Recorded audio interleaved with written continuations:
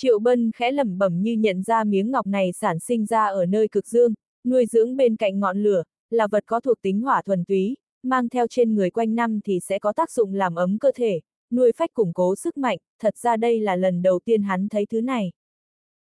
Lấy chiếc nhẫn ngọc đen đặt lên trên ngọc viêm linh. Vừa nói Nguyệt Thần vừa ngáp nên nói rất tùy ý. Đây là cách làm gì thế? Triệu Bân tò mò nói. Hôm đó Nguyệt Thần chỉ nói chiếc nhẫn đen mà hắn lấy từ chỗ vua âm Nguyệt là bảo bối, còn nó có năng lực gì thì hắn không biết, thế mà còn có tác dụng xưa cũ thế với miếng ngọc viêm linh này. Chiếc nhẫn đen để đó quá lâu, mất rất nhiều tinh túy, cần phải bổ sung, Nguyệt Thần nhàn nhã nói, ngọc viêm linh được trời đất cô động thanh, tinh hoa của nó có thể làm chất dinh dưỡng. Nếu đủ số lượng thì có lẽ có thể kích hoạt nhẫn ngọc đen. Cô còn nghiên cứu cái này à? Triệu Bân lẩm bẩm, sau đó đặt nhẫn đen lên ngọc bội. Cảnh tượng kỳ lạ cũng xuất hiện, nhẫn ngọc đen lóe lên tia sáng, còn ngọc phiêm linh dần mất đi tinh hoa với tốc độ cực nhanh có thể nhìn thấy bằng mắt thường, màu đỏ dần biến mất, từng chút mất đi màu sắc vốn có của nó, còn tinh túy của nó lại hòa vào nhẫn đen. Mỗi khi ngọc phiêm linh tối dần đi thì nhẫn đen lại sáng hơn một chút. Cuối cùng ngọc phiêm linh nứt ra biến thành một màu xám. Triệu Bân đợi một lúc mới cầm nhẫn đen lên lật qua lật lại xem xét. Màu đen của chiếc nhẫn đậm hơn, trong khoảnh khắc đó dường như hắn ngửi được một thứ tà khí vừa hung ác vừa khát máu của ác ma, suýt nữa khiến hắn không giữ được tinh thần. Ác ma. Triệu Bân cao mày vô thức nhìn Nguyệt Thần. Nguyệt Thần không đáp lời mà chỉ im lặng trầm ngâm. Nhẫn ngọc đen, nhẫn của ác ma, nói đúng hơn nên gọi nó là nhẫn ma. Triệu Bân lẩm bẩm nói, có thế nào cũng không ngờ chiếc nhẫn này là của ma giáo. Giờ nhìn lại cảm thấy có ánh sáng ác ma cứ lập lòe khiến hắn hốt hoảng. Tìm nhiều ngọc viêm linh, vẫn còn thiếu rất nhiều. Cũng chỉ có tinh hoa của ngọc viêm linh mới có thể dùng à. Sau khi phủi bụi thì nó vẫn hấp thụ tinh hoa của viêm linh nên tốt nhất là dùng ngọc viêm linh, linh ngọc khác cũng không thể không được nhưng sợ sẽ ảnh hưởng đến chất lượng của nhẫn ma, Nguyệt Thần nói, tất nhiên có thể tìm được loại ngọc tạo ra nhẫn ma đó thì hiệu quả càng tốt hơn. Nhưng theo ta nghĩ, thế giới người phàm không có loại ngọc liệu đó. Thế rốt cuộc nó có tác dụng gì, Triệu Bân cười nói. Nguyệt Thần không nói gì chỉ ngáp một cái, sau đó nhắm mắt lại. Triệu Bân sầm mặt. Mỗi lần đến lúc mấu chốt thì cô gái này cú úp úp mở mở. Nhìn một hồi lâu rồi hắn mới cất nhẫn ma này vào chiến lợi phẩm còn có bảo bối tuyệt vời nữa là một viên đan dược. Hắn đã từng thấy đan dược này, chắc chắn là luyện tâm đan. Đêm đó vì muốn giải quyết công bằng chuyện hai nhà mà liễu như Nguyệt treo đầu dê bán thịt chó đưa cho hắn một viên đan như thế này. Nhưng Triệu Bân không nhận. Đan dược ấy mà, đồ tốt bị hắn cho vào hồ lô tím vàng hòa với linh dịch, uống một hớp là tinh thần phơi phới, có tác dụng ổn định tâm cảnh, còn hiệu lực dược của linh dịch cũng rất nhiều nhưng càng uống càng ít nếu có thêm một cây hoa sen thì tốt biết bao. Triệu Bân lẩm bẩm, ngồi xếp bằng rồi nhắm mắt lại. Trận quyết đấu luyện khí hôm nay xem như là một trận tập luyện, nếu không có võ hồn thì hắn đánh không lại với Khô Sơn. Mặc dù tính cách ông ta hơi kỳ quái nhưng lại có hiểu biết về luyện khí. Người được lợi lớn nhất trong ván đặt cược này là Khô Sơn. Ông ta là đại sư luyện khí, thêm ông ta là triệu gia đã có hai luyện khí sư, mấy năm nay về sau e là không ai có thể chèn ép triệu gia về mảng luyện khí. Triệu gia không chỉ có thể trụ vững được cơ nghiệp mà còn có thể kiếm thêm bộn tiền. Hắn có suy nghĩ khá giống với chư cát huyền đạo. Khống chế bằng đan dược là hạ sách, tìm cơ hội lộ ra thân phận của Hồng Nguyên để tạo uy sẽ tốt hơn đan thực cốt nhiều, phải khiến họ cam lòng tiếp thu mới có hiệu quả. Ông già ngươi đừng đến thành vong cổ nữa. Triệu Bân thầm nói. Ông già mà hắn nói đến chính là đại hạ Hồng Nguyên thật đang hưởng lạc ở hoàng tộc. Nếu đến thành vong cổ dạo chơi thì rất khó che giấu.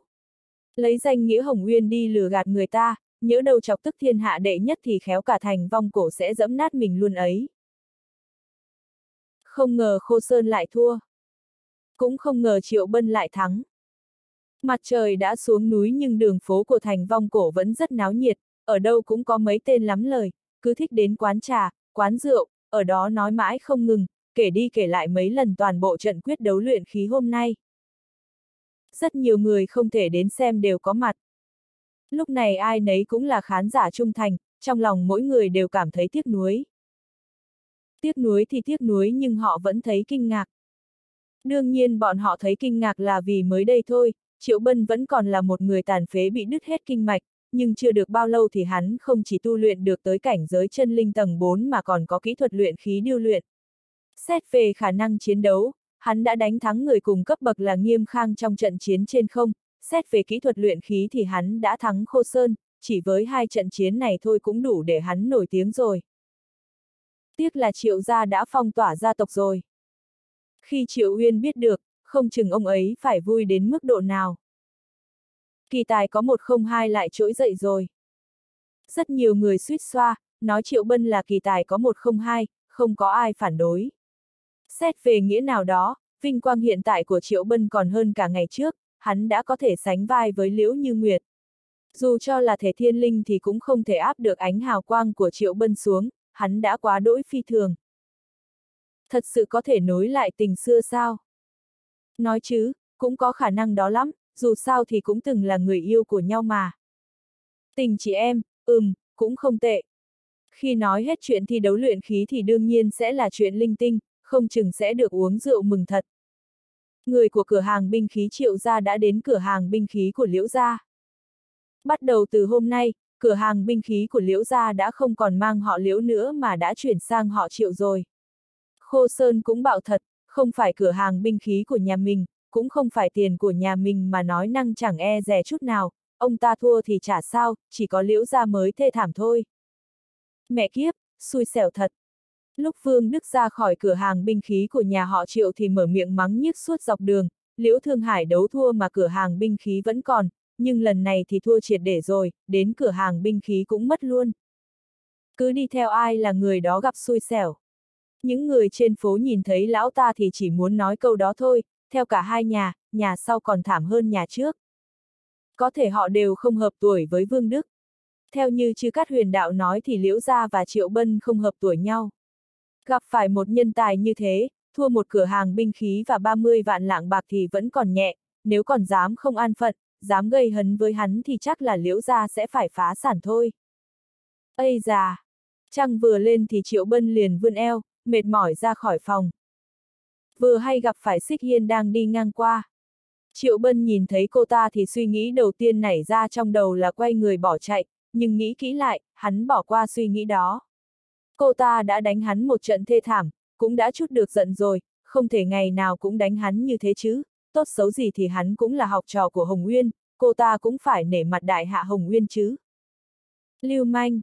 Xích Hiên liếc Triệu Bân một cái, rồi thốt lên hai chữ đó. Muốn xuống sông Hoàng Hà tắm gội quá, xem thử có thể gội sạch được không. Triệu Bân rất tự giác, hắn lại cầm rẻ lau, nhanh tay nhét vào miệng mình. Đừng thấy Nguyệt Thần đã ngủ say mà lành, cái bà cô đó lúc nào cũng có thể đâm cho hắn một nhát hết. Cha, tình thánh đến rồi. Tên mập da đen thấy Triệu Bân xuống lầu thì nở nụ cười. Những người khác cũng hét to lên. Tình thánh. Biệt danh hay thật. Nhưng Triệu Bân biết họ đang mắng hắn. Ai bảo hắn dở trò lưu manh làm gì. Ta thấy rất vui. Tú Nhi đang nhắm mắt giả vờ ngủ cùng nụ cười khoái chí. Cô ta làm bao nhiêu việc, cuối cùng đã giành được cho đệ từ nhà mình một biệt danh nổi bật như thế, nghe thôi cũng thấy sang chảnh rồi. Không phải ta nói đâu. Triệu Bân ho một tiếng gượng gạo, ngồi xuống bên cạnh Liễu Tâm Như, tay cầm một quả trái cây lên, bóc vỏ rồi cắt ra thành từng miếng nhỏ giống như trước đây và đút cho vợ ăn. Đây là một ví dụ điển hình của việc thể hiện tình cảm. Nhưng dường như có một số việc không thể nào giải thích rõ được. Liễu Tâm Như cười khẽ. Nàng vẫn giống như trước đây, không quan tâm việc Triệu Bân có bao nhiêu phụ nữ. Lạ không? Lạ. Chư Cát Huyền đạo khoanh hai tay lại, lão mập thì vuốt râu, họ cứ cảm thấy có gì đó không đúng, cứ cảm thấy mấy ngày nay Triệu Bân cứ như bị con ma ngốc nghếch nào đó nhập vào người, rất buồn cười. Có điều, chuyện đó đã không còn quan trọng nữa. Triệu Bân có muốn vứt bỏ cũng không vứt bỏ được cái biệt danh tình thánh nữa rồi. Ai bảo hắn có một sư phụ tốt thế làm gì? Ra giá đi. Khô Sơn cũng có ở đó, ông ta ngồi xếp bằng một mình dưới gốc cây cổ thụ, ông ta đang nói với Triệu Bân.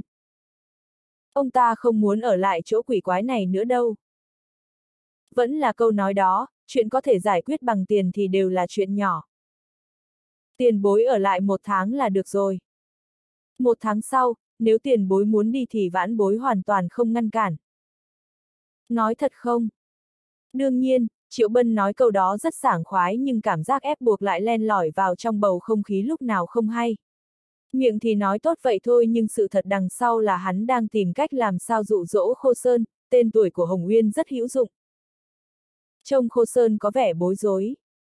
Từ khi ra khỏi hội trường, ông ta luôn tưởng rằng chuyện này còn khó hơn lên trời, nhưng bây giờ xem ra có vẻ rất nhẹ nhàng. Ở lại một tháng, dù phải ngày đêm giúp đỡ Triệu Bân luyện binh khí thì cũng không mất bao lâu, để rời khỏi được chỗ này, ông ta vẫn có thể đợi được một tháng. Còn về bảo bối của ông ta thì ông ta đã không còn dám mơ có thể lấy lại được nữa. Dám chơi dám chịu, lúc trước ông ta không cam tâm nên ngồi cả ngày ở đây, nhưng cuối cùng ông ta cũng hiểu ra, trường giang sóng sau xô sóng trước, một luyện khí sư nổi tiếng khắp nơi như ông ta chỉ là một trò cười, không thể phủ nhận, Triệu Bân đúng thật là một nhân tài. Không chỉ là nhân tài mà còn giỏi toàn diện. Ánh mắt của chư các huyền đạo khá thâm sâu, nếu như đưa một luyện đan sư đến đọ sức với Triệu Bân thì chắc hắn vẫn có thể ngông như thế. Hắn có sấm sét và địa hỏa, Hồng Uyên đã truyền thuật luyện khí cho hắn rồi thì không có lý do gì mà lại không truyền thuật luyện đan cho hắn. Cũng có nghĩa là, cậu chủ nhà họ Triệu này là luyện khí sư và cũng sẽ là luyện đan sư. Thế là đã đáng sợ lắm rồi. Bất luận là luyện khí hay là luyện đan thì đó cũng đều là những nghề nổi tiếng, càng không cần nói đến việc thành công trong cả hai nghề, dù tính trên cả chiều của đại hạ thì người như Triệu Bân cũng tuyệt đối không vượt quá 5 người. Người đã nhận tiền chưa? Tên mập đen trò Triệu Bân. Tiền hả? Triệu Bân vừa nghe thấy thì đứng dậy ngay, hắn quên bén chuyện này mất, tiền cược đấy. Một đền chín đấy, hắn đã cược cả gia sản của mình rồi, phải đi thu tiền lại chứ. Hắn mới đi được hai bước thì lại quay trở lại. Hắn vẫn chưa đút hết trái cây nên quay lại đút hết mấy miếng còn lại vào miệng liễu tâm như. Tiền và vợ, người chọn gì? Chuyện này mà cũng cần phải hỏi à, chọn tiền chứ gì? Việc đến giờ ngươi vẫn chưa có vợ không phải là không có lý do đâu. Có phải ngươi đang mắng ta không? Sau khi Triệu Bân đi thì tên mập và nhóc ham tiền lại không ngừng đấu khẩu. Không biết Ngưu Anh đã bị bao nhiêu người lườm liếc, nếu như Triệu Bân nghe thấy chữ tiền mà mắt còn sáng hơn cả khi gặp mẹ ruột của mình thì nhiều trái cây như thế, chẳng lẽ hắn không sợ làm vợ mình nghẹn chết sao? Nhà họ Triệu có tài đức gì chứ? Khô Sơn lẩm bẩm, ông ta vẫn còn ngồi ở đó, vẻ mặt rất kỳ lạ. Với tầm nhìn của một huyền dương đỉnh cao, đương nhiên ông ta cũng có thể nhìn ra được sự phi thường của những người ở đó. Nếu như lão huyền đạo và lão mập đều là cảnh giới địa tạng, thì bọn tên mập và nhóc ham tiền đều có huyết mạch đặc biệt. Cả đám nhân tài này, ai cũng có lai lịch không đơn giản. Bây giờ, họ lại đều tụ họp ở đây thì khó tránh khỏi việc sẽ gây ra sự chú ý, cộng thêm việc hôm nay có Dương Hùng ủng hộ nữa, chuyện này khiến ông ta bất giác có suy đoán nhất định nhà họ triệu nhỏ bé này có cất dấu bí mật động trời gì đó, nếu không thì sao lại có nhiều người giúp đỡ đến thế, nhất định là có chuyện không thể cho người ta biết. Phía bên này, Triệu Bân đã ra khỏi cửa hàng binh khí, đi thẳng đến sòng bạc. Được thu tiền thì đương nhiên trong lòng sẽ cảm thấy thoải mái, ngân phiếu đều được chất thành từng lốc, từng lốc một. Ông chủ của sòng bạc vừa suýt xoa vừa chật lưỡi. Ông ta mở sòng bạc lâu như thế, những người lấy nhỏ đặt lớn thì phần lớn đều tán ra bại sản, người đặt kiểu như Triệu Bân mà phát tài được thì là trường hợp đầu tiên. Không chừng hắn chính là Triệu Bân. Ông chủ sòng bạc lẩm bẩm trong bụng, sớm biết mình sẽ thắng mà còn không chơi lớn. Triệu Bân nhanh chân lượn hết nhà này đến nhà khác. Thành vong cổ cũng chỉ có mười mấy cái sòng bạc đó thôi, mình hắn bao chọn hết. Vì vậy, hắn đã bị người ta để mắt đến, giàu có thì sẽ rước họa, có quá nhiều người thua sạch túi, bức quá làm liều, ai cũng muốn giết người cướp của. Tiếc là bọn họ đã tìm nhầm đối tượng rồi. Thủ đoạn của Triệu Bân khác người, cảnh giới địa tạng mà cũng không bắt được hắn mà, quá xuất thần nhập quỷ. Lại đến trăng tròn rồi. Triệu Bân đi trên phố, lẩm bẩm nói một mình. Hắn nhìn thấy trăng tròn thì bất giác nhớ đến U Lan. Sau khi sát thủ của La Sinh Môn được sinh ra thì sẽ bị truyền huyết mạch của dược tộc vào người, mỗi khi đến trăng tròn thì sẽ phát điên, hắn đã tận mắt chứng kiến, dù là bây giờ thì hắn cũng không thể đánh lại được U Lan khi phát điên. Trạng thái của U Lan còn tệ hơn cả những gì hắn dự đoán. Ở trong núi sâu u tối, U Lan phải dùng xích sắt khóa mình lại, co do dưới vách núi, hai đầu gối run lên cầm cập, khuôn mặt đã tái nhợt không còn giọt máu giống như đã uống thuốc độc, mà còn là loại độc khiến người ta bị nghiện, khi cơn nghiện phát tác thì sẽ như bị hàng ngàn con trùng đục khoét lấy cơ thể. Mỗi người trong la sinh môn đều từng uống thuốc độc. Sau khi hoàn thành nhiệm vụ thì sẽ lấy được thuốc giải, còn nếu không hoàn thành được nhiệm vụ thì sẽ phải chịu đau đớn. Tối nay sẽ là đêm khó khăn nhất của cô ta. Không uống được thuốc giải, lại còn gặp lúc trăng tròn, cô ta có vượt qua được hay không cũng là chuyện khó nói. Triệu Bân khi vẫn còn sót lại chút tỉnh táo, cô ta dường như đã nhìn thấy một bóng hình. Vẫn là cái giếng khô đó đã để lại hồi ức đẹp đẽ nhất. Mà Triệu Bân vẫn là ánh sáng lấp lánh nhất trong thế giới u tối của cô ta. Xoạt xoạt xoạt. Tiếng xích sắt va vào nhanh chóng vang lên. A. À. Dưới ánh trăng, tiếng cô gái than khóc vô cùng chói tai, nghe muốn đứt ruột đứt gan. Tú Nhi, người như U Lan có thể dung hợp huyết mạch được không? Triệu Bân càng đi càng xa, hắn nhìn Nguyệt Thần vì không hiểu chuyện này cho lắm. Đương nhiên là có thể. Nhưng cô ta vẫn sẽ mãi bộc phát huy lực thực sự của huyết mạch dược tộc. Trừ khi cô ta nghịch thiên trở thành thần, dùng đạo để dung hợp huyết mạch. Nguyệt Thần lạnh lùng nói. Nói thật sự, cô ta cũng đánh giá rất cao cô nhóc U Lan này. Thật ra, huyết mạch của dược tộc không đáng sợ. Nhưng phải xem ai là người kế thừa của dược tộc và là thuộc nhánh nào của huyết mạch. Nếu như huyết mạch của U Lan trở về như cũ, thì chắc chắn là đi ngược với tạo hóa, nhưng tiền đề là phải có thể dung hợp được. Thành vong cổ tối nay không chỉ náo nhiệt mà còn rất đã mắt. Ngước mắt nhìn ra thì thấy trên phố có thêm rất nhiều người mặc quần lót hoa, họ đi giữa đám đông thì vô cùng nổi bật, dù nhìn từ phía nào thì cũng thấy rất đặc sắc. Có người thắng thì cũng phải có người thua. Mà mấy người này chính là mấy người bị thua tiền, họ đã cực hết cả gia sản nên trên người họ ngoài cái quần lót đó ra thì không còn sót lại gì nữa, đến cả ăn cơm cũng còn là một vấn đề. Lúc Triệu Bân xuất hiện trở lại thì đã là lúc đến nhà cuối cùng rồi.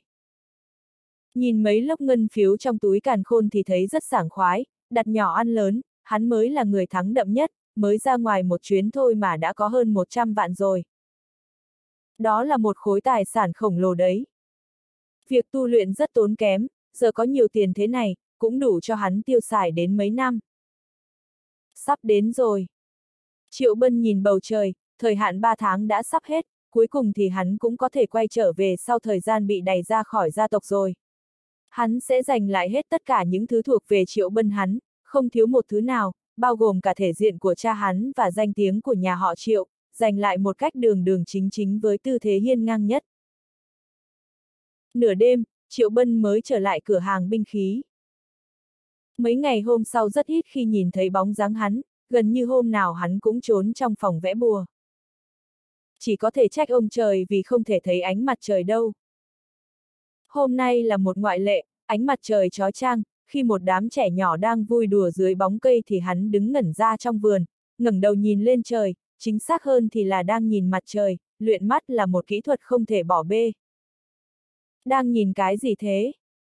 Không ít người ngẩng đầu nhìn, chẳng lẽ có ngân lượng rơi từ trên trời xuống sao? Thật là một công pháp kỳ lạ. Nhìn chằm chằm mặt trời như vậy, chắc đang luyện đồng tử đúng không? Có khi là bí thuật đại hạ Hồng Nguyên truyền lại. Lão huyền đạo và lão mập lầm bẩm đều là người ở cảnh giới địa tạng, tự họ có tầm nhìn của riêng mình, cộng thêm cả hiểu biết của họ đối với Triệu Bân thì thằng nhóc đó cũng không nhàn rỗi như vậy, chắc chắn hắn đang tu luyện, có một bộ công pháp kỳ quái như vậy, nó sẽ âm thầm vận hành. Dựa theo kinh nghiệm của cả hai, cũng không thể nhìn ra nguồn gốc, chỉ biết rằng bộ công pháp này không phải là thứ huyền diệu bình thường. Khô Sơn cũng có mặt ở đó, khẽ nhíu đầu mày lại.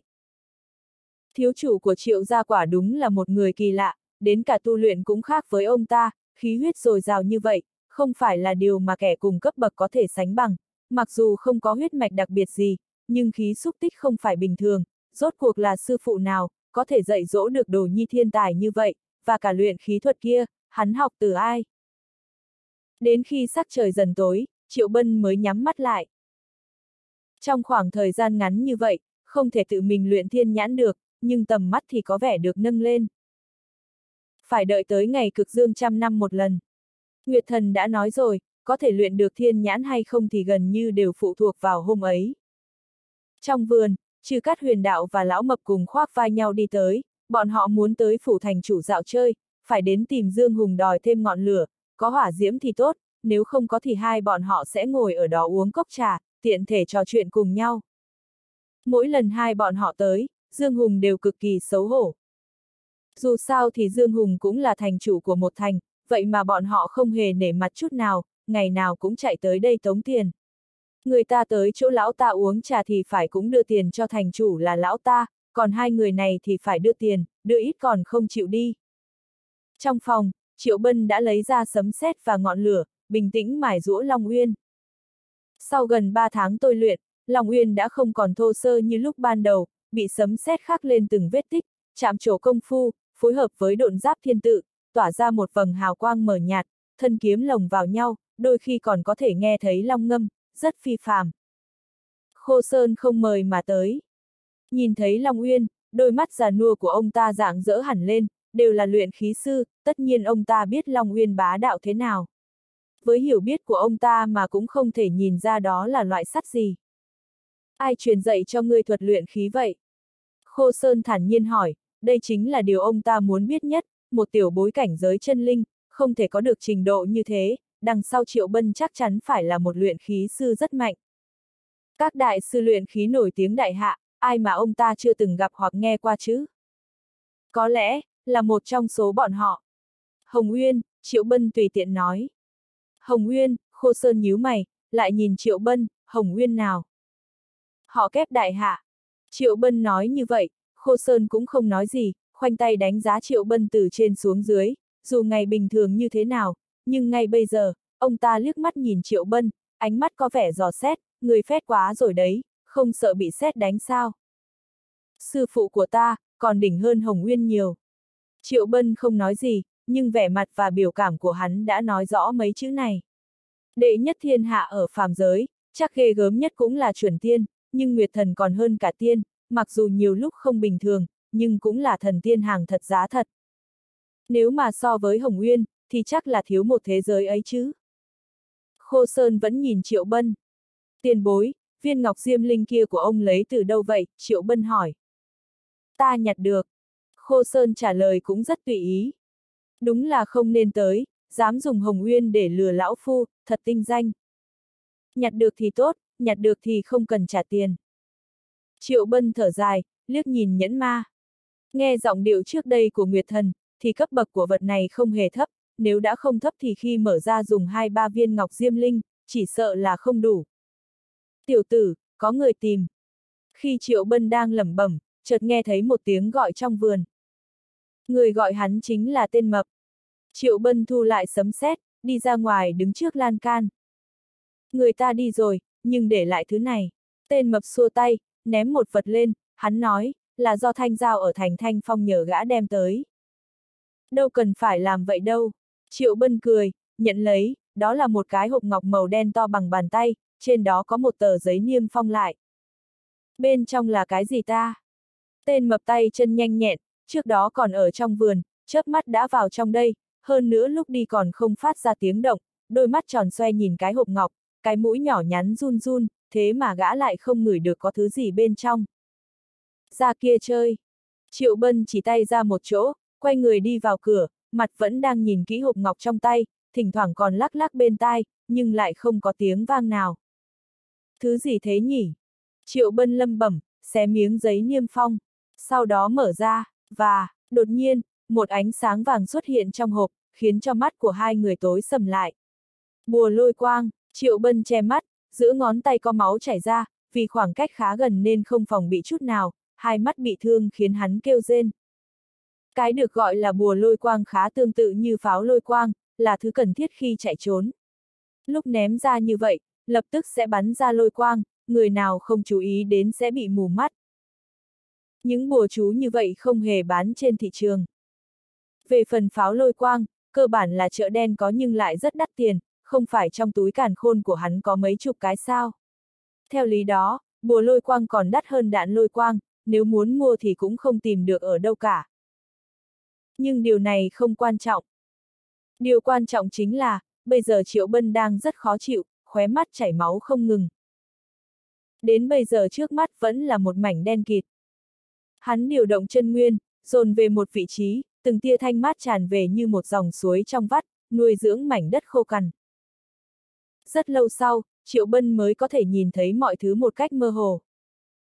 Thế nhưng, tầm nhìn rất mờ, không chỉ lóa mắt, mà còn rất chóng mặt. Đây chắc chắn không phải đồ thanh giao đưa. Triệu Bân loạn choạng, giọng điệu khá lạnh lùng, hắn không thù không oán với thanh giao, đối phương cũng không có lý do gì dùng bùa lôi quang hại hắn, hơn nữa còn là bùa lôi quang có cấp bậc không hề thấp. Rõ ràng có người giả danh thanh giao lừa hắn. Chỉ trách Triệu Bân quá bất cẩn, buông lỏng cảnh giác. Tú Nhi, cô có thể thấy ai không? Triệu Bân hỏi.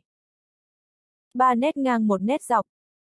Nguyệt Thần lười biếng nói, mặc dù không quan tâm đến chuyện của cửa hàng binh khí, nhưng người đưa hộp ngọc lúc nãy, cô ta có thể nhìn thấy rõ ràng là kẻ đó đã dịch dung, trên người còn mặc một chiếc áo choàng đen, gã cứ nghĩ là mình che giấu rất giỏi, nhưng trong mắt cô ta lại không thể che giấu được gì. Ba nét ngang một nét dọc. Chữ Vương. Vương Dương. Triệu Bân lẩm bẩm vài lần, nhìn về phía Nguyệt Thần. Nguyệt Thần không trả lời, xem như ngầm thừa nhận câu trả lời này. Tốt, rất tốt. Triệu Bân hừ lạnh một tiếng, cầm theo Long Uyên rời đi.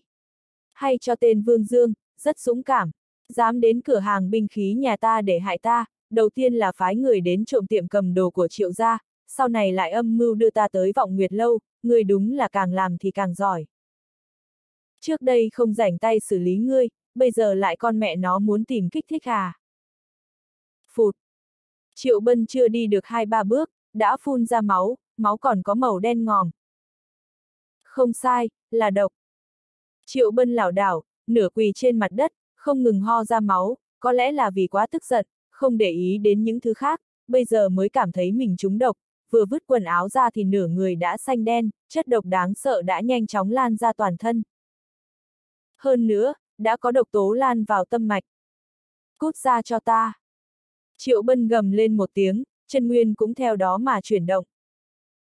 Keng, keng. Có tiếng động nhẹ vang lên, có chừng mười mấy cây kim bay ra, bị ép ra từ trong người triệu bân, cắm vào tường. Nói chính xác hơn, là kim độc, cái nào cũng mỏng hơn sợi tóc, nếu không nhìn kỹ, sẽ khó mà phát hiện ra. Phụt! Triệu bân lại phun máu, nhìn mười mấy cây kim, hai mắt liền đỏ lên. Có thể nói, chỉ có bùa lôi quang cũng không thể lấy mạng của hắn, trong hộp ngọc có cái bẫy khác, chính là mười mấy cây kim độc này, chắc chắn là khi bùa lôi quang nổ tung, chúng đã cắm vào cơ thể, cũng bởi vì bị ánh sáng lôi quang làm chói mắt mới không phòng bị chút nào. Nếu độc tố không phát tác, thì đến bây giờ hắn cũng không biết. Cho nên nói, Vương Dương là một nhân tài, tính toán rất tốt và chuẩn xác, có thể khiến Triệu Bân chịu thiệt, cũng không được mấy lần đã bị hắn ta tính toán đến kế thứ hai. Lần này là vì muốn giết Triệu Bân. May mà số mệnh của hắn vẫn rất tốt, nếu là cảnh giới chân linh tầng thứ tư bình thường e rằng đã bị đưa vào quỷ môn quan rồi. Cứ đợi đấy cho ta. Triệu Bân hừ lạnh một tiếng, cắm Long Uyên xuống đất, vội vàng khoanh chân, chuyển động chân nguyên, địa hỏa cũng chuyển động, vừa bảo vệ tâm mạch, vừa xua tan độc tố. Có lẽ đây là một loại độc rất kinh khủng. Ít nhất, đây là lần đầu tiên Triệu Bân nhìn thấy loại độc này, rõ ràng là chúng độc nhưng toàn thân không hề đau đớn, cũng không hề biết được rồi trong chớp mắt đi đời nhà ma thì đến cơ hội cứu cũng không có. May mà Nguyệt Thần trông chừng, nếu không thì hắn sẽ chết thảm. Nghĩ tới Nguyệt Thần, Triệu Bân nhìn Tú Nhi, Nguyệt Thần hẳn đã biết chuyện này từ lâu. Đây, cũng là một loại tu hành. Một lời nói của Nguyệt Thần ý vị thâm trường.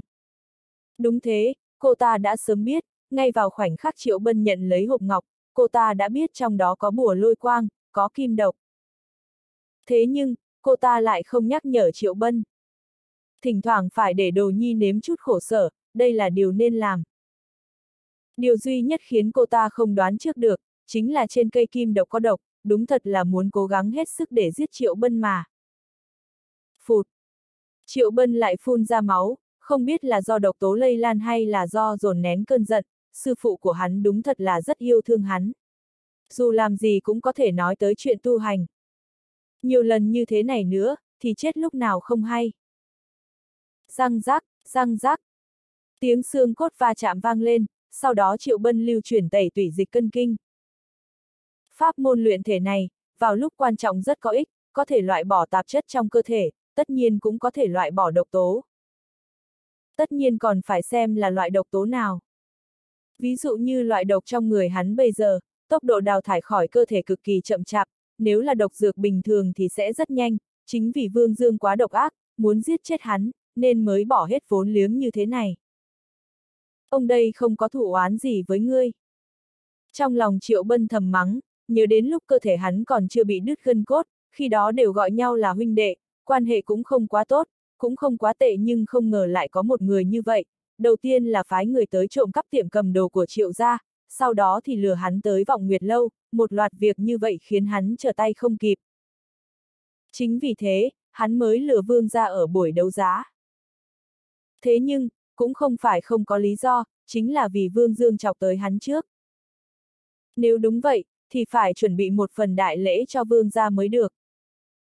Đợi đó, đợi ông đây bình phục. Về đêm, khu vườn nhỏ nồng nặc mùi rượu. Mọi người ngồi quây quần, bầu không khí cũng coi như hòa hợp, duy chỉ có thiếu triệu bân, khi mọi người nhìn lại, thì mới phát hiện cái tên đó còn đang bận tu luyện, đúng là một tên nhóc say mê võ đạo, hơn nữa cũng tiến bộ rất nhanh. Thật ra thì hắn vẫn còn đang chữa thương. Độc tố trong cơ thể thật khó loại trừ, cũng còn may là chưa ảnh hưởng đến tính mạng. Muốn thật sự hết bệnh, còn cần khá nhiều thời gian. Sau đó ba ngày, cũng không thấy hắn bước ra khỏi cửa phòng. Mà trong ba ngày này, luôn có một người mặc hắc bào, âm thầm đi quanh cửa hàng binh khí, cho rằng mình che giấu thân phận rất tốt, nhưng đối với Nguyệt Thần thì có cố che giấu cũng vô dụng. Chưa chết. Kẻ mặt hắc bào kia tất nhiên chính là Vương Dương, lông mày của hắn ta đang nhíu chặt. Chúng phải loại độc bá đạo như vậy, Triệu Bân chắc chắn phải chết không thể nghi ngờ. Nhưng cho dù như vậy, Vương Dương cũng muốn chạy đến hậu viên của cửa hàng binh khí nhìn một chút, xem Triệu Bân đã chết chưa. Nếu như chưa có thông tin chính xác, hắn ta không thể nào ngủ yên giấc. Đáng tiếc, hắn ta đã đợi ba ngày cũng không thấy có động tĩnh gì. Không chết cũng phải mất đi nửa cái mạng. Vương Dương cười nhạt, cuối cùng xoay người đi, trong lòng vô cùng thoải mái. Một lần không được, hắn ta không ngại làm thêm vài lần. Đáng tiếc là Triệu Bân đang chữa thương, nếu không, nhất định hắn sẽ kéo Vương Dương đi tử lầu uống vài ly, hỏi cái tên đó cho thật rõ ràng, ông đây chỉ trêu chọc ngươi, không nghĩ ngươi vậy mà lại muốn giết chết ta. Hự! Tới đêm thứ tư, Triệu Bân mới mở mắt, khạc ra một ngụm khí đen nhánh đục ngầu thật dài, sắc mặt tái nhợt, hồi lâu mới ửng đỏ trở lại, hắn phải dạo một vòng quanh quỷ môn quan, quả thực nghĩ tới mà sợ, thủ đoạn này so với đám sát thủ la sinh môn còn ác độc hơn nhiều. Nhóc con, lần này tới lượt ta. Triệu Bân cười lạnh một tiếng, đeo lên tấm mặt nạ ra người, sau đó còn dịch dung, khoác hắc bảo che giấu khí tức, rời khỏi cửa hàng binh khí dưới ánh trăng sáng. Trong đêm khuya, khung cảnh thành vong cổ rất tịch mịch. Trên đường trừ mấy tên sâu rượu cùng ăn mày cũng không còn ai khác.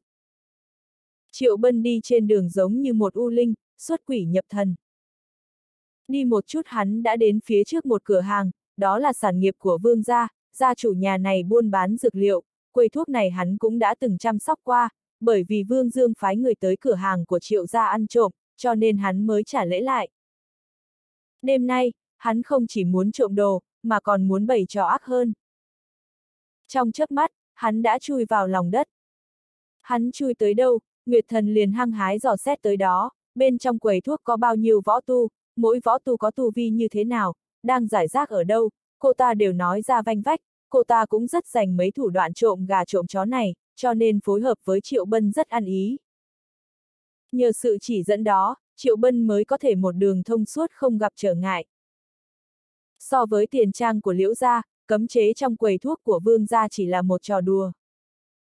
Cho ngươi dám hãm hại ta này. Vào quầy thuốc, Triệu Bân liền giống như một con ngựa hoang bị đứt dây cương, bất kể là đan dược hay dược thảo, đáng tiền hay không đáng tiền, hắn đều lấy hết không chút khách khí. Hắn có túi càn khôn, còn có thể lấy nhiều hơn nữa. Buồn cười là thị vệ trong quầy thuốc chẳng có ai phát hiện ra. Tú Nhi, trong thời khắc mấu chốt cô ngàn vạn lần đừng có chơi ta. Triệu Bân liếc Nguyệt Thần một cái, rất sợ cô ta đột nhiên đổi giọng. Như vậy, đêm nay sẽ rất ồn ào. Nguyệt Thần xem thường, cô ta chỉ có hứng thú với mấy tiểu muội xinh đẹp, đang trộm đồ thì cứ lo trộm đồ đi. Ta muốn hại người cũng phải tùy thời điểm chứ. Bên này, Triệu Bân đã quét sạch không còn một mống, sau đó lại trốn vào lòng đất, lấy ra một sấp bùa nổ liên tục trôn xuống đất, muốn tìm một cơ hội thích hợp để khai nổ. Mà đây cũng chỉ là bước mở đầu. Vương gia chú trọng vào dược liệu, cho nên cũng không chỉ có một cửa hàng này. Chỉ có điều, cửa hàng khác không hề treo bảng hiệu của vương gia, thế nhưng đều là sản nghiệp của vương gia cả. Điều này hắn nghe được khi còn là thiếu chủ triệu gia. Hắn đã biết như thế thì làm sao có thể bỏ qua được. Không làm ngươi đổ máu một chút thì ngươi không chịu nhớ lâu. Ăn trộm, hắn vô cùng chuyên nghiệp. Quầy thuốc thứ hai, hắn cũng quét sạch không còn thứ gì. Cũng như quầy thuốc thứ nhất, hắn cũng trôn lại dưới đất rất nhiều bùa nổ. Tới khuya hắn mới trở về cửa hàng binh khí. Khóa chặt cửa phòng, hắn kiểm lại chiến lợi phẩm, mấy thứ như linh dịch hắn đều rót vào hồ lô tím vàng, còn đan dược hắn trộm được chừng hơn mấy chục cân, sau này trong một khoảng thời gian dài hắn cũng không cần mua thêm nữa. Những thứ còn lại chính là dược thảo. Không thiếu dược thảo chân quý, hắn đều giữ lại cho mình dùng, đợi hắn dung hợp ra thiên hỏa, đợi hắn trở thành luyện đan sư, thì những thứ dược thảo này đều là nguyên liệu cần thiết cho việc luyện đan, chuẩn bị trước cũng tốt. Tú Nhi, truyền bùa lôi quang cho ta đi. Triệu Bân cười ha hả, bùa chú đó rất hiếm, so với pháo lôi quang còn bá đạo hơn rất nhiều, ngày sau hắn sẽ dùng nó để đối phó Vương Dương. Ông!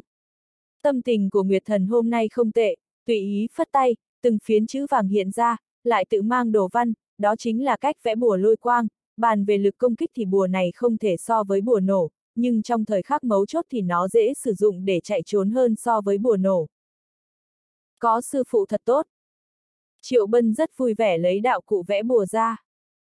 Trong lĩnh vực này, thành tựu của hắn đúng là không hề nhỏ, trên toàn bộ phàm giới cũng chỉ có duy nhất một mình hắn có thể vẽ liền một mạch khi vừa mới học qua cách vẽ bùa, thiên phú của hắn đúng là số một, vẽ bùa lôi quang đối với hắn mà nói cũng không có gì khó khăn, một khi bắt đầu vẽ liền có thể vẽ một mạch không dứt, vẽ ra cả một sấp bùa, bùa chú thực dụng mà, bình thường hắn cũng phải sử dụng nhiều, thời khắc mấu chốt có thể dùng nó để bảo toàn tính mạng. Còn có bùa chú gì, cô truyền hết cho ta luôn đi. Triệu Bân một bên vẽ bùa, một bên lại ha hả cười nói. Nguyệt thần không phản ứng, nhắm mắt giả vờ ngủ. Triệu Bân kêu gào mấy lần cũng không có ai đáp lại, khiến cho hắn cũng cảm thấy rất lúng túng. Đáng chết! Hôm sau, sắc trời còn chưa sáng thì mọi người đã nghe thấy thanh âm của ai đó đang tức giận gầm lên. Thanh âm đó truyền tới từ quầy thuốc của vương gia. Lúc Triệu Bân đến nơi, đã có không ít người tụ tập đứng xem, chỉ chỉ trỏ trỏ chỗ quầy thuốc, người ra kẻ vào nhốn nháo, phần đông đều là người của vương gia, giống như đang cố gắng tìm ra đầu mối, nhìn xuyên qua đám người, Triệu Bân trông thấy gia chủ vương gia vương liêu, còn có thiếu chủ vương gia vương dương, sắc mặt của ai cũng khó coi, mấy trưởng lão cũng đang nóng nảy đứng văng tục. Quét sạch không còn một mống, không chừa lại gì cả. Lại là cô lang dạ hành sao? Yên ắng nhiều ngày, nay lại chạy ra gây án. Có trời mới biết. Tiếng bàn tán nổ ra rất nhiều, người ta đến xem náo nhiệt mà, không ồn ào mới lạ. Có không ít người đang cười trên sự đau khổ của người khác, đều là những người có thủ với gia tộc này. Hiếm khi mọi người lại có một màn kịch đặc sắc để xem, cho nên nhiều người ngay cả cơm cũng không ăn, nhanh chóng chạy tới xem náo nhiệt. Nổ! Triệu Bân núp trong bóng tối, âm thầm kích hoạt bùa nổ. ầm, ầm, ầm. Đột nhiên, hàng loạt tiếng nổ lớn vang lên. Một cửa hàng lớn như vậy, trong nháy mắt ầm ầm sụp đổ, gạch xanh ngói đỏ, xà lam tường gỗ đều bị nổ đầy trời, đừng nói những người trong quầy thuốc, ngay cả người dân đứng ngoài phố xem náo nhiệt cũng gặp nạn, nhưng cũng không có gì quá nghiêm trọng.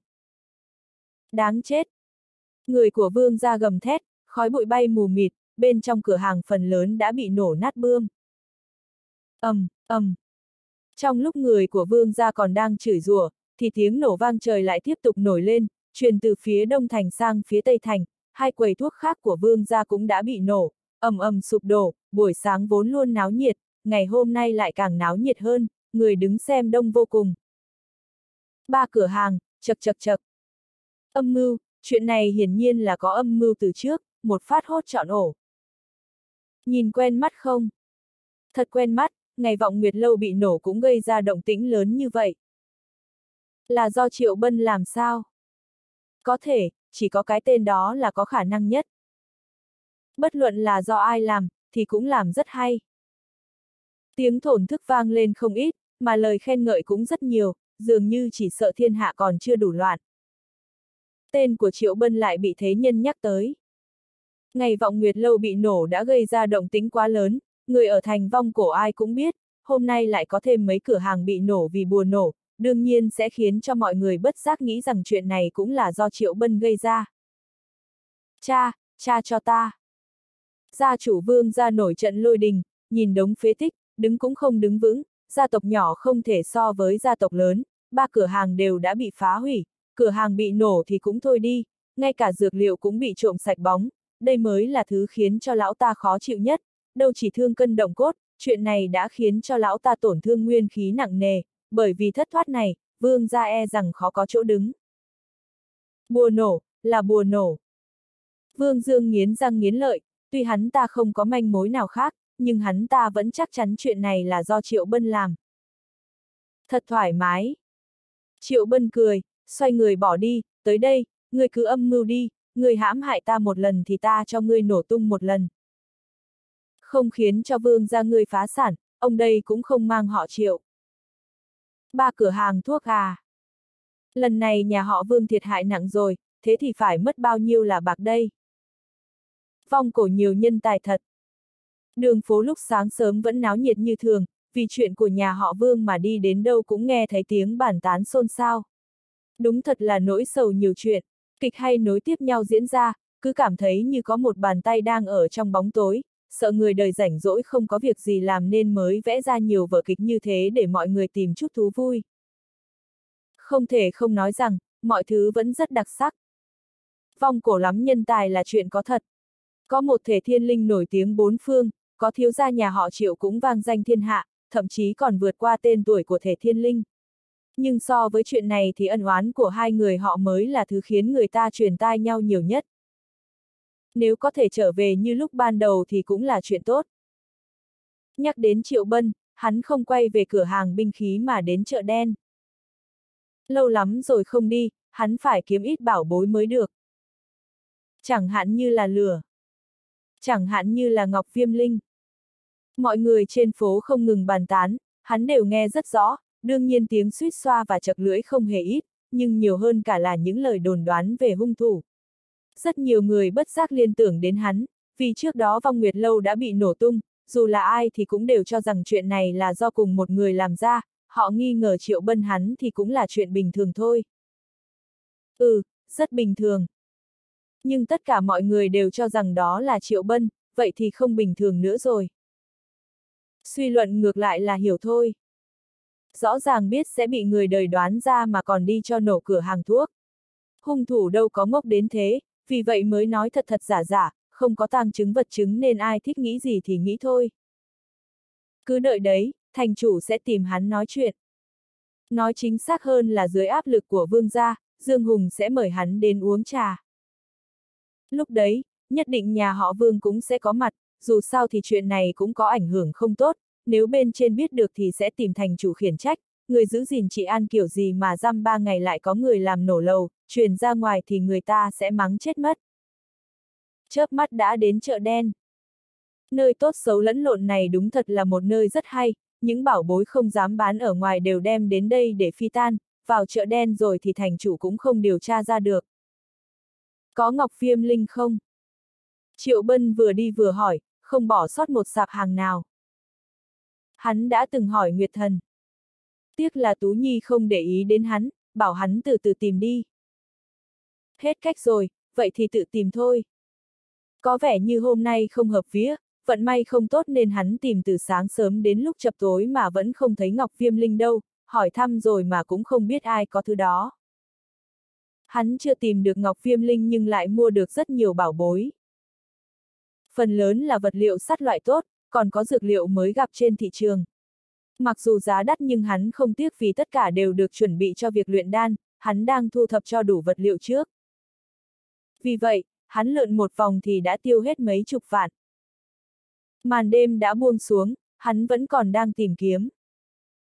Trong quãng thời gian đó, hắn nhiều lần nhìn Nguyệt Thần, hy vọng cô ta có thể bật mí đôi chút. Nhưng Nguyệt Thần ngủ rất thoải mái, không hề định tỉnh giấc. Mặt Triệu Bân tối sầm, tiết kiệm thời gian, tiết kiệm thời gian, hiểu không hả? Nói cho ta biết sớm thì có thể tìm chỗ tu luyện, cứ ở mở thế này thì tức chết mất. Đấy, cũng là một kiểu tu hành. Nếu gọi Nguyệt Thần trả lời thì chắc cũng là câu nói đó thôi, đúng thật là, chuyện gì cũng có thể kéo tu hành vào được. Chủ yếu là khi đến chợ đen này, linh cảm của cô ta không còn linh nữa, cũng trách hôm nay là ngày đặc biệt, đối với Nguyệt Thần mà nói thì nó có hạn chế nhất định. Hử! Triệu Bân khẽ kêu lên một tiếng, không phải hắn phát hiện ra bảo bối mà là gặp được người quen. Đó là lão vong cổ. Người của phủ thành chủ cũng mò đến đây, đi lướt qua hắn nhưng không phát giác ra. Triệu Bân nhúc nhích mũi. Giây phút đi lướt qua người đó, hắn đã ngửi thấy mùi lửa trên người lão vong cổ, vậy có nghĩa là trên người lão vong cổ có lửa. Chắc là lão ta đã dùng phương pháp đặc biệt để phong ấn, chắc chắn đó là thú hỏa, cấp bậc cũng không phải nhỏ. Chính vì không để ở đan điền nên hắn mới có thể thấp thoáng cảm nhận được.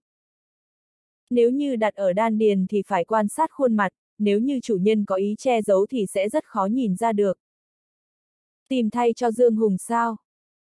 Triệu Bân thầm nói trong bụng, tìm giúp cho Dương Hùng tức là tìm giúp cho Lão Huyền Đạo và Lão Mập tìm giúp cho Lão Huyền Đạo và Lão Mập tức là tìm giúp cho Đại Hạ Hồng Nguyên tìm giúp cho Đại Hạ Hồng Nguyên tức là tìm giúp cho Triệu Bân hắn rồi. Ừm, nghĩ như thế không sai. Nếu là như vậy thì không lâu nữa hắn sẽ có thể có được một ngọn lửa, tên tuổi của Hồng Nguyên hữu dụng thật. Lúc hắn đang đi thì đột nhiên nhìn thấy một tia sáng chói mắt màu vàng kim. Triệu Bân bất giác liếc mắt, nhìn sang sạp hàng bên cạnh ở cách đó không xa. Luồng ánh sáng vàng kim đó đã phát ra từ bên đó. Có lẽ vì trong đêm tối nên ánh sáng vàng kim đó trở nên sáng hơn, nên mới chói mắt. Kim tinh huyền thiết à. Triệu Bân bước nhanh mấy bước, đấy là huyền thiết quý hiếm, là vật liệu tốt để luyện khí đấy, trên thị trường không có bán đâu. Dù cho là có thì cũng đã bị người ta mua hết từ lâu rồi, nó tốt hơn tử huyền thiết nhiều, không ngờ lại có thể gặp được nó ở đây. Hắn rất háo hức. Lúc hắn đến sạp hàng thì lập tức cầm miếng sắt màu vàng kim đó lên, hình thù của nó không giống ai, to bằng nắm đấm của người trưởng thành, nặng một cách lạ thường, sáng lấp lánh. Kim tinh huyền thiết chỉ có một viên duy nhất đó thôi. Sắp dọn hàng rồi, nếu tiểu hữu muốn mua thì lão phu sẽ bán rẻ cho. Qua thôn này thì không còn hàng nào như vậy nữa đâu. Người nói chuyện là chủ của sạp hàng, ông ta là một ông lão dâu bạc, trong tay đang cầm một quyển sách cổ, nhàn nhã lật xem, nhìn phong thái của ông ta thì chắc là cấp huyền dương đỉnh cao. Kim tinh huyền thiết này của ông không tốt lắm đâu. Triệu bân bất giác bĩu môi. Mẹ kiếp, uổng công mừng giữa hà. Đã nói mà, một viên kim tinh huyền thiết như thế, đặt ở đây mà không có ai hỏi đến, hóa ra là đồ giả, nếu không đến gần nghiên cứu thì sẽ không thể nào nhìn ra được, ánh sáng vàng kim đó thật sự rất chói mắt. Ây, đúng là không biết nhìn hàng mà. Lão đạo dâu trắng thở dài một tiếng, bị người khác vạch trần, lão ta cũng có chút lúng túng, nếu như có một khối kim tinh huyền thiết, thì chỉ có quỷ mới muốn đem ra bán, để đó còn có thể lừa gạt được hết người này đến người kia mà. Ngày thường lão ta đều làm như vậy cả. Còn chưa nói đến, thật ra có rất nhiều người không có mắt nhìn hàng, khiến cho lão ta kiếm được không ít. Đáng tiếc, hôm nay lão ta lại đụng phải chuyên gia. Cực lạc tán mới ra lò, chi bằng. Lão đạo dâu trắng cười ha hả một tiếng, còn nháy mắt với triệu bân, hàm răng vàng khè của lão ta thật sự quá gai mắt, phối hợp với thần thái kia trông vô cùng bỉ ổi, dù nói rằng không nên phán xét người ta chỉ thông qua vẻ bề ngoài, nhưng chỉ cần liếc qua cái bộ dạng kia cũng khiến cho người khác bất giác suy nghĩ lão ta chính là một kẻ không đứng đắn. Cực lạc tán. Công dụng cũng giống như tên gọi, chính là sau khi nuốt vào thì sẽ rất vui vẻ phê pha. Thuốc này có tác dụng vô cùng tốt, chỉ cần dùng một gói, ngay cả thần tiên cũng phải quỳ.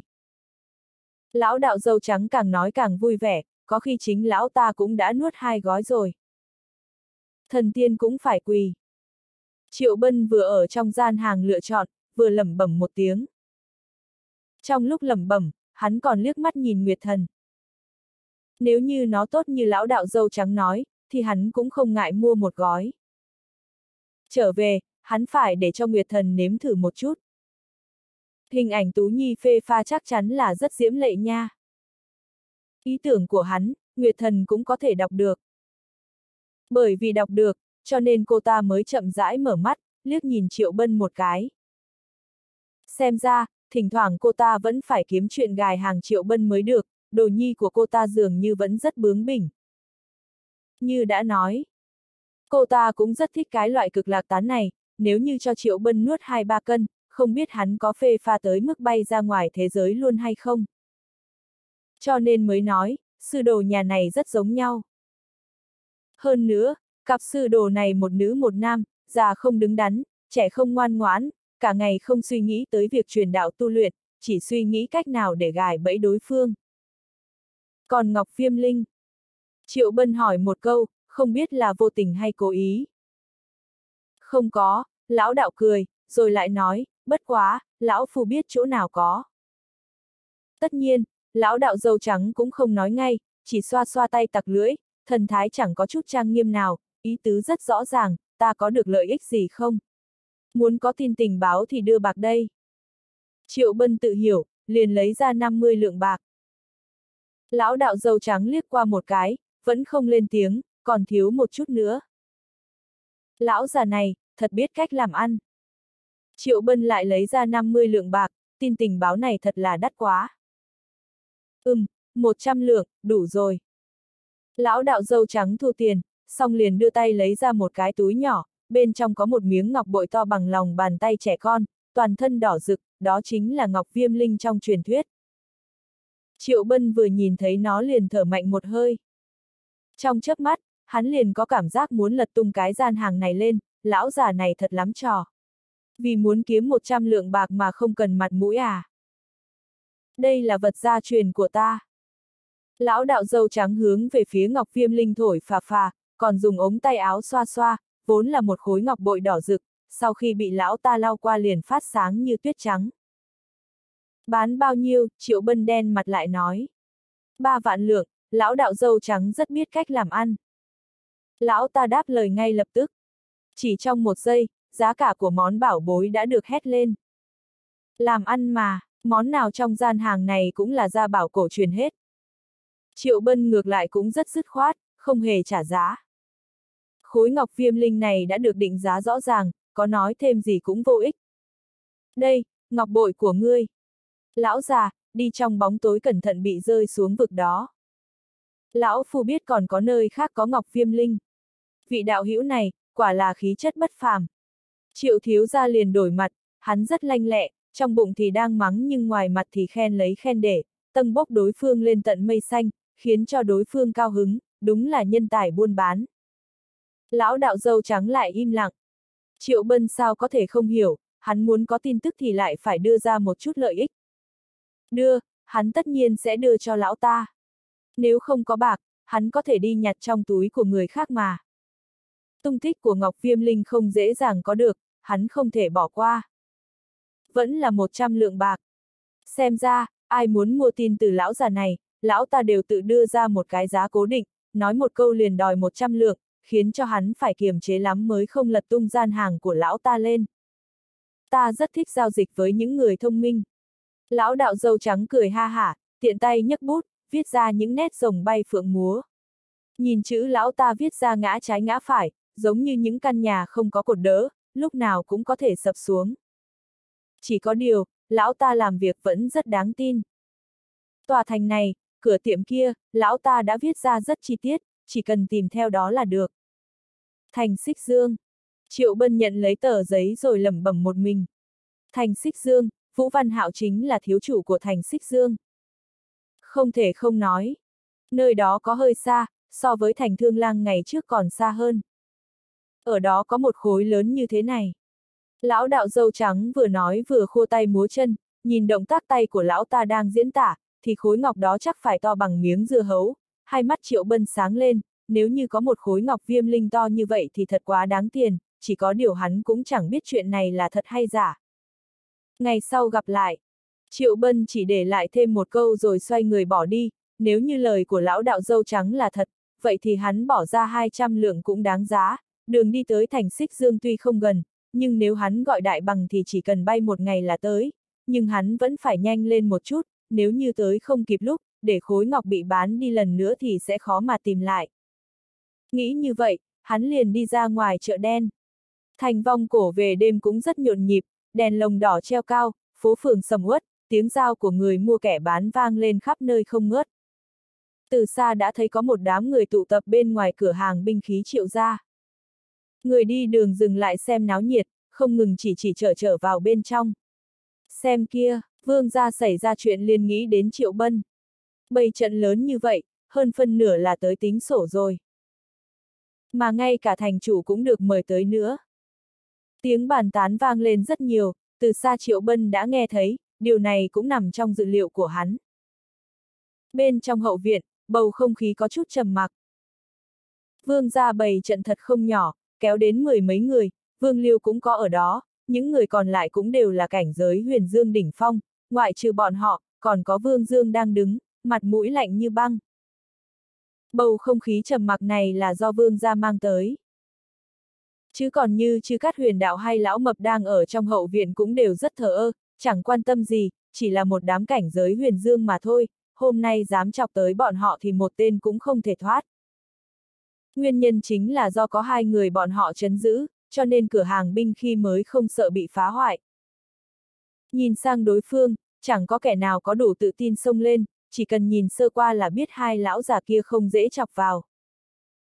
Dương Hùng cũng có mặt ở đây, lão ta đang nhàn nhã uống trà, thứ bị hủy hoại không phải là sản nghiệp của nhà lão ta nên lão ta không hề đau lòng, mà lão ta từ lâu cũng đã muốn ghé qua cửa hàng binh khí này thăm dò một chút, nhưng vẫn không biết dùng cớ gì, hôm nay vương ra mời lão ta tới chủ trì công đạo, cũng rất hợp ý của lão ta.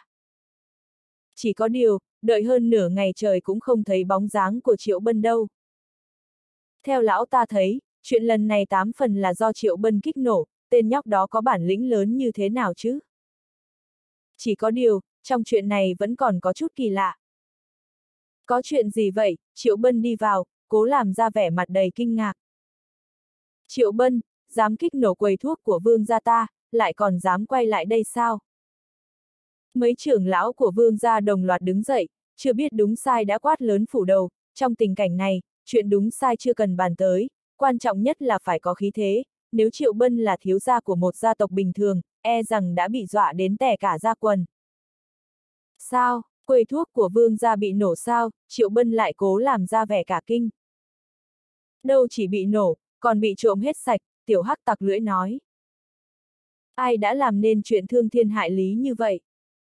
Triệu Bân vỗ bàn một cái, quát một tiếng vang rền, đặc biệt là thần thái kia, đã xuất sắc thể hiện nên hình ảnh một người lương thiện mang trong lòng đầy căm phẫn, một thân chính khí, nhìn sao cũng ra dáng một vị đại hiệp chính trực, căm thù bọn ác nhân. Chư cát huyền đạo cùng lão mập đều liếc mắt nhìn hắn một cái.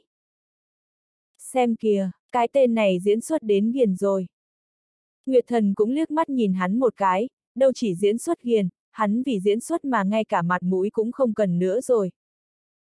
Giả bộ, lại tiếp tục giả bộ. Ánh mắt của Sích Hiên cũng khinh thường liếc qua hắn, toàn bộ người trong thành vong cổ đều biết quầy thuốc vương gia bị trộm sau đó còn bị nổ, cái tên này còn ở đây giả bộ thanh khiết như bông tuyết trắng. Quầy thuốc bị bùa nổ làm cho sụp đổ. Trong toàn bộ thành vong cổ, chỉ có ngươi là có nhiều bùa nổ nhất. Còn dám nói không phải ngươi làm sao? Gia chủ vương gia không nhúc nhích, thiếu chủ cũng không động đậy, để cho mấy trưởng lão ra sức quát nạt, không chịu nghe lời của triệu bân bao biện, nói thế nào đi nữa, chuyện bùa nổ là thật, hắn không thể che giấu được. Dù sao thì chuyện này nhất định là do ngươi làm.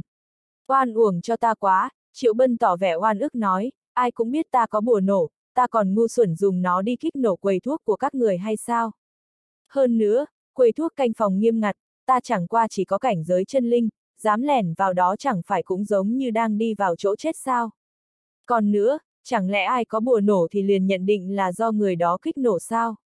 Đạo lý này là do ai quyết định vậy, đại hạ có biết bao nhiêu người có bùa nổ trong tay, lý gì có chuyện lại chỉ tìm đến ta, ta cùng vương ra các người lại không thù không oán, mà quan trọng nhất, ta là một người rất biết điều, luôn tuân thủ kỷ cương. Xì. Triệu Bân còn chưa có nói xong, đã thấy lão huyền đạo cùng lão mập cười khà khà.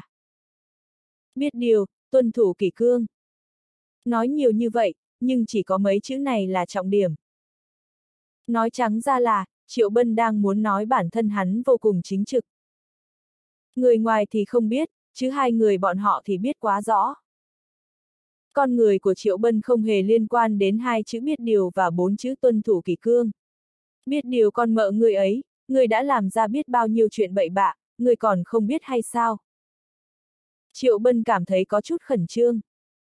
Hai lão già kia, chờ ta nói xong đã chứ. Ngắt lời của người khác, đúng là bất lịch sự, đã không phối hợp thì thôi, còn muốn phá hoại, có tin là ta có thể xoay vương ra vòng vòng đến nỗi bọn họ không còn biết Đông Tây Nam Bắc là gì luôn hay không? Tin. Một điểm này, lão huyền đạo cùng lão mập tuyệt đối tin tưởng. Cái miệng của Triệu Bân đâu phải là thứ tầm thường. Nói dối mà mặt không đỏ, không thở gấp, hắn đúng là một kỳ tài hiếm thấy. Khô Sơn tuy im lặng không lên tiếng, nhưng trong lòng cũng thầm khen ngợi, ông ta vuốt râu đắc ý, ngày xưa không quen biết Triệu Bân, nhưng mấy ngày nay ông ta đã nghe kể quá nhiều về hắn, vị thiếu gia này trông thì có vẻ vô hại, nhưng thật ra lại vô cùng láo cá. người không dám lẻn vào, cũng có thể phái người khác lẻn vào. Vương Dương hừ lạnh một tiếng, không biết là vô tình hay cố ý mà liếc nhìn lão huyền đạo cùng lão mập một cái, nếu như phái hai lão già cảnh giới địa tạng này cầm bùa nổ đi hại người thì tất nhiên là thần không biết quỷ không hay, mà hắn ta thấy, hơn phân nửa chính là do hai lão già này đi kích nổ. Ba quầy thuốc hả, ta thật sự coi thường. Muốn làm cho ba quầy thuốc đó của các ngươi sụp đổ, ta chỉ cần một trưởng là xong chuyện, chỉ có kẻ ngu mới đi dùng bùa nổ. Nói cho các người biết, tính khí của lão phu cũng không tốt lắm đâu. Lão huyền đạo cùng lão mập bắt đầu kẻ tung người hứng, lời nói tương thanh, hơn nữa mỗi một chữ nói ra đều mang theo hàm ý rất tức giận. Cảnh giới địa tạng một khi đã điên lên thì ngay cả người thân cũng không nhận. Quầy thuốc nhà các người bị nổ là vẫn còn nhẹ đó, có tin bọn ta đi lật tung phủ đệ vương ra lên luôn hay không? Mà những lời này, còn bao hàm một điểm chính. Kẻ ngu mới đi dùng bùa nổ, hai chữ kẻ ngu này rốt cuộc là đang nói đến ai đây? Lần này, đổi lại là Triệu Bân liếc nhìn hai người bọn họ. Hai lão già này được lắm, còn dám nhân cơ hội mắng hắn nữa chứ. Hơn nữa, hắn còn phải im lặng lắng nghe, không thể nào phản bác được. Cũng đúng, ngay cả mặt mũi cũng không cần, không phải kẻ ngu thì là gì. Không thể không nói, lời nói của hai lão già này vẫn rất có uy lực chấn áp, Vương Dương vừa nghe thấy đã im lặng không dám lên tiếng nữa, Vương Liêu nghe thấy cũng chỉ có thể nhíu mày. Mau đi bắt cho đúng kẻ gian đi, đừng có mà đứng đây vụ oan cho người tốt. Không có chứng cứ gì mà chạy tới đây làm ầm lên, nhìn xem, là ai gây sự với ai đây chứ? Nói thật, tính khí của bọn ta cũng không tốt lắm lâu. Hai lão già nói xong, đám tiểu bối cũng ồn ào lên theo, một tên tiểu hắc mập, một tên nhóc hám tiền, một thằng nhóc tóc tím, cả ba cũng bắt đầu nói liên thanh. Sau đó, không gian liền rơi vào tĩnh lặng. Vương gia lặng lẽ ngừng công kích, đám trưởng lão của vương gia vừa rồi hổ báo là thế, nhưng bây giờ cũng đều an phận, không khó để nghe ra, tâm tình của hai vị cảnh giới địa tạng kia đang rất khó chịu, cũng không khó để nghe ra, tâm tình của mấy tên tiểu bối kia cũng rất khó chịu, không dễ trêu chọc, chuyện đã loạn giờ lại còn loạn thêm, lại thêm một đám người này tới quấy rối, vương gia đúng là không chứng cứ, cũng chỉ mới hoài nghi, có phải là Triệu Bân làm hay không vẫn còn khó nói. Tên nhóc đó nói cũng có đạo lý. Khụ khụ. Dương Hùng đang ngồi xem liền ho nhẹ một tiếng. Bầu không khí lúng túng như vậy, đây là lúc lão ta nên ra sân. Thành thật mà nói, sau khi nghe mấy người này nói qua nói lại, ngay cả lão ta cũng không xác định được chuyện này có phải là do Triệu Bân làm hay không, có câu người trong cuộc mơ hồ người đứng xem sáng suốt, trong chuyện này lão ta chỉ là người đứng xem mà còn bị quay một trận chóng mặt, chứ đừng nói tới vương gia là người trong cuộc. Chứng cứ, đây mới là thứ cần thiết nhất. Không có chứng cứ thì nói gì cũng vô ích, có một số người còn không dễ chọc vào. Đáng tiếc, vương gia không hề biết. Chuyện này, thành chủ ta sẽ tự phái người điều tra, Dương Hùng lãnh đạm nói, một lời nói ra rất uy nghiêm, lão huyền đạo cùng lão mập vẫn rất nể mặt lão ta, dù gì lão ta cũng là người đứng đầu một thành, cũng không thể khiến cho người ta không còn đường lui. Cha ra được hung thủ, ta sẽ tự khắc đòi lại công bằng cho vương gia.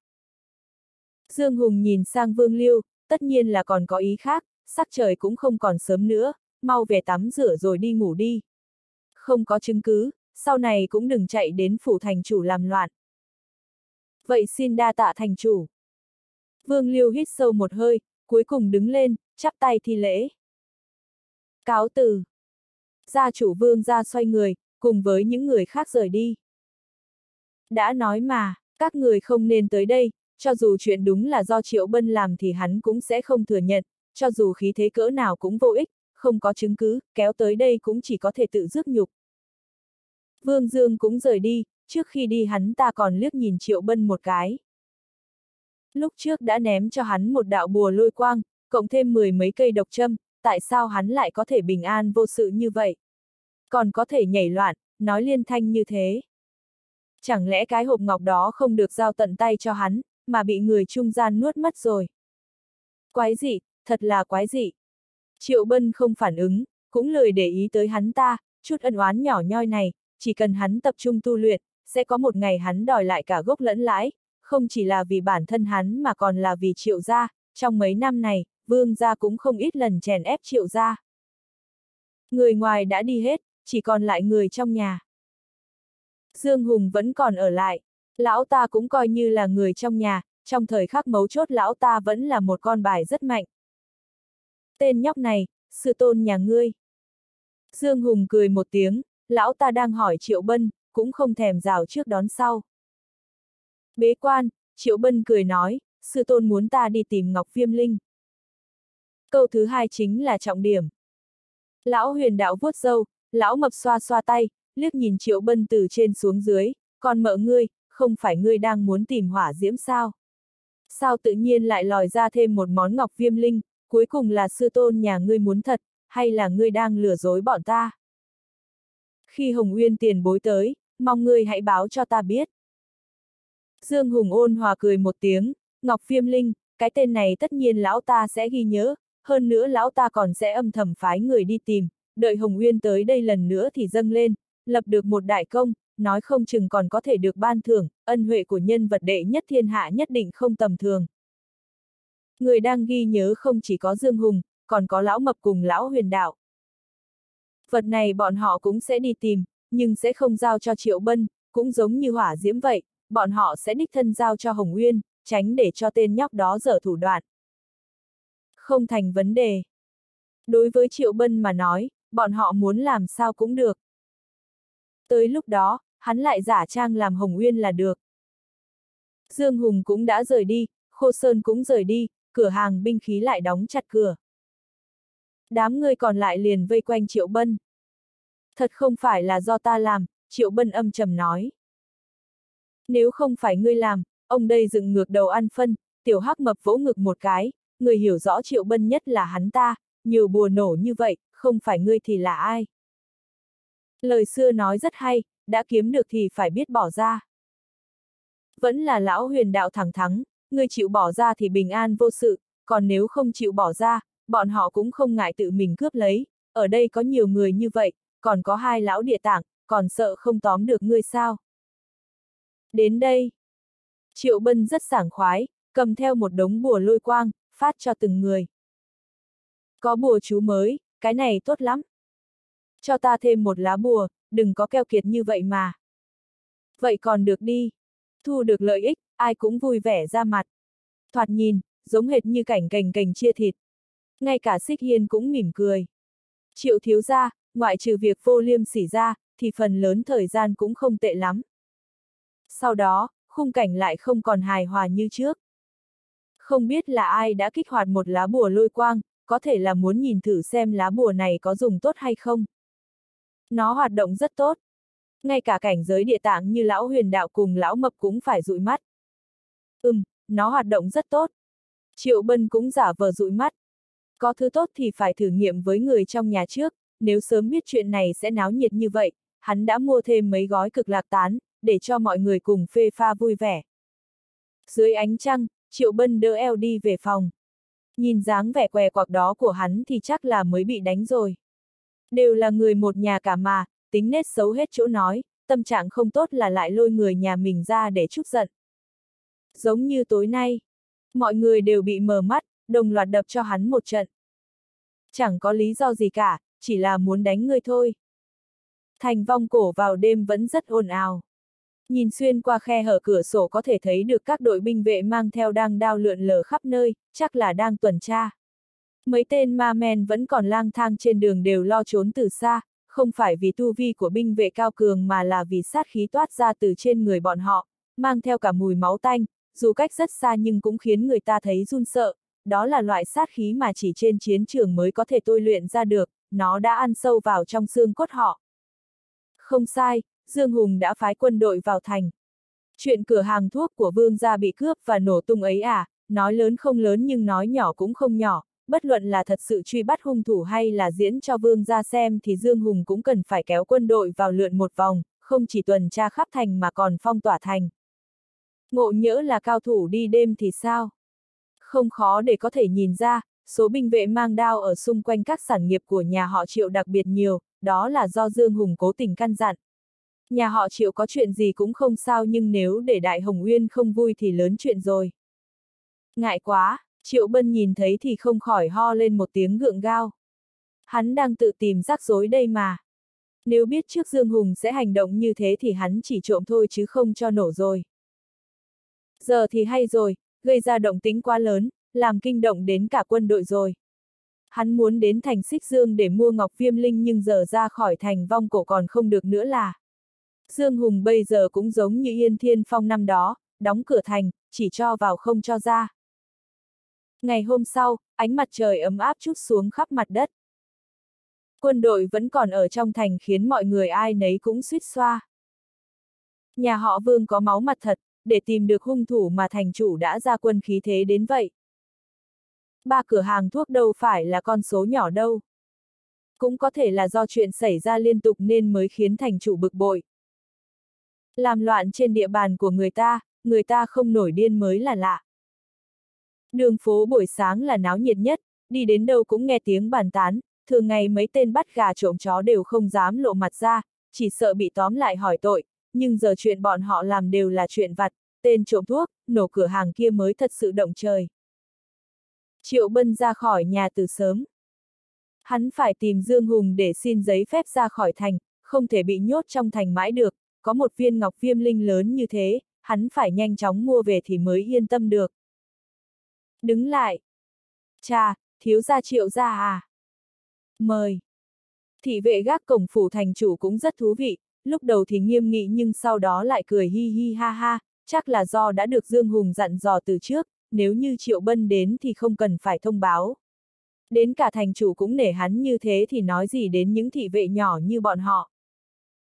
Cái này xem như thành ý của ta. Thị vệ nể mặt thì đương nhiên Triệu Bân cũng biết điều, hắn lần lượt gửi tặng cho những người có mặt ở đó mỗi người một lá bùa tốc hành, chút yêu ái nhỏ, vào thời khắc quan trọng có thể phát huy tác dụng lớn. Vậy thì ngại lắm.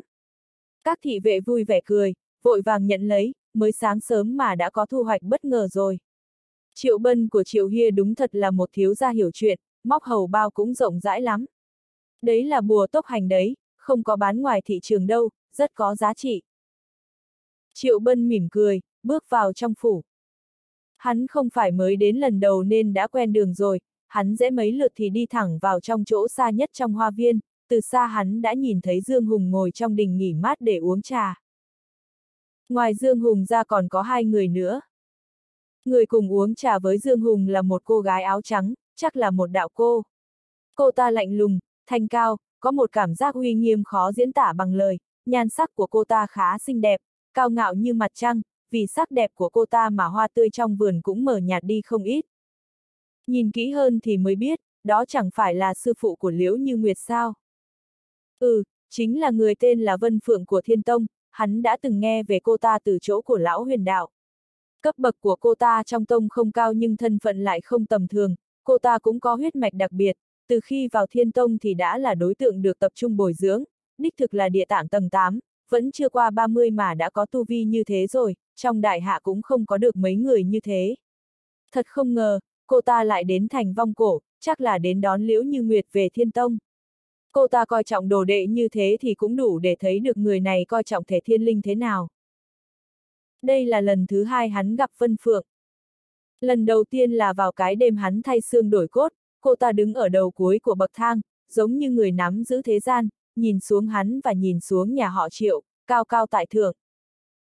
Sau lưng Vân Phượng còn có một thanh niên mặc áo tím. Đó là Hoa Dương. Triệu Bân không hề nhận ra gã, nhưng người của thành vong cổ thì đều biết.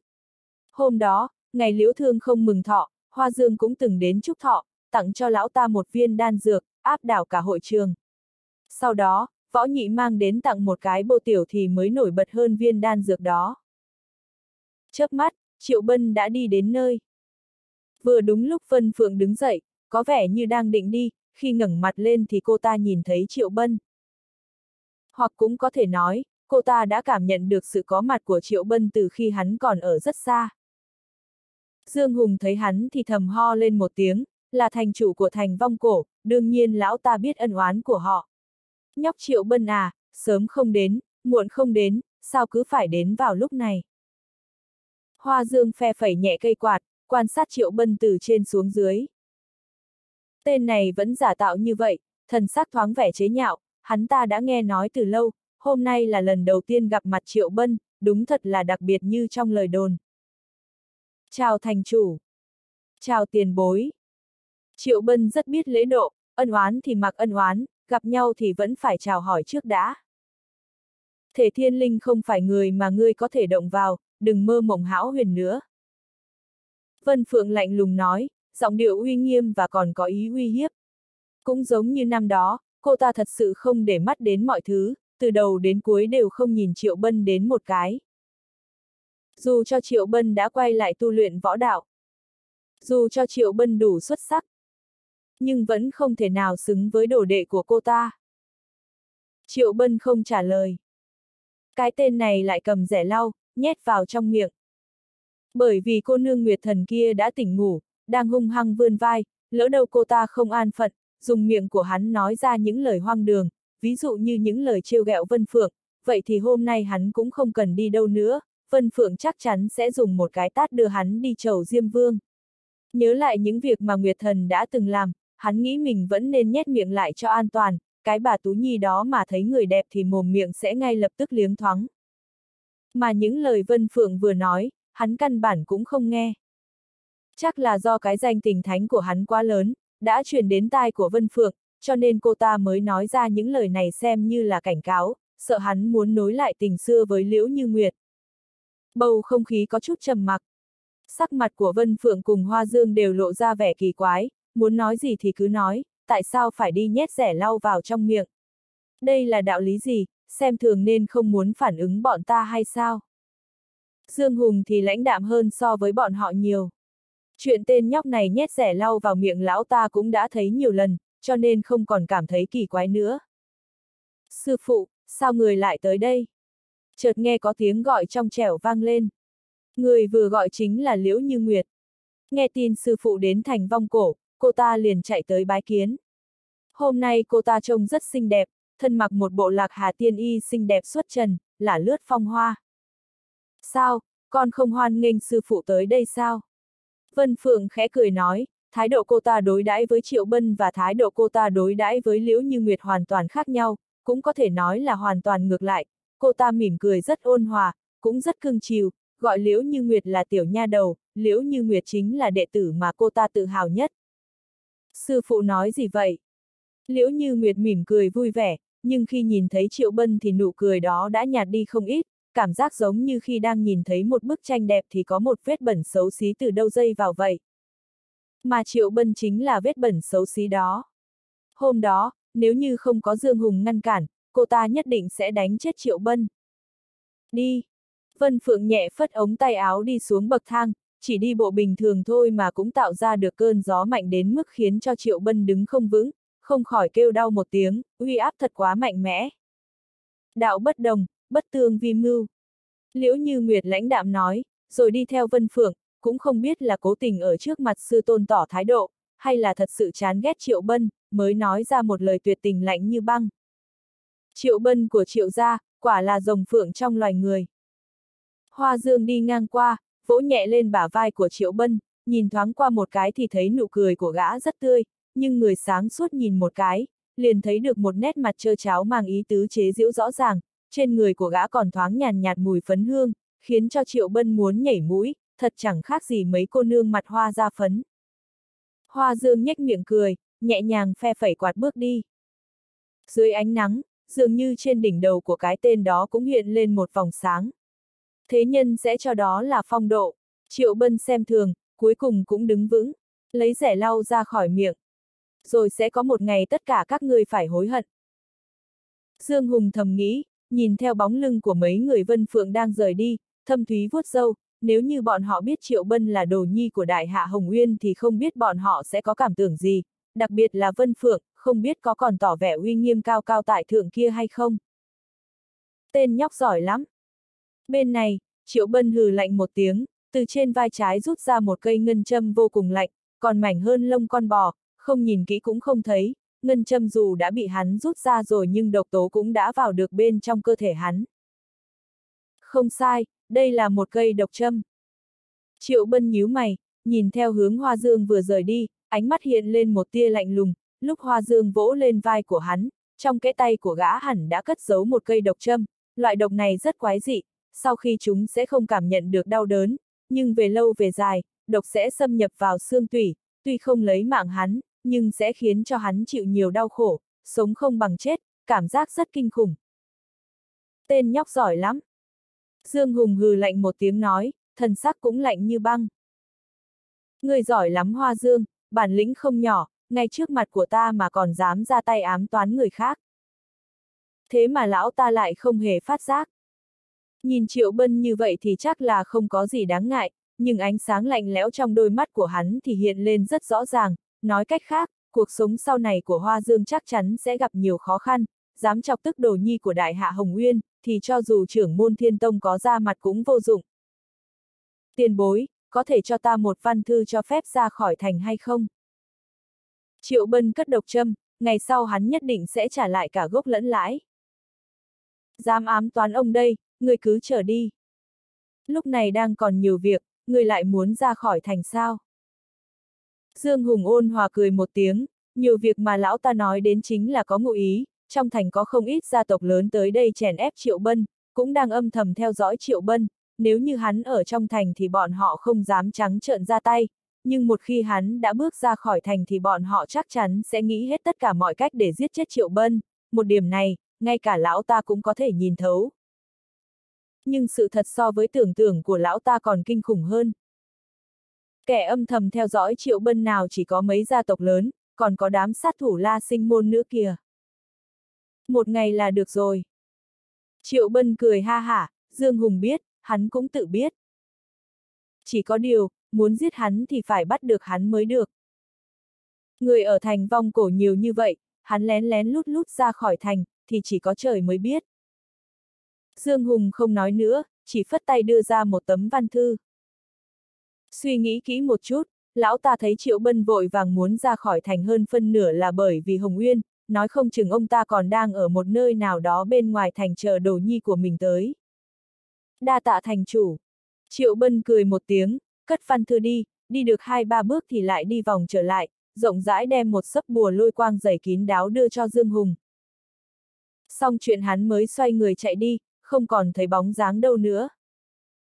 Đây là bùa lôi quang sao, hai mắt Dương Hùng sáng lên. Đây là đồ tốt, hắn đưa cho lão ta một hai lá bùa thì cũng không nói, đằng này hắn lại đưa cả một sấp giày như vậy, thế thì vô cùng đáng giá. Đã nói mà, triệu thiếu ra ngoài vô sỉ ra thì những việc khác đều tốt cả, còn rất biết điều. Thiên chi kiêu nữ hôm nay quả là xinh đẹp. Sư phụ của cô ta cũng đẹp vô cùng, khuynh quốc khuynh thành thật đấy. Vị đi bên cạnh kia chắc là hoa dương à. Đường phố phồn hoa, vì có Vân Phượng và Liễu Như Nguyệt đi qua nên càng thêm huyên náo. Một trưởng lão thiên tông, hai đệ tử thiên tông, một ngọc thụ lâm phong, hai dung mạo tuyệt thế, đi đâu cũng sẽ gây ra sự chú ý. Liễu gia hôm nay đúng là vinh quang đầy mặt. Liễu thương không nén giận mấy ngày, cuối cùng cũng nở được nụ cười, sống lưng thẳng tắp. Trưởng lão thiên tông đích thân đến là vinh hạnh đến mức nào chứ? Ở bên này, Triệu Bân đã tìm được một hẻm nhỏ không người, trốn vào lòng đất, lúc quay ra đã biến thân dịch dung, phủ áo bảo đen, còn đeo cánh tay giả. Lúc này sắc mặt Nguyệt Thần đã đen thêm chút ít. Bảo sao cô ta như vậy, vì gương mặt Triệu Bân dịch dung chính là bộ dạng của cô ta. Nếu chỉ có vậy thì thôi đi. Chủ yếu là ánh mắt của Triệu Bân không nghiêm chỉnh chút nào. Đi được hai bước còn không quên giật quần áo ra nhìn vào trong, bộ ngực kia đúng là cao ngất. Có lẽ vì tò mò nên hắn còn chọc mấy cái. Không thể không nói, đàn hồi cực tốt, chạm vào rất thích. Thuật biến thân đúng là một loạt bí thuật tốt. Ít nhất là Triệu Bân cảm thấy thế, rảnh rỗi còn có thể nghiên cứu chút ít. Mặt mũi của Tú Nhi mất hết. Đồ đệ của cô ta thật là ngày càng có tiền đồ, biến thì biến, lại còn thành gương mặt của cô ta, vậy thì thôi đi, nhưng cái tay kia, mẹ kiếp, sao mà hư hỏng như vậy chứ? Mặc dù là Triệu Bân tự chọc, nhưng cô ta nhìn thì lại thấy khác rồi. Mềm, mềm thật, Triệu Bân cười hề hề. Mềm à, ta cho ngươi mềm này, Nguyệt Thần tát một cái ra ngoài. Ặc, à, Triệu Bân hự một tiếng, chỉ thấy đầu ong ong, đi không ổn suýt thì cắm đầu xuống đất. Lúc hắn đứng vững lại thì gương mặt dưới áo bảo đen đã chảy máu đủ thất khiếu, hai mắt đầy tơ máu. Nhãi con, chờ đó cho ta. Đôi mắt đẹp của Nguyệt Thần bốc hỏa hết lên, từ lúc tỉnh lại trong mặt dây chuyền đến giờ, đây là lần đầu tiên cô ta ăn quả đắng. Người cứ vui đi, mẹ kiếp, đừng để bà đây bắt được cơ hội. Ựa! Triệu Bân nhe răng trợn mắt, thật sự là một đường vịn tường ra khỏi thành. Cho đến khi ra ngoài thành, mới dần dần tỉnh táo trở lại. Nguyệt thần ác thật sự, ở trong ý thức của hắn mà tát vẫn mạnh mẽ kinh khủng. Cũng may hắn có võ hồn, nếu là người khác thì chắc đã sớm nổ tung rồi. Có điều, thấy Nguyệt thần chịu thiệt như vậy thì đều xứng đáng. Cho nên nói, cặp đôi sư đồ thú vị này chẳng có ai là nghiêm túc. Qua, qua. Đại bằng cánh vàng được gọi ra, dán bùa tốc hành lên người, bay thẳng về phía tây. Đi đi về về một ngày là đủ.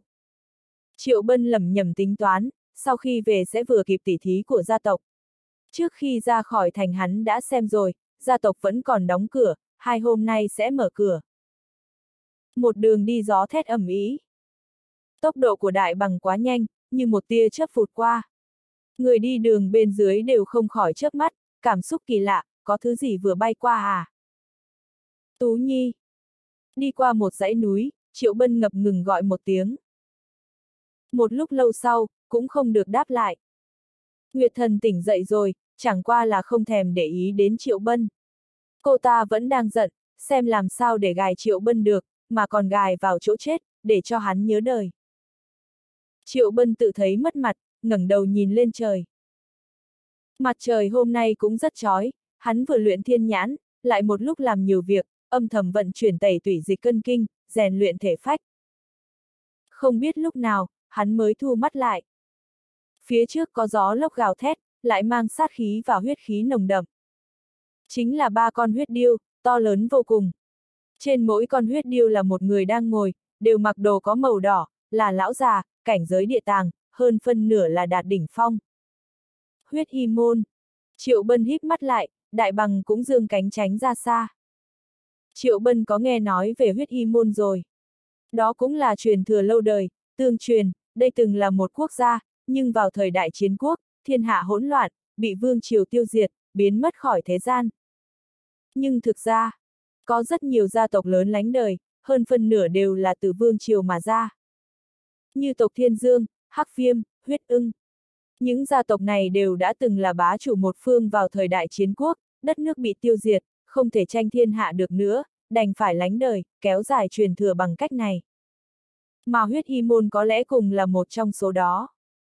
Chưa có ai biết huyết y môn rốt cuộc ở đâu, chỉ biết ai cũng thần bí khó lường, hơn nữa mặc đồ màu đỏ, trên áo có biểu tượng, hoa văn giống đầu lâu. Xoạt! Đại bằng với triệu bân suy nghĩ tương thông, bay ra cực xa, như một bóng đen. Thế trận của đối phương quá lớn. Nếu gặp phải tình huống này, tốt nhất nên chạy, đỡ cho bị người ta giết người cướp của. Ừm. Ba lão già áo đỏ mở mắt, nhìn về phía ấy. Thông linh thú. Lão già áo đỏ đầu tiên lạnh nhạt nói, sau đó thu mắt lại. Con chim đen thui kia nhìn rất giống quả đen, chắc là thông linh thú cấp thấp đi. Đi thôi. Đến thành vong cổ, chớ phát sinh thêm sự cố gì, bắt thánh nữ bạch ra là được. Được. Ba lão già lại nhắm mắt, huyết điêu bên dưới xẹt qua bầu trời như ánh máu. Phù. Thấy ba người đi xa, Triệu Bân mới thở phào. Huyết điêu là thú cưỡi cũng phân chia cấp bậc. Ba con thú cưỡi của ba lão già áo đỏ có cấp bậc không thấp, tính theo tu vi võ đạo thì thuộc cảnh giới huyền dương đỉnh phong, rất đáng sợ. Nếu muốn giết hắn cướp của thì hắn chắc chắn tiêu đời, mà lại còn ba người cảnh giới địa tàng nữa chứ. Quả là thời buổi rối loạn, Dương Hùng lo lắng không sai, ra khỏi thành vong cổ, đâu cũng là nguy cơ. Khi sắc trời dân chuyển đến tối, hắn mới đến thành Xích Dương. Thành Xích Dương uy nghiêm không kém gì thành vong cổ, giống như một vị tướng quân uy nghiêm trấn áp phía Tây. Tòa thành này nằm ở biên giới, lại thuộc quân Việt. Mỗi khi có chiến sự, nơi đây chắc chắn có mùi thuốc súng. Hơn nữa, cách đó 800 dặm còn có 10 vạn hùng binh đóng quân, cũng là quân xích diễm nổi tiếng đại hạ, như Dương Hùng, Yên Thiên Phong và hai thành chủ khác đều từng đến từ quân xích diễm. Thành xích dương về đêm, náo nhiệt phồn hoa. Triệu Bân đi theo phương hướng mà lão đạo dâu trắng viết, đến chợ đen của thành xích dương. Vào một nơi sâu của chợ, hắn mới dừng chân. Trước mặt có một tiệm tạp hóa, bên ngoài là tiệm, thực ra chính là nơi thủ tiêu tăng vật. Tạp hóa cũng chỉ là bề ngoài, còn thật ra là làm những vụ làm ăn siêu lớn. Linh lung các, nghe hay thật. Triệu Bân ngửa đầu nhìn, trong lòng thổn thức, mặt tiền của cửa hàng không đẹp lắm, nhưng cái tên này nghe cũng lịch sự tao nhã, ai không biết còn tưởng là phường may đấy. Chủ của Linh lung các là một phụ nữ. Ừm, lại còn xinh đẹp cơ đấy. Một bộ áo xanh không nhiễm bụi trần, khí chất như sen trong đầm, đôi mắt thanh tịnh, thỉnh thoảng còn có vầng sáng lóe qua.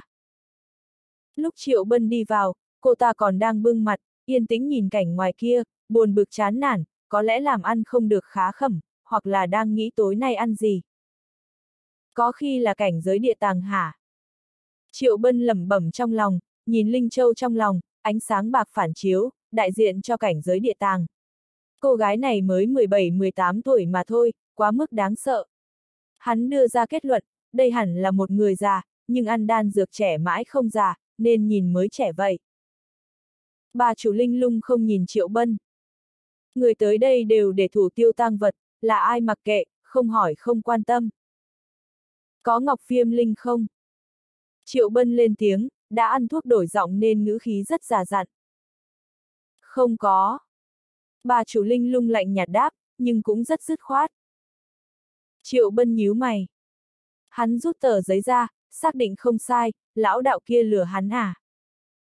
Ta biết ở đâu có, bà chủ linh lung đáp. Câu này nghe quen tai quá cơ, Triệu Bân lẩm bẩm. Cũng không quan trọng. Hắn vung tay đưa một tờ ngân phiếu 100 lượng ra, đặt ở trên bàn, giá thị trường. Lão ta có. Bà chủ linh lung viết mấy dòng địa chỉ xuống. Triệu Bân nhìn xong, tức tối thở một hơi. Con mẹ nó chứ, cái địa chỉ kia không phải là chợ đen ở thành vong cổ à. Vẽ rất rõ ràng nhé, chính là sạp hàng của lão đạo dâu trắng kia. Cô viết lão ta, lão ta viết cô. Hai người kết hợp lại trêu ta đấy à. Cũng là người làm ăn cả, thế mà hắn chưa gặp ai lừa đảo như vậy. Mấy trăm dặm đấy biết không hả? Ông đây vội vàng phi tới, rồi cuối cùng nhận được một cái bất ngờ vui ghê không? Bà chủ linh lung không nói gì nữa, thu lại ngân phiếu. Sắc mặt triệu bân đã hơi đen rồi, kiếm 100 lượng dễ thật đấy. Sắp đóng cửa rồi. Bà chủ linh lung duỗi eo, chắc là đã nghĩ xong tối nay ăn gì rồi đấy. Lên giường không? Triệu Bân đột nhiên lên tiếng, khiến người ta kinh ngạc đến chết mới thôi. Tú Nhi cuối cùng cũng ra tay. Bà chủ linh lung sửng sốt một chút, tưởng mình nghe nhầm, nhìn sang Triệu Bân. Hự! Triệu Bân rất tự giác che miệng, chạy ra khỏi tiệm. Hắn càng đi càng nhanh, rồi thành chạy, chạy mãi, liền vắt chân lên cổ phi đi. Hắn cứ tức giận mãi, liền quên mất Tú Nhi đang chờ gài hắn. Vị đạo hữu này quen mặt ghê. Phía trước, đột nhiên có một bóng hình mờ ảo hiện ra, chính là bà chủ linh lung. Ban nãy trong cửa hàng chưa kịp duỗi eo, giờ duỗi xong rồi, tốc độ nhanh khủng khiếp. Không phải muốn lên giường à? Sao ngươi chạy nhanh thế? Trêu ghẹo bà đây mà còn đòi chạy à? Triệu Bân không nói, gắt gao ngậm lấy khăn, cũng không muốn bỏ ra.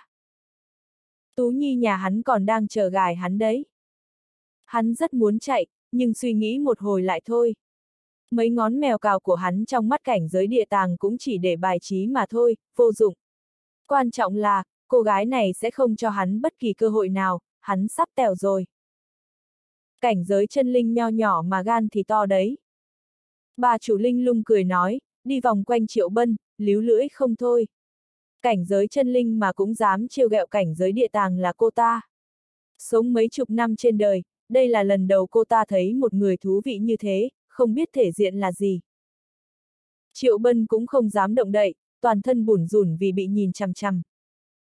Bà chủ linh lung còn đang nhìn, như thấy sự thú vị trên người Triệu Bân. Ví dụ như sấm sét bá đạo, lại thêm một đóa hoa địa hỏa không tầm thường. Tiền bối, hiểu lầm thôi mà. Triệu Bân vẫn như cũ chặn họng, mà câu này thì là dùng ngôn ngữ của người câm.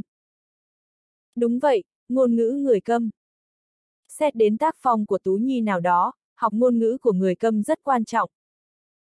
Nhưng mà bà chủ linh lung lại xem hiểu được. Cô ta không hiểu, rõ ràng Triệu Bân không câm không điếc, sao phải chặn mồm lại, dùng ngôn ngữ của người câm để nói. Không nể mặt cô ta hay gì. Vậy là cô ta liền trở nên thân thiện. Thân thiện ở đây chính là rút khăn trong miệng Triệu Bân ra. Tối nay, ta sẽ ngủ với cô. Phục vụ đại gia ta tốt sẽ có thưởng.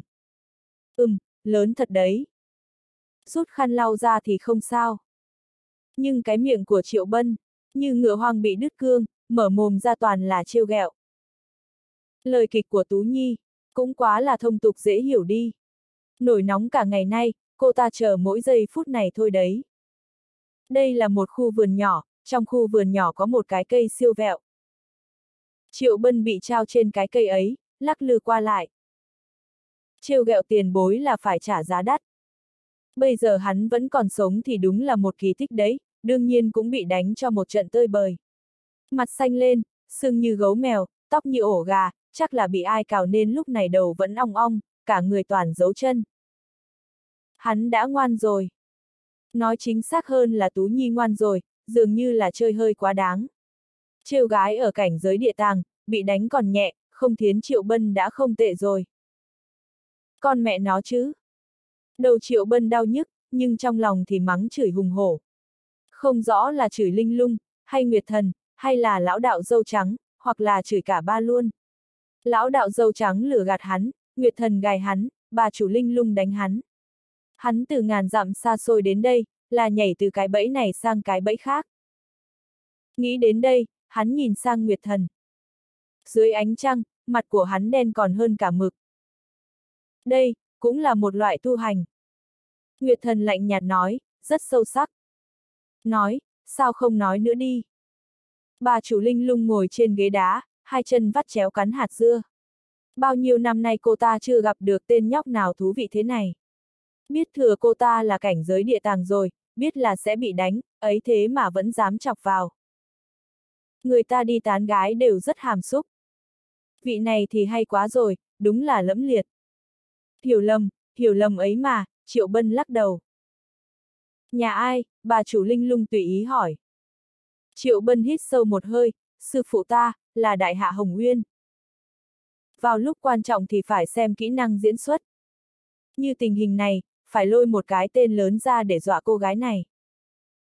Nghe vậy, bà chủ linh lung chớp mắt, liếc qua Triệu Bân, nhìn hắn từ đầu đến chân, rồi từ chân xuống đầu, khiến Triệu Bân tí thì xón ra quần. Tính cách của sư phụ ta cũng không dễ chịu đâu.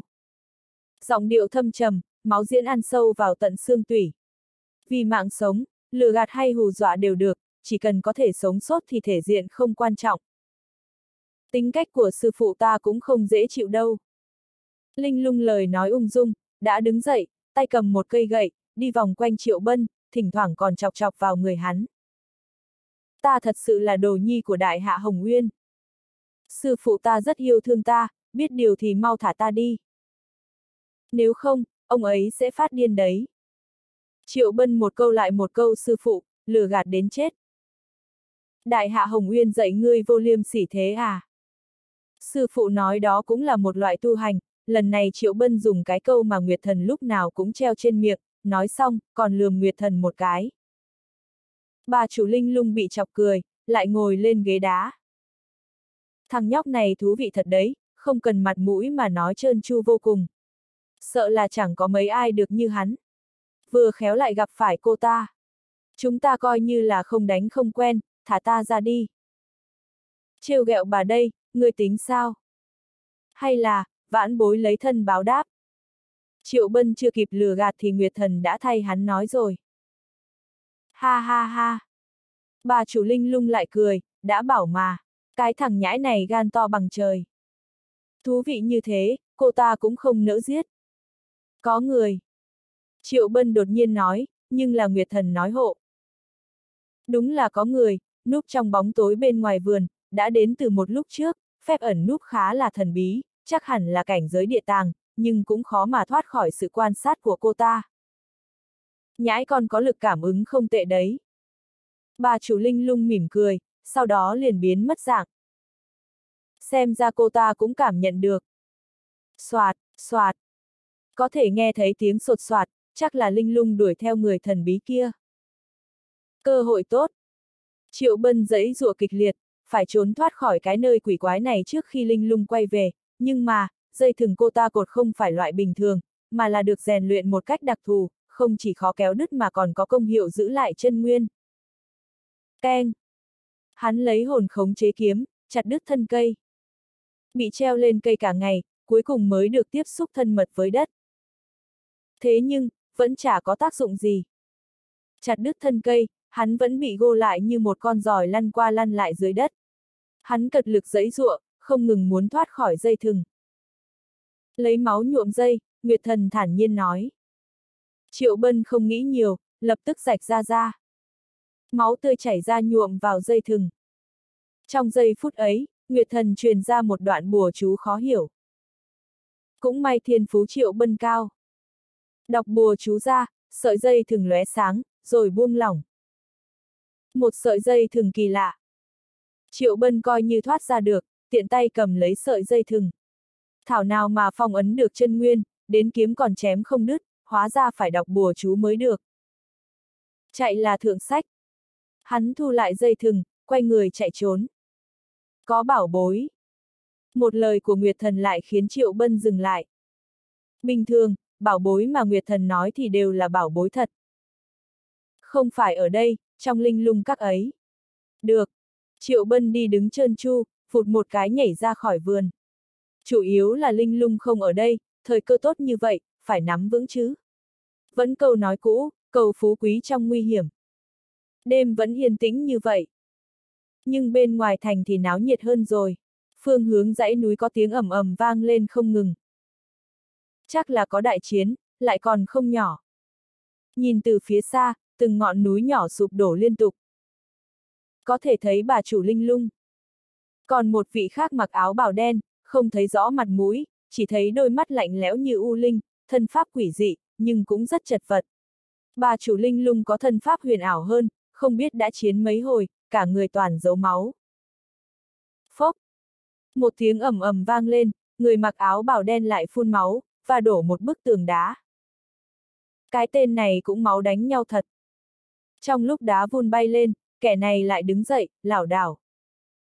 Trong bóng tối, bà chủ linh lung rút kiếm xông tới, khí thế mạnh mẽ không tầm thường chút nào. Đồ nhi của đại hạ Hồng Nguyên đúng là danh bất hư truyền. Người mặc áo đen ho ra máu, có lẽ là thương tích quá nặng, đứng cũng không vững. La sinh môn ngày càng vô pháp vô thiên rồi đấy. Bà chủ linh lung lạnh lùng nói, mặc dù không biết đối phương là ai, nhưng chỉ biết thuộc La Sinh Môn. Toàn bộ Long Triều Đại Hạ này, biết thân phận của cô ta cũng chỉ có mấy người. Bởi vậy có thể thấy mạng lưới tình báo của La Sinh Môn rất đáng sợ. Đừng nói là cô ta, đến cả sư tôn cô ta cũng chưa từng gặp môn chủ của La Sinh Môn. Lấy tiền làm việc, trừ họa cho người. Người mặc áo đen chưa kịp nói thì đã nghe thấy tiếng cười lạnh lẽo trong bóng tối. Lại một lão già khác hiện thân, giọng nói hiện rõ sự tuổi tác. Ngoài lão ta ra thì còn bảy, tám người nữa. Mà bên trong còn bốn năm người nữa, hơi thở cực kỳ mịt mờ. Trận thế lớn thật. Bà chủ linh lung cười lạnh, đây hiển nhiên là cái bẫy đã bố trí xong, dẫn dụ cô ta đến, sau đó kết hợp giết chết. Nhưng cô ta không sợ, bọn chúng cho rằng đồ nhi của đại hạ Hồng Nguyên là trò đùa à. Thiên hạ đệ nhất uy chấn bát hoang, đồ nhi của người này sao có thể yếu ớt cho được. Chưa nói mấy tên địa tàng đỉnh phong, cho dù là cảnh giới chuẩn thiên cũng không làm gì được cô ta. Chính vì thế nên mới chạy đến đây truy sát. Nói cảnh giới chuẩn thiên, đúng là có thật. Chính là một bóng người xinh đẹp đứng ở trên đỉnh núi, tắm rửa ánh trăng, nhìn như ảo mộng. Người này cũng mặc áo bào đen, đôi mắt màu tím nhìn rất yêu dị, chính là một cảnh giới chuẩn thiên thứ thiệt, thiếu nửa bước nữa là đạt cảnh giới thiên võ.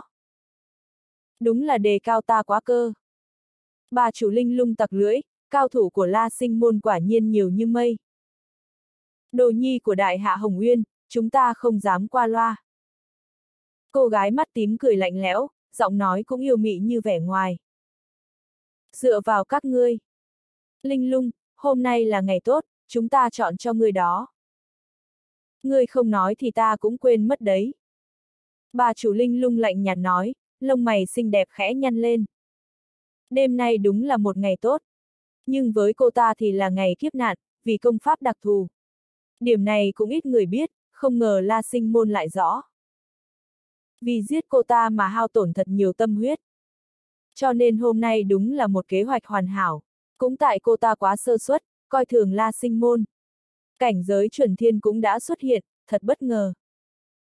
Giết! Cô gái mắt tím hử lạnh, hạ lệnh giết chết. Xoạt, xoạt. Vô số sát thủ cùng chuyển động, như sát thần đến từ địa ngục. Linh lung cũng không nghĩ, liền quay đầu bỏ chạy. Thân pháp của cô ta, ngoài sư tôn đại hạ Hồng Uyên ra thì không ai hiểu hết, đây cũng là chỗ dựa của cô ta. Cho dù là cảnh giới chuẩn thiên cũng chưa chắc đuổi kịp được cô ta. Oanh, phanh, oanh. Khu rừng trở nên im lặng một lúc rồi nổ bùng lên. Ở bên này, Triệu Bân đã đến chợ đen. Chợ đen ban đêm, yên tĩnh, cũng không có ai bán đồ vào nửa đêm thế này, nhưng vẫn phải có người thủ tiêu tang vật, lưng vác bao tải, chạy lén lúi, nhìn giống hệt vừa trộm đồ xong rồi đến thủ tiêu tang vật. Triệu Bân ấy mà, cũng là kẻ trộm. Hắn thừa dịp đêm không trăng, đi vào linh lung các. Nếu để người ta biết thì chắc tặc lưỡi lắm. Người ta đi thủ tiêu tang vật, người thì hay quá, đến còn trộm đồ. Tú Nhi, bảo bối ở đâu? Triệu Bân đi một vòng cũng không thấy có gì đáng giá. Dưới lòng đất. Đột. Triệu Bân không chỉ hoãn, độn thổ luôn. Bang. Giống như đụng phải tấm thép, êm tai, vang lên đoàng đoàng. Triệu Bân nhe răng trợn mắt, đứng cũng không vững. Độn thổ mà, là một bí thuật tốt, nhưng phải xem độn đi đâu, chứ đang độn mà đột nhiên lại có một tấm thép cản đường, thế thì đau đến nổ đầu ấy chứ. Mà lòng đất chỉ có một mặt tấm thép. Chính xác thì là một phòng đá, làm từ chất liệu đặc thù. Đèn đá ở trên kệ bên phải, chính là cơ quan. Sao không nói sớm, Triệu Bân che đầu, chuyển động đèn đá. Ông! Một tiếng vù vù vang lên, trên mặt đất có một cánh cửa mở ra, có thang đá nối thẳng xuống, nhìn vào bên trong thì không gian cực kỳ to lớn. Nếu không phải tận mắt chứng kiến, hắn cũng không dám tin một cái cửa hàng chim không thèm ị này lại có bí mật như thế. Triệu Bân hơi do dự. Nếu đi vào mà lát nữa Linh Lung quay về, chặn lại thì không ổn. Nhất thời sẽ không quay lại được đâu, Nguyệt Thần ngáp. Đừng có lừa ta đó, Triệu Bân nói, đi theo thang đá xuống, chỉ cần cố gắng lấy bảo bối rồi chạy là được. Nguyệt Thần có những lúc chẳng đáng tin gì cả. Phía cuối cầu thang đá là một cánh cổng đá vừa dày vừa nặng. Triệu Bân yên lặng dừng chân, gõ nhẹ vào cánh cổng đá, dường như nó không được làm nên từ vật liệu đá thông thường, vừa dày vừa nặng, thuật xuyên tường của hắn chắc chắn không thể sử dụng được ở đây, rõ ràng cánh cổng này được tạo ra để chống lại thuật xuyên tường. Bên cạnh cánh cổng đá còn có 9 ngăn đá bị ẩn vào trong. Mấy ngăn đá này trông rất đặc biệt, trên mỗi ngăn đá đều có đặt một ngọn đèn đá, và tất cả chúng đều đang cháy sáng. Xem ra đây chính là cơ quan mở cổng. Chỉ có điều, cơ quan này cũng không thể tùy tiện động vào, chỉ cần tính sai một bước đều có thể động chạm tới những cơ quan khác, nếu không chú ý thì bản thân chết thế nào cũng không biết. Ngọn đèn thứ ba, xoay hai vòng qua phải. Ngọn đèn thứ bảy, xoay ba vòng qua trái. Nguyệt thần chậm rãi nói, cô nương này đặc biệt yêu thích nghề ăn trộm, cũng có chút nghiên cứu về cơ quan trong nhà các gia tộc lớn, cộng với pháp nhãn của thần linh, không có cơ quan nào có thể qua mắt được. Triệu Bân làm theo, thầm tặc lưỡi không ngừng. Mỗi một ngọn đèn đá đều được định sẵn số vòng xoay, cơ quan này tuy không quá phức tạp, nhưng trước giờ cũng chưa có ai vào được dù biết rằng bên trong có bảo bối, thật may vì hắn có Nguyệt Thần bên cạnh chỉ dẫn. Ông! Khi xoay xong ngọn đèn đá thứ 9, cánh cổng vừa dày vừa nặng đã mở ra. Không hề có ánh sáng bắn ra bốn phía như trong tưởng tượng của hắn. Hắn mở to mắt nhìn, không gian bên trong không lớn, chu vi chỉ khoảng 20 trượng, không thấy vàng bạc châu báu, chỉ thấy có rất nhiều sách cổ, còn có không ít khế đất, trừ những thứ này ra thì còn có một tấm bản đồ cực kỳ to lớn, bên ngoài chắc chắc không có loại bản đồ nào như thế này. Bên trong tất nhiên còn có món bảo bối mà hắn muốn tìm, Ngọc Viêm Linh. Lão đạo dâu trắng ở thành vong cổ thực sự không lừa gạt hắn, bên trong linh lung các quả thật có một khối ngọc viêm linh to bằng miếng dưa hấu đang nằm yên trên giá, toàn thân đỏ thẫm, bên trong nơi này cũng chỉ có nó là trói mắt nhất, giá trị chắc chắn không ít hơn mấy chục vạn lượng. Cứ như vậy mà lấy đi của người ta, hình như không tốt lắm. Triệu Bân ôm khối ngọc viêm linh lên, nhỏ giọng thì thầm một câu. Nguyệt thần liếc hắn một cái. Vậy chuyện ngươi xông vào đây là tốt chắc. Cảm ơn tiền bối về món quà. Triệu thiếu gia nói ra một câu chẳng liên quan gì, sau đó lấy đi khối ngọc viêm linh, rồi hắn lại còn nhìn ngó xung quanh, xoa xoa tay nhìn vào mấy món bảo bối khác. Nhìn một chút, tay của hắn liền bắt đầu trở nên không đứng đắn. Khế đất, bản đồ, sách cổ, bất cứ thứ gì có thể cho vào túi càn khôn thì hắn đều lấy sạch, không chừa lại chút gì. Sau khi quét sạch không còn một mống, hắn mới khệnh khạng rời đi. Sau khi lẻn ra khỏi linh lung các, hắn tìm một nơi vắng vẻ sử dụng thuật thông linh. Quác, quác. Xuyệt. Triệu bân ra giấu một cái, bảo đại bằng nhỏ giọng một chút. Quác. Đại bằng rất hiểu chuyện, nhanh chóng mang theo triệu bân sải cánh bay lên cao, bay thẳng ra ngoài thành. Chuyến đi này thật không uổng công. Hắn cười ha hả, nhắc tới cũng phải cảm ơn Nguyệt Thần, mặc dù cô ta hại hắn trêu đùa nữ tiền bối, bị đánh một trận, nhưng có thể có được khối ngọc viêm linh này miễn phí, cũng đã giúp hắn tiết kiệm được không ít bạc. Muốn cảm ơn, thì còn phải cảm ơn người thần bí kia.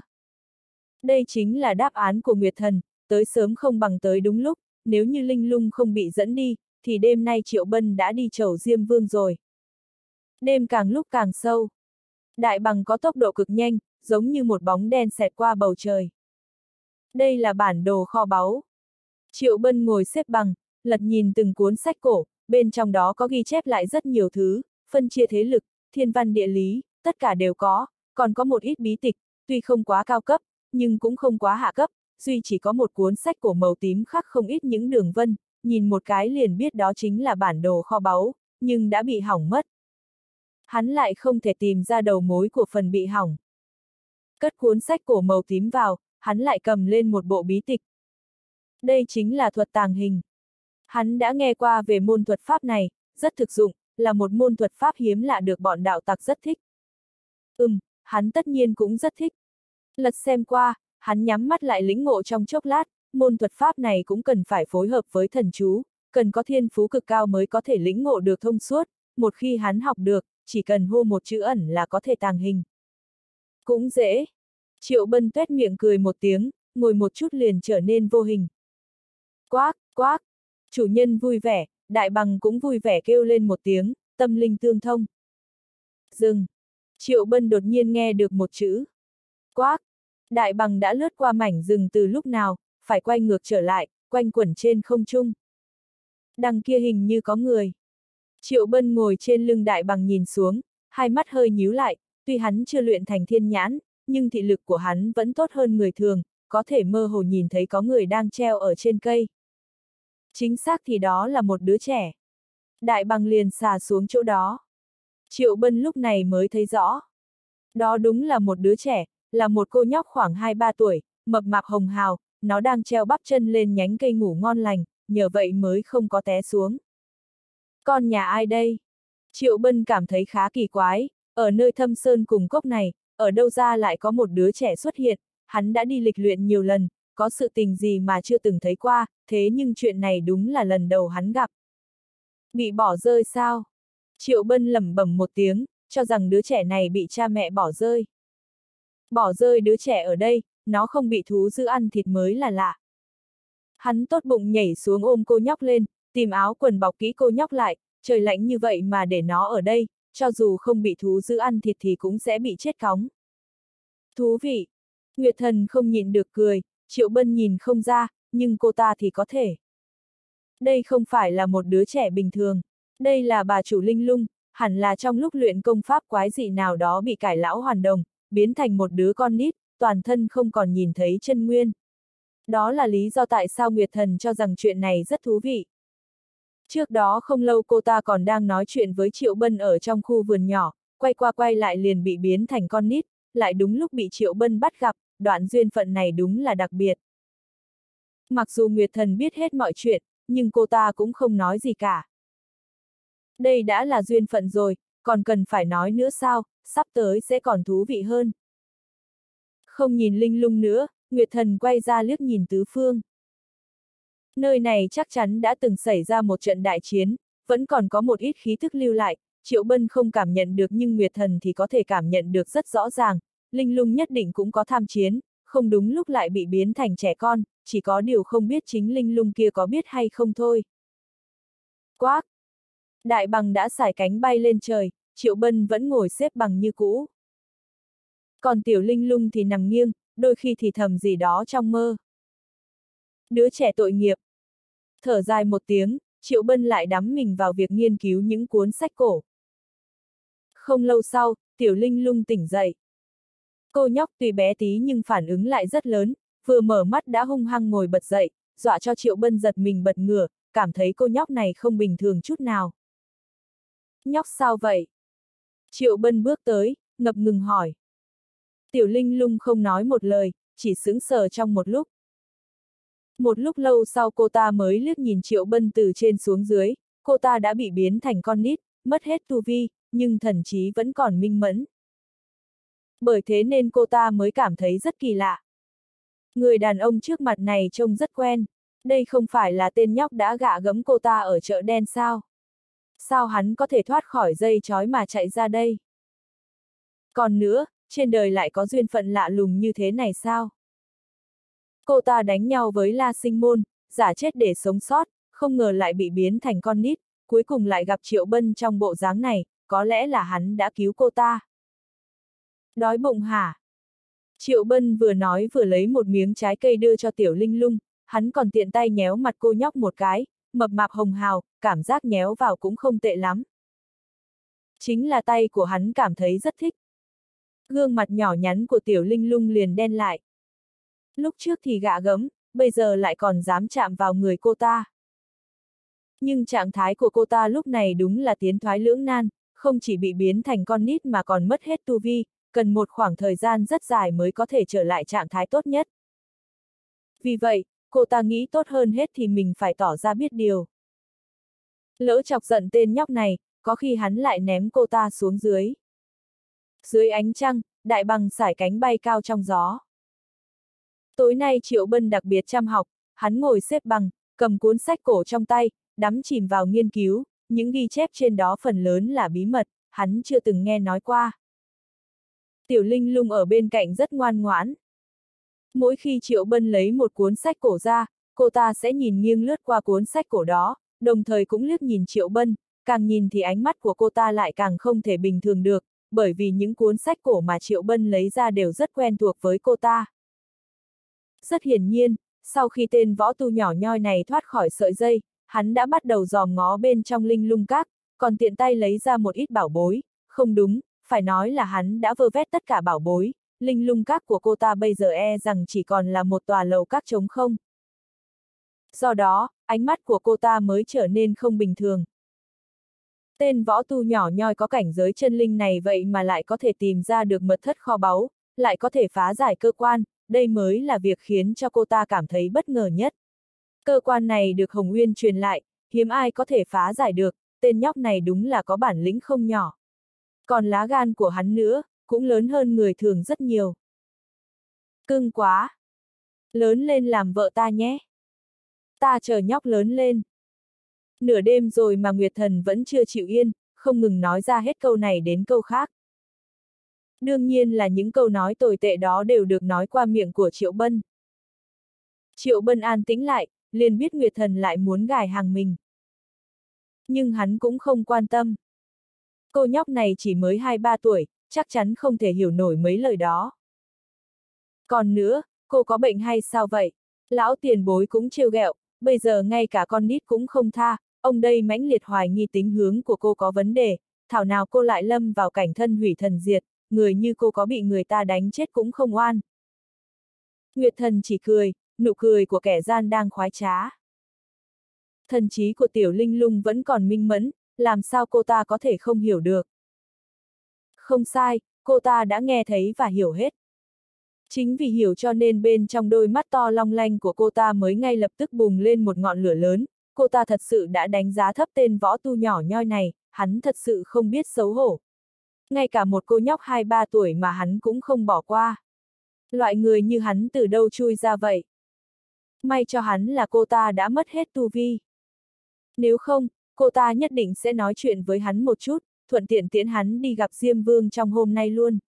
Nhưng bây giờ thì cô ta vẫn phải nhẫn nhịn, người xưa có câu, người ở dưới mái hiên không cúi đầu không được, cô ta đang ở trong một trạng thái tồi tệ, không thể manh động.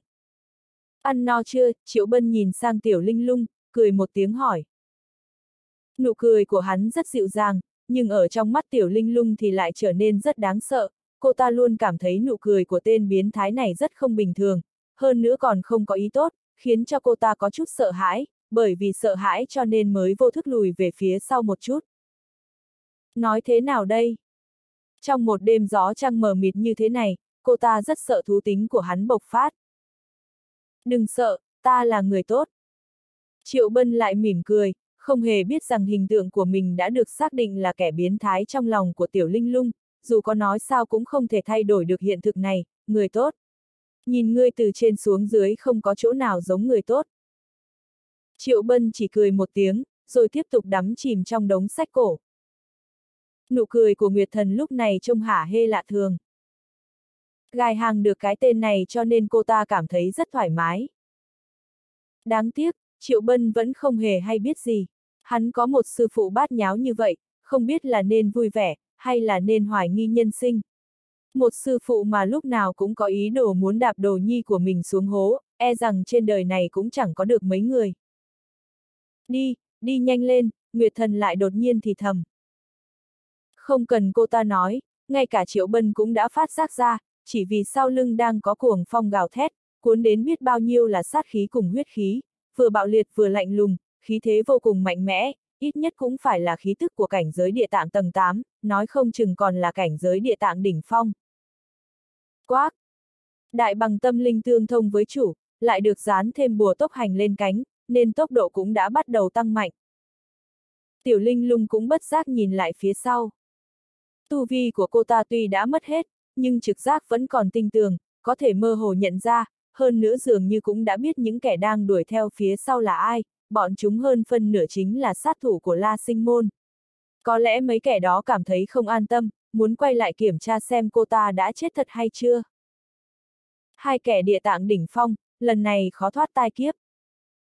Cô ta lẩm bẩm, cũng chỉ có mình cô ta nghe thấy. Trong bóng tối, có thể trông thấy hai con huyết điêu đang lao về phía này với tốc độ cực nhanh, muốn tung người đốn hạ đại bằng. Đại bằng dù đã được dán bùa tốc hành lên cánh nhưng vẫn không thể bỏ xa được bọn chúng, mà trên lưng của hai con huyết điêu còn có hai người mặc đồ đen không phải là võ tu bình thường, cả hai kẻ này đều là sát thủ của La Sinh Môn, đều có cảnh giới địa tạng đỉnh phong. Sư phụ Nét mặt của tiểu linh lung trông rất khổ sở, lại có thêm mấy phần tự diếu. cô ta giả chết để có thể sống sót, thế mà vẫn không thoát được kiếp nạn, hai kẻ cảnh giới địa tạng đỉnh phong ra tay cùng một lúc, lần này cô ta chắc chắn phải chết, ngay cả cái tên tiểu bối cảnh giới chân linh này và thông linh thú của hắn cũng sẽ chết không kịp ngáp. Ở thời điểm khủng hoảng, trong lòng cô ta vẫn thầm gọi sư phụ. Từ khi cô ta biết nhận thức và có trí nhớ, sư phụ luôn là người che gió che mưa cho cô ta, chỉ có hôm nay là ngoại lệ, cho dù cô ta có kêu gào thế nào thì cũng không thấy bóng của sư phụ đâu. Một người có cảnh giới địa tạng như cô ta mà bây giờ cũng phải run rẩy trong gió rét, tựa hồ như cô ta đã không còn là đồ nhi của Hồng Nguyên nữa, cũng không còn là cường giả uy chấn một phương, mà chỉ là một cô nhóc bị lạc đường trong đêm tối vậy. Đừng sợ. Triệu Bân vươn tay ra ôm cô ta vào lòng, đồng thời cũng quan sát tứ phương, nửa đêm tại nơi thâm sơn cùng cốc sao lại xuất hiện cảnh giới địa tạng đỉnh phong, hơn nữa còn có tận hai người, không biết vì lẽ gì lại đang chừng mắt nhìn hắn, toát ra luồng sát khí vô cùng lạnh lẽo. Tiểu Linh lung không nói gì, chỉ ngẩng đầu lên. Nhìn từ góc độ này, một nửa gương mặt của Triệu Bân lại trông giống người tốt hơn mấy phần, hơn nữa còn có nét cương nghị không thể hiểu nổi, giữa hai lông mày cũng vừa toát ra một tia lạnh lùng hiếm có. Nói thử nghe xem, một tên biến thái tự nhiên lại có thể lấy đâu ra được khí chất đó vậy. Như đã nói qua, vòng tay của hắn quả thực rất ấm áp, giống như sư phụ của cô ta vậy. Đi xuống dưới. Triệu Bân nghiêm túc nói với Đại Bằng. Hai kẻ cảnh giới địa tạng, cộng thêm hai con huyết ưng cảnh giới huyền dương đỉnh phong, rất nhanh sẽ có thể đuổi kịp bọn họ, cho nên bọn họ phải bay xuống đất, sau đó tìm một chỗ để Triệu Bân diễn một tuồng kịch hù dọa hai kẻ kia, chuyện này hắn đã làm nhiều lần, chỉ không biết lần này có thành công hay không thôi. Quác! Đại bằng kêu lên, xà xuống như một bóng đen. Đi đâu? Hai cường giả địa tạng đỉnh phong hừ lạnh một tiếng, hai con huyết ưng cũng xả xuống theo. Đến phía trước một hang động, hai kẻ áo đen mới dừng lại. Một khắc trước, bọn chúng còn tận mắt nhìn thấy Triệu Bân lao vào trong đó với một đứa trẻ trên tay. Sư phụ, mấy kẻ kia muốn đánh ta. Ngày thường ta dạy dỗ ngươi như thế nào, nay chỉ gặp chút chuyện mà đã loạn lên như vậy rồi. Nhưng bọn chúng có cảnh giới địa tạng. Chỉ là cảnh giới địa tạng mà đã khiến cho ngươi sợ hãi đến mức này sao? Thật là khiến cho ta mất mặt. Trong hang động tối tăm vang lên tiếng của hai người đang nói chuyện. Triệu Bân phân làm hai vai, bên ngoài nghe như đang có hai người đối thoại, nhưng thật ra là do hắn tự nói hai giọng, một già một trẻ, linh hoạt chuyển đổi, nói dối dọa người mà mặt không đỏ chân không run, diễn xuất vô cùng trơn tru. Hắn đúng là một thiên tài diễn xuất. Audio điện tử võ tấn bền. Tiểu Linh lung liếc ngang, vẻ mặt đầy ẩn ý bên trong còn có một lão già khác. Một màn diễn xuất đặc sắc của Triệu Bân đã khiến cho hai kẻ áo đen phải cau mày nhìn nhau, nhưng rồi bọn chúng lại cảm thấy ngoại trừ Triệu Bân và đứa trẻ ra thì trong động chắc chắn không còn bất kỳ ai, cái tên Triệu Bân này hẳn là đang diễn trò hù dọa bọn chúng. Diễn xuất không tệ, nhưng vô dụng thôi. Tiểu Linh lung lẩm bẩm trong lòng, cô ta phải công nhận tên nhóc võ tu cảnh giới chân linh này rất láo cá, nhưng hai kẻ kia là cảnh giới địa tạng đỉnh phong, không dễ dàng bị dọa sợ, hơn nữa bọn chúng còn là sát thủ của La Sinh Môn, không phải những kẻ ngu ngốc, cũng sẽ không sẽ dễ dàng từ bỏ. Tên nhãi cảnh giới chân linh, còn dám gạt ta. Một kẻ áo đen hừ lạnh một tiếng, xài bước đi về phía trước. ầm. Um. Trước khi kẻ đó kịp đến gần sơn động, thì đã nghe thấy thanh âm ầm ầm vang lên làm rung chuyển vách đá, một luồng khí tức kinh người đột nhiên xuất hiện, đó là uy lực của cảnh giới thiên võ, do Triệu Bân dùng võ hồn diễn lại, so với lúc dọa lão mập thì còn chân thật hơn. Cảnh, cảnh giới thiên võ. Hai kẻ áo đen đột nhiên biến sắc, đồng thời lui về phía sau một bước. Cảnh, cảnh giới thiên võ. Tiểu Linh lung ở bên cạnh Triệu Bân ngay lập tức bị chấn động, cái miệng nhỏ nhắn của cô ta há lớn, cô ta chưa bao giờ nghe tới chuyện một tên tiểu bối cảnh giới chân linh lại có thể thi triển uy lực kinh thiên động địa như vậy, ngay cả sư phụ của cô ta cũng chưa bao giờ kể cho cô ta nghe một chuyện như thế này. Còn nữa, tên nhóc này lại có võ hồn. Khiếp sợ, cô ta rất khiếp sợ, một tên nhóc trước đó bị cô ta cho là kẻ biến thái, chỉ trong chớp mắt liền tựa như biến thành thần thánh phương nào, quá yêu nghiệt, cũng quá nghịch thiên. Giết cảnh giới địa tạng chỉ làm bẩn đao của ta. Cút! Triệu Bân lại như bị thần diễn xuất nhập, lại có võ hồn trợ công, nói ra thanh âm lạnh lẽo như băng, không chỉ có thể bắt trước khí thế của cảnh giới thiên võ, mà còn có thể bắt trước một cách hết sức uy nghiêm, đừng nói là hai kẻ kia, ngay cả tiểu linh lung cũng suýt bị nhầm tưởng rằng trên đời này còn có một cường giả cảnh giới thiên võ đồng cấp với sư phụ của cô ta. Vèo, vèo. Không cần triệu bân làm căng hơn nữa, thì hai kẻ áo đen cũng đã chạy trốn rồi. Lần này đúng là không thuận lợi. Tự nhiên lại xuất hiện một cường giả thiên võ, cho dù là người đứng đầu la sinh môn tới đây thì cũng phải cân nhắc, chứ đừng nói đến bọn chúng. Tuy chỉ kém một cấp cảnh giới, nhưng bàn về chiến lực hai bên, thì cảnh giới thiên võ chỉ cần một tát là có thể xử lý xong hai người bọn chúng. Phù! Triệu Bân thở phào nhẹ nhõm khi thấy hai kẻ kia đã chạy trốn. Nếu như bọn chúng thực sự xông vào, chắc chắn đêm nay hắn sẽ chết. Thực sự là nhân tài. Tiểu Linh lung lẩm bẩm, ánh mắt nhìn Triệu Bân đã thay đổi, từ trước đến nay, cảnh giới chân linh có thể dọa cảnh giới địa tạng bỏ chạy chắc chỉ có đây là trường hợp đầu tiên, chiến tích này e rằng ngay cả sư phụ của cô ta cũng không theo kịp. Đừng sợ. Triệu Bân mỉm cười, lại bế Tiểu Linh lung đi ra khỏi hang động. Trong đêm tối, có một bóng đen đang chạy như bay. Đại bằng đã trở về linh giới, không thể bay tới trong thời gian ngắn nên hắn phải dùng chân chạy, nhưng cũng không sao, hắn có bùa tốc hành, mà trong hồ lô cũng còn rất nhiều linh dịch. Ông! Trong lúc đang chạy, hắn chợt thấy Nguyệt Thần phất tay biến ra một luồng ánh sáng vàng. Không sai, cô ta đang truyền cho Triệu Bân bí thuật. Đây chính là phương pháp điều khiển thi thể mà Nguyệt Thần lúc trước một mực không muốn dạy cho hắn. Nguy cơ tối nay rất lớn, cho nên cô ta mới phải truyền cho hắn. Hắn vừa mới dọa hai kẻ cảnh giới địa tạng đỉnh phong bỏ chạy, nhưng hai kẻ đó rất nhanh chóng đã quay trở lại, chạy vào hang động tìm hiểu thực hư, sau đó đuổi tới đây. Triệu Bân dừng lại, thần sắc khó coi vô cùng. Hắn có võ hồn cho nên cũng có thể phát giác hai kẻ có cảnh giới địa tạng kia đã đuổi tới. Khá lắm tên tiểu bối cảnh giới chân linh kia, ta thật sự đã đánh giá thấp ngươi. Phía sau vang lên tiếng cười âm hiểm, hai kẻ áo đen từ trong bóng tối phóng ra, một trước một sau vậy chặt Triệu Bân vào giữa, cho dù hắn có mọc cánh cũng không thể thoát được. Suýt chút nữa là bọn chúng đã bị cái tên này lừa gạt. Dưới ánh trăng, đôi mắt của hai kẻ áo đen long lên sòng sọc. Chỉ là một tên nhóc cảnh giới chân linh nhỏ nhoi, thế mà lại có thể bắt trước được khí thế của cảnh giới thiên võ, đây chính là một bảo bối. Nếu như có thể bắt hắn về nghiên cứu một chút, nói không chừng còn có thể phát hiện ra thêm nhiều thứ thú vị khác. Dưới ánh trăng, Triệu Bân cảm thấy lạnh thấu xương.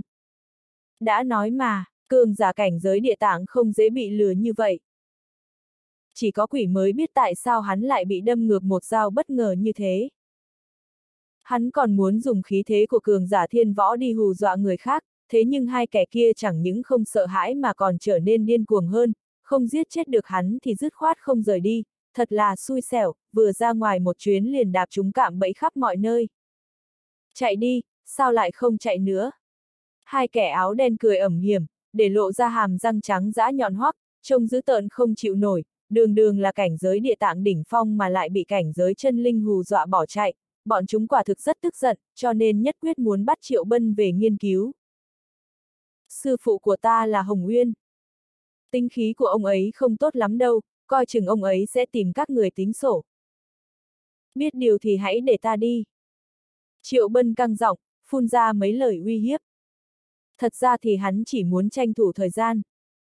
Hắn đã thông hiểu phép điều khiển thi thể, nhưng thi thể của vua âm nguyệt không hề tầm thường, nếu như hắn điều khiển không được mà để cho thi thể đó thoát ra ngoài thì thiên hạ sẽ đại loạn. Đây chính là nguyên nhân mà Nguyệt Thần một mực không muốn dạy cho hắn đạo pháp này sớm, dù sao thì hắn cũng chỉ mới đạt tới cảnh giới chân linh, khả năng cao là không thể khống chế được thi thể cảnh giới thiên võ, thi thể đó mà thoát ra ngoài thì không đơn giản chỉ có một hai người phải chết. Nghe thấy Triệu Bân nói như vậy, hai mắt của Tiểu Linh lung lại mở to. Cái tên này ngày thường đều dùng danh tiếng của sư phụ cô ta đi giả danh lừa bịp sao. Cũng đúng, tên này có võ hồn, hơn nữa còn có thể bắt trước khí thức của cường giả thiên võ, có bản lĩnh lớn như vậy cho nên hắn cũng chẳng cần phải lo lắng, nếu đổi lại là cô ta thì cô ta cũng sẽ làm như vậy. Chỉ có điều. Giờ phút này cho dù có nói ra đại danh của Hồng Nguyên thì cũng khó thoát. Sát thủ La Sinh Môn, ngay cả đồ nhi thật sự của Hồng Nguyên cũng dám giết chết chứ đừng nói là một tên giả mạo như hắn. Hơn nữa, ở nơi thâm sơn cùng cốc này, cho dù có giết ai thì cũng không có người khác phát hiện ra, mà tên nhóc này trên người còn mang theo rất nhiều bí thuật, đã động vào lòng tham của đám người La Sinh Môn. Cho nên mới nói, cô ta tuy đã từng trốn thoát khỏi kiếp nạn, nhưng kết cục vẫn không thể thay đổi được.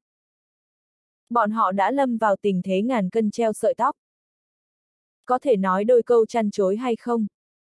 Triệu Bân ngừng uy hiếp, chỉ thở dài, ở trong mắt hai kẻ áo đen thì đây rõ ràng là hành động từ bỏ phản kháng, không cần thiết phải tiếp tục đánh nữa, dù sao thì chỉ cần một cái tát là xong chuyện, nhưng lúc này bọn chúng chưa thể giết Triệu Bân ngay vì còn phải nghiên cứu bí mật của hắn. Trở về nói cũng không muộn. Một kẻ áo đen bật cười, một bước đạp xuống, một tay vươn tới, khí thế của y suýt chút nữa đã đánh bay Triệu Bân, nhưng lúc này cũng không chỉ có một mình y toát ra khí thế cường hãn.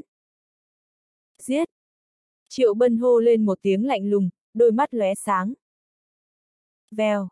Trước mặt hắn đột nhiên từ đâu lại xuất hiện một bóng người, người này khoác trên mình bộ khôi giáp cổ xưa, tay cầm một cây kích lớn, toàn thân bị bụi bặm che phủ, dáng người cao lớn hùng dũng, vừa xuất hiện đã dậm chân ầm ầm. Người này chỉ có thân thể chứ không có đầu, lại mang theo một luồng âm khí mãnh liệt, trộn lẫn với khí tức của cường giả thiên võ.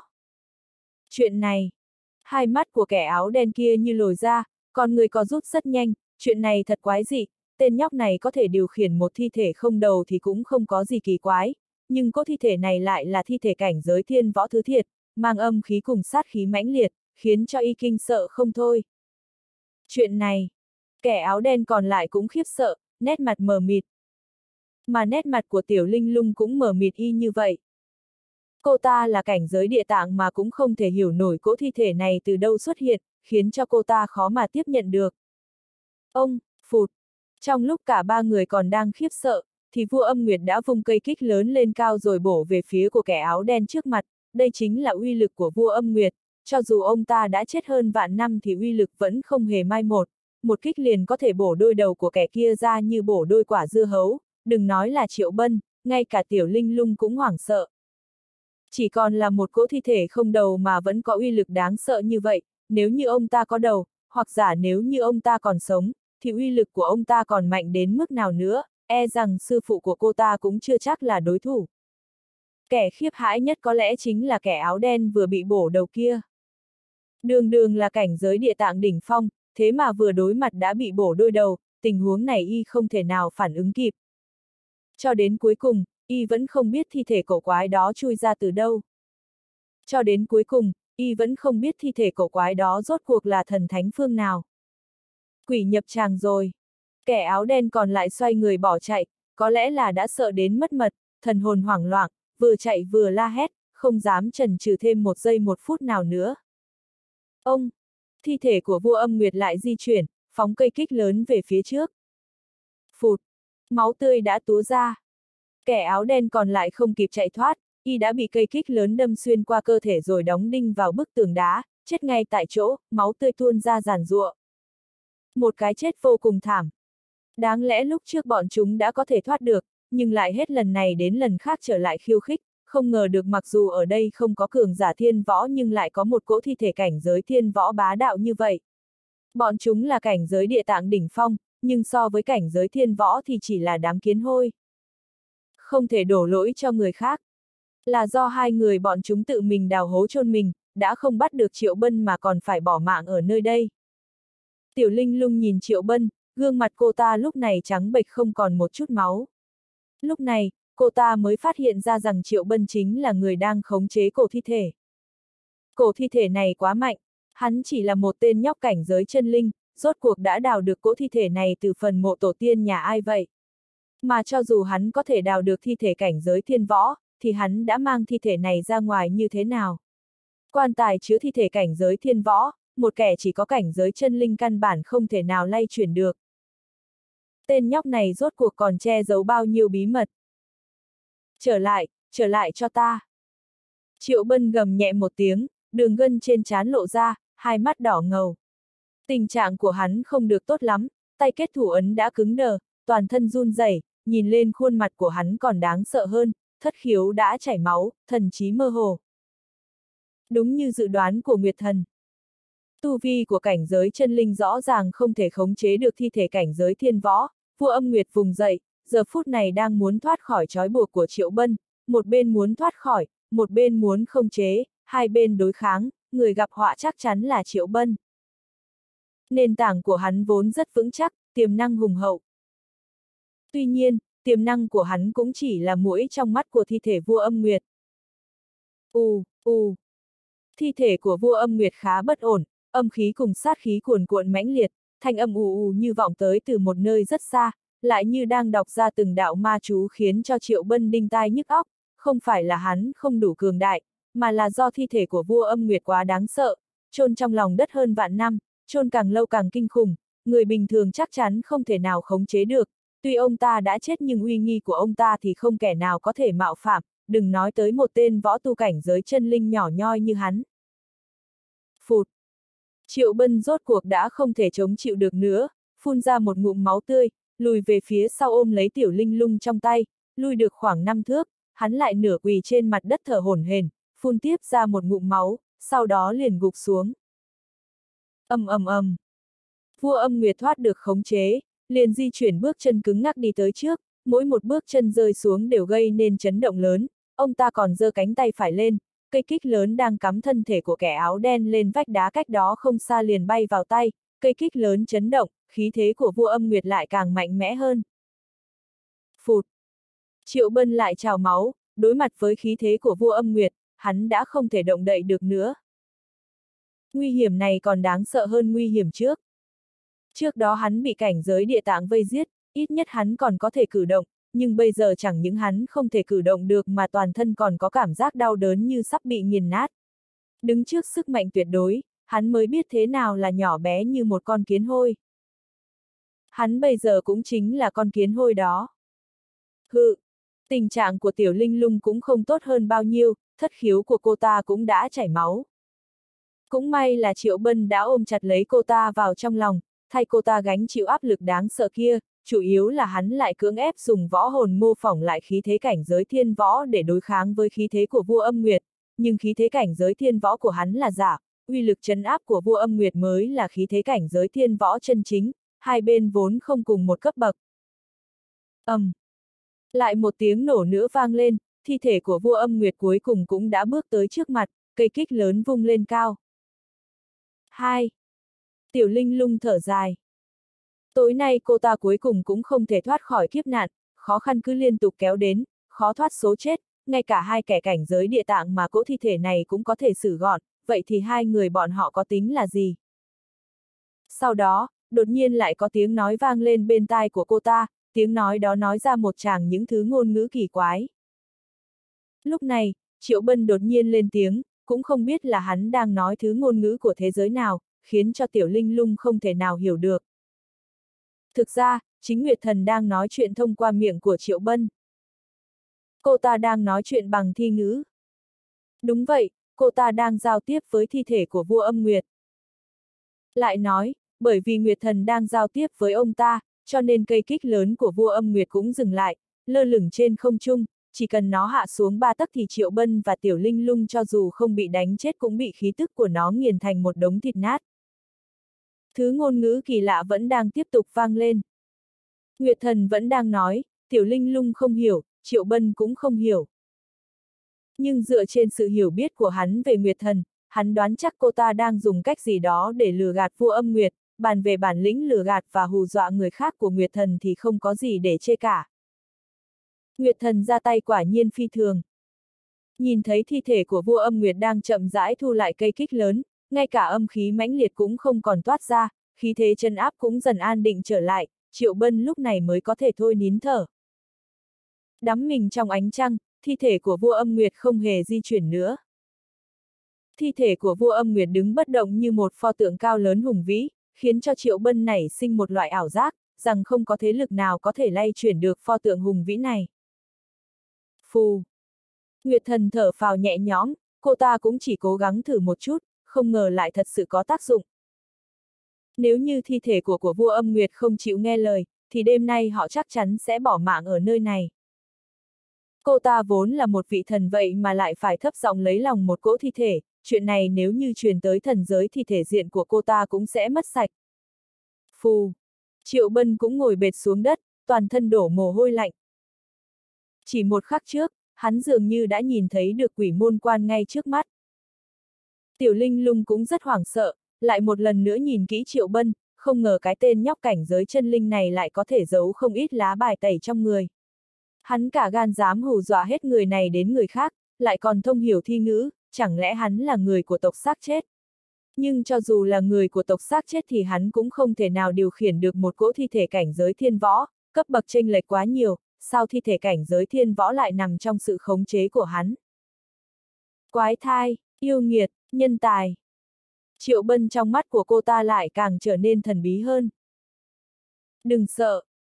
Triệu bân mệt mỏi mỉm cười, lại đem tiểu linh lung ôm vào lòng, một cô nhóc 2-3 tuổi phải nhìn thấy một cỗ thi thể không đầu quái dị, chắc chắn không khỏi sợ hãi.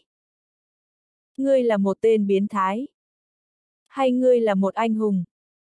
Trong lòng tiểu linh lung khó hiểu cười một tiếng, kết quả thì câu nào cũng có thể dùng để nói về hắn. Hắn là kẻ biến thái đã quấy rối cô ta. Nhưng hắn cũng là người anh hùng mà cho dù sắp chết cũng muốn bảo vệ cô ta chặt chẽ trong lòng. Chuyện này khiến cho cô ta cảm thấy rất bối rối. Chỉ có điều, cái ôm của hắn cũng khiến cho cô ta cảm thấy rất ấm áp. Cổ thi thể này quá mạnh, hắn chỉ là một tên nhóc cảnh giới chân linh, rốt cuộc đã đào được cỗ thi thể này từ phần mộ tổ tiên nhà ai vậy? Mà cho dù hắn có thể đào được thi thể cảnh giới thiên võ, thì hắn đã mang thi thể này ra ngoài như thế nào? Quan tài chứa thi thể cảnh giới thiên võ, một kẻ chỉ có cảnh giới chân linh căn bản không thể nào lay chuyển được. Tên nhóc này rốt cuộc còn che giấu bao nhiêu bí mật. Trở lại, trở lại cho ta. Triệu bân gầm nhẹ một tiếng, đường gân trên trán lộ ra, hai mắt đỏ ngầu. Tình trạng của hắn không được tốt lắm, tay kết thủ ấn đã cứng đờ, toàn thân run rẩy, nhìn lên khuôn mặt của hắn còn đáng sợ hơn, thất khiếu đã chảy máu, thần trí mơ hồ. Đúng như dự đoán của Nguyệt Thần. Tu vi của cảnh giới chân linh rõ ràng không thể khống chế được thi thể cảnh giới thiên võ, vua âm Nguyệt vùng dậy, giờ phút này đang muốn thoát khỏi trói buộc của Triệu Bân, một bên muốn thoát khỏi, một bên muốn không chế, hai bên đối kháng, người gặp họa chắc chắn là Triệu Bân. Nền tảng của hắn vốn rất vững chắc, tiềm năng hùng hậu. Tuy nhiên, tiềm năng của hắn cũng chỉ là mũi trong mắt của thi thể vua âm nguyệt. U, u, thi thể của vua âm nguyệt khá bất ổn, âm khí cùng sát khí cuồn cuộn mãnh liệt, thanh âm ù ù như vọng tới từ một nơi rất xa, lại như đang đọc ra từng đạo ma chú khiến cho Triệu Bân đinh tai nhức óc, không phải là hắn không đủ cường đại, mà là do thi thể của vua âm nguyệt quá đáng sợ, chôn trong lòng đất hơn vạn năm, chôn càng lâu càng kinh khủng, người bình thường chắc chắn không thể nào khống chế được, tuy ông ta đã chết nhưng uy nghi của ông ta thì không kẻ nào có thể mạo phạm, đừng nói tới một tên võ tu cảnh giới chân linh nhỏ nhoi như hắn. Phụt! Triệu Bân rốt cuộc đã không thể chống chịu được nữa, phun ra một ngụm máu tươi, lùi về phía sau ôm lấy tiểu linh lung trong tay, lùi được khoảng năm thước, hắn lại nửa quỳ trên mặt đất thở hổn hển, phun tiếp ra một ngụm máu, sau đó liền gục xuống. Âm ầm ầm.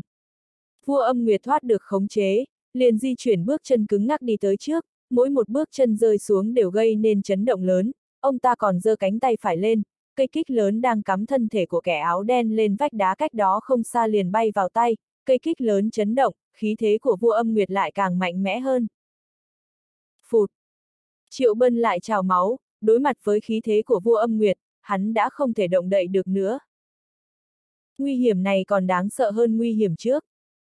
Trước đó hắn bị cảnh giới địa tạng vây giết, ít nhất hắn còn có thể cử động, nhưng bây giờ chẳng những hắn không thể cử động được mà toàn thân còn có cảm giác đau đớn như sắp bị nghiền nát. Đứng trước sức mạnh tuyệt đối, hắn mới biết thế nào là nhỏ bé như một con kiến hôi. Hắn bây giờ cũng chính là con kiến hôi đó. Hự! Tình trạng của tiểu linh lung cũng không tốt hơn bao nhiêu, thất khiếu của cô ta cũng đã chảy máu. Cũng may là Triệu Bân đã ôm chặt lấy cô ta vào trong lòng, thay cô ta gánh chịu áp lực đáng sợ kia, chủ yếu là hắn lại cưỡng ép dùng võ hồn mô phỏng lại khí thế cảnh giới thiên võ để đối kháng với khí thế của vua âm nguyệt, nhưng khí thế cảnh giới thiên võ của hắn là giả, uy lực chấn áp của vua âm nguyệt mới là khí thế cảnh giới thiên võ chân chính, hai bên vốn không cùng một cấp bậc. ầm, um. Lại một tiếng nổ nữa vang lên, thi thể của vua âm nguyệt cuối cùng cũng đã bước tới trước mặt, cây kích lớn vung lên cao. 2. Tiểu Linh lung thở dài. Tối nay cô ta cuối cùng cũng không thể thoát khỏi kiếp nạn, khó khăn cứ liên tục kéo đến, khó thoát số chết, ngay cả hai kẻ cảnh giới địa tạng mà cỗ thi thể này cũng có thể xử gọn, vậy thì hai người bọn họ có tính là gì? Sau đó, đột nhiên lại có tiếng nói vang lên bên tai của cô ta, tiếng nói đó nói ra một chàng những thứ ngôn ngữ kỳ quái. Lúc này, Triệu Bân đột nhiên lên tiếng, cũng không biết là hắn đang nói thứ ngôn ngữ của thế giới nào, khiến cho Tiểu Linh lung không thể nào hiểu được. Thực ra, chính Nguyệt Thần đang nói chuyện thông qua miệng của Triệu Bân. Cô ta đang nói chuyện bằng thi ngữ. Đúng vậy, cô ta đang giao tiếp với thi thể của vua âm Nguyệt. Lại nói, bởi vì Nguyệt Thần đang giao tiếp với ông ta, cho nên cây kích lớn của vua âm Nguyệt cũng dừng lại, lơ lửng trên không trung, chỉ cần nó hạ xuống ba tấc thì Triệu Bân và Tiểu Linh Lung cho dù không bị đánh chết cũng bị khí tức của nó nghiền thành một đống thịt nát. Thứ ngôn ngữ kỳ lạ vẫn đang tiếp tục vang lên. Nguyệt Thần vẫn đang nói, Tiểu Linh Lung không hiểu, Triệu Bân cũng không hiểu. Nhưng dựa trên sự hiểu biết của hắn về Nguyệt Thần, hắn đoán chắc cô ta đang dùng cách gì đó để lừa gạt vua âm Nguyệt, bàn về bản lĩnh lừa gạt và hù dọa người khác của Nguyệt Thần thì không có gì để chê cả. Nguyệt Thần ra tay quả nhiên phi thường. Nhìn thấy thi thể của vua âm Nguyệt đang chậm rãi thu lại cây kích lớn, ngay cả âm khí mãnh liệt cũng không còn toát ra, khí thế chân áp cũng dần an định trở lại, Triệu Bân lúc này mới có thể thôi nín thở. Đắm mình trong ánh trăng, thi thể của vua âm Nguyệt không hề di chuyển nữa. Thi thể của vua âm Nguyệt đứng bất động như một pho tượng cao lớn hùng vĩ, khiến cho Triệu Bân nảy sinh một loại ảo giác, rằng không có thế lực nào có thể lay chuyển được pho tượng hùng vĩ này. Phù! Nguyệt thần thở phào nhẹ nhõm, cô ta cũng chỉ cố gắng thử một chút, không ngờ lại thật sự có tác dụng. Nếu như thi thể của của vua âm Nguyệt không chịu nghe lời, thì đêm nay họ chắc chắn sẽ bỏ mạng ở nơi này. Cô ta vốn là một vị thần vậy mà lại phải thấp giọng lấy lòng một cỗ thi thể, chuyện này nếu như truyền tới thần giới thì thể diện của cô ta cũng sẽ mất sạch. Phù! Triệu Bân cũng ngồi bệt xuống đất, toàn thân đổ mồ hôi lạnh. Chỉ một khắc trước, hắn dường như đã nhìn thấy được quỷ môn quan ngay trước mắt. Tiểu Linh lung cũng rất hoảng sợ, lại một lần nữa nhìn kỹ Triệu Bân, không ngờ cái tên nhóc cảnh giới chân linh này lại có thể giấu không ít lá bài tẩy trong người. Hắn cả gan dám hù dọa hết người này đến người khác, lại còn thông hiểu thi ngữ, chẳng lẽ hắn là người của tộc xác chết? Nhưng cho dù là người của tộc xác chết thì hắn cũng không thể nào điều khiển được một cỗ thi thể cảnh giới thiên võ, cấp bậc tranh lệch quá nhiều, sao thi thể cảnh giới thiên võ lại nằm trong sự khống chế của hắn? Quái thai, yêu nghiệt, nhân tài. Triệu bân trong mắt của cô ta lại càng trở nên thần bí hơn. Đừng sợ. Triệu bân mệt mỏi mỉm cười, lại đem tiểu linh lung ôm vào lòng, một cô nhóc 2-3 tuổi phải nhìn thấy một cỗ thi thể không đầu quái dị, chắc chắn không khỏi sợ hãi. Ngươi là một tên biến thái. Hay ngươi là một anh hùng? Trong lòng tiểu linh lung khó hiểu cười một tiếng, kết quả thì câu nào cũng có thể dùng để nói về hắn. Hắn là kẻ biến thái đã quấy rối cô ta. Nhưng hắn cũng là người anh hùng mà cho dù sắp chết cũng muốn bảo vệ cô ta chặt chẽ trong lòng. Chuyện này khiến cho cô ta cảm thấy rất bối rối. Chỉ có điều, cái ôm của hắn cũng khiến cho cô ta cảm thấy rất ấm áp. Cốc! Đại bằng cánh vàng được thông linh, sải cánh bay cao. Sợ chết khiếp rồi đúng không? Triệu Bân cười dịu dàng, ôm lấy tiểu linh lung suốt dọc đường. Nhưng người ta thì lại không hề thấy vui. Không có tu vi nên mới ngượng ngùng như thế, cô ta cũng không dám mở miệng nói chuyện, chỉ sợ tên nhóc này nhận ra mình, nếu như hắn muốn giết người diệt khẩu thì thật điên rồ quá rồi. Thú vị! Nguyệt thần hứng thú quan sát nhưng vẫn chưa nói với Triệu Bân. Cô ta đang đợi. Đợi cái gì? Đợi đến ngày tiểu linh lung khôi phục tu vi, khi ấy nhất định sẽ rất náo nhiệt. Đến lúc đó, đồ đệ bảo bối của cô ta nhất định sẽ không tránh khỏi một trận đòn ra trò, cô ta giỏi nhất là gài đồ đệ của mình mà. Nếu để Triệu Bân biết được thì nhất định hắn sẽ thấy rất được an ủi. Phụ thân, đợi con. Triệu Bân hít một hơi thật sâu, đại bằng gia tăng tốc độ.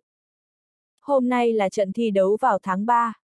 Cũng may, với tốc độ của đại bằng thì hắn miễn cưỡng cũng có thể về kịp lúc, chủ yếu là lần này ra ngoài đã xảy ra quá nhiều chuyện ngoài dự liệu, kế hoạch không theo kịp thay đổi.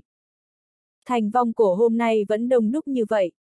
Nhà họ Triệu hôm nay cũng náo nhiệt hơn ngày thường rất nhiều, nhà họ Triệu đã được tháo phong, Triệu Uyên cũng đã xuất quan, người của cả gia tộc đều tập trung ở khu diễn võ, tại đó có một đài thi đấu, trận đấu được định vào 3 tháng trước phải được diễn ra đúng thời gian. Có điều, sắc mặt của các trưởng lão lại rất khó coi.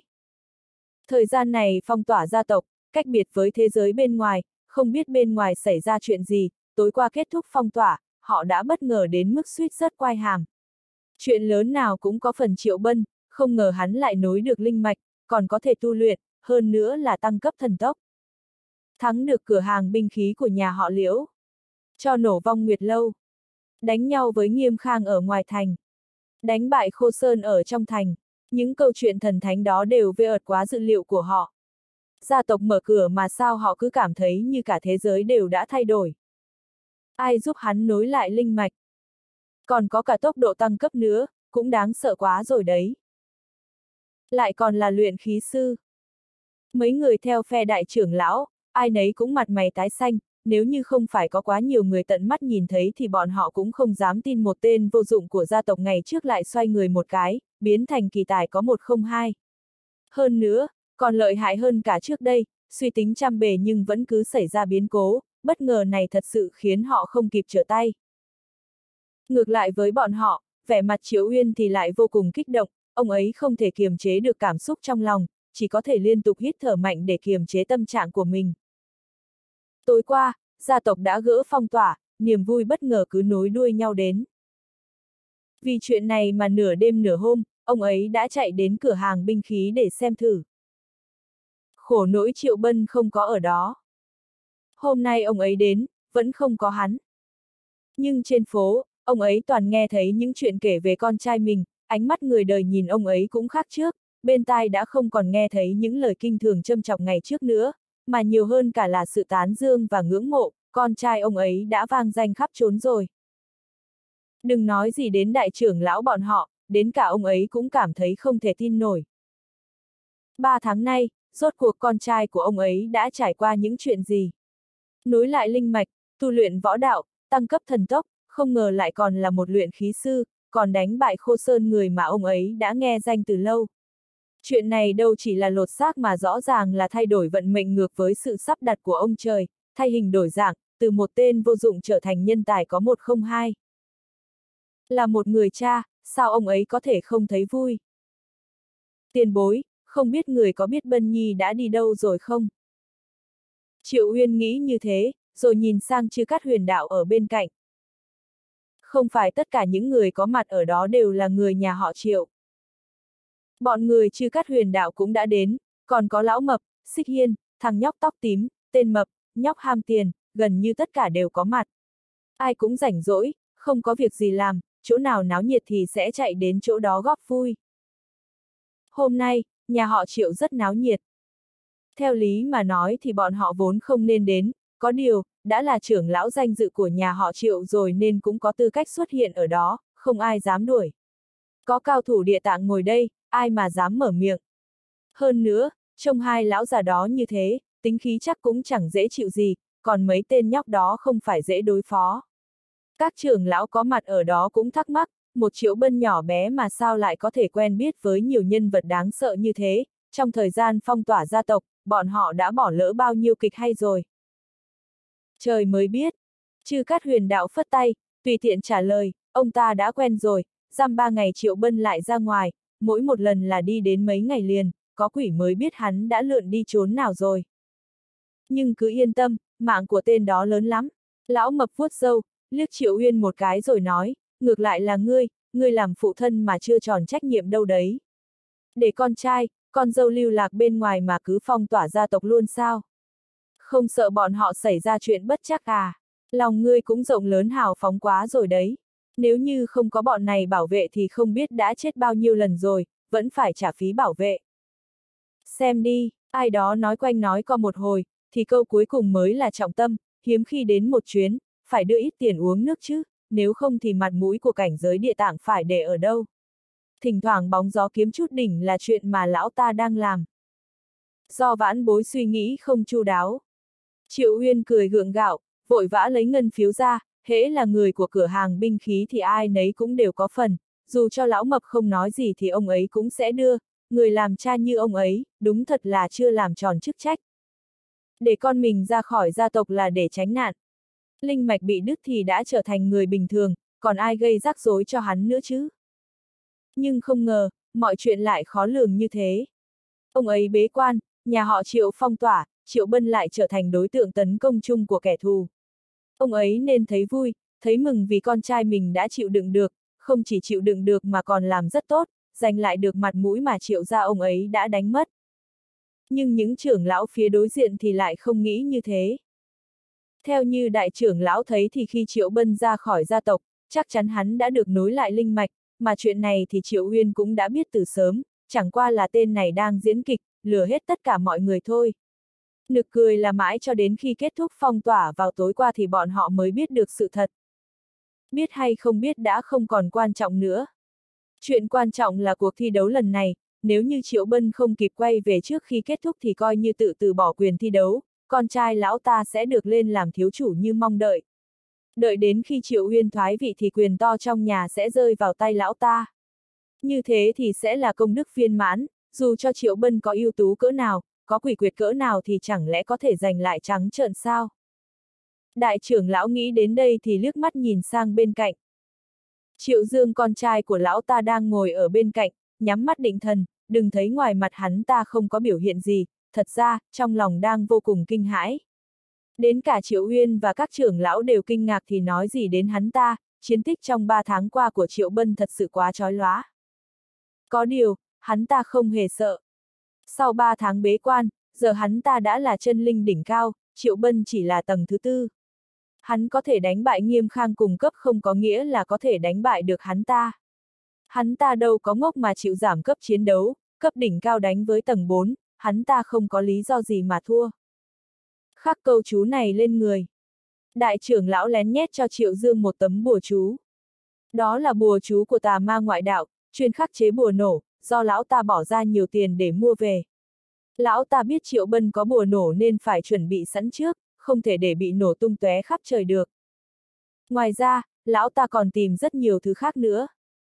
Những thứ này cơ bản đều nhằm vào Triệu Bân, vì trận chiến hôm nay, lão ta đã tốn rất nhiều công sức, bất luận thế nào cũng nhất định phải thắng. Nói thật lòng, ta cứ cảm thấy cái tên đó không vừa mắt. Tên mập lẩm bẩm, tên đó trong lời của hắn ta là Triệu Dương, nếu không phải hắn ta là người ngoài tộc, không thể tham gia thì hắn ta đã sớm nhảy lên đài hạ gục đối phương rồi.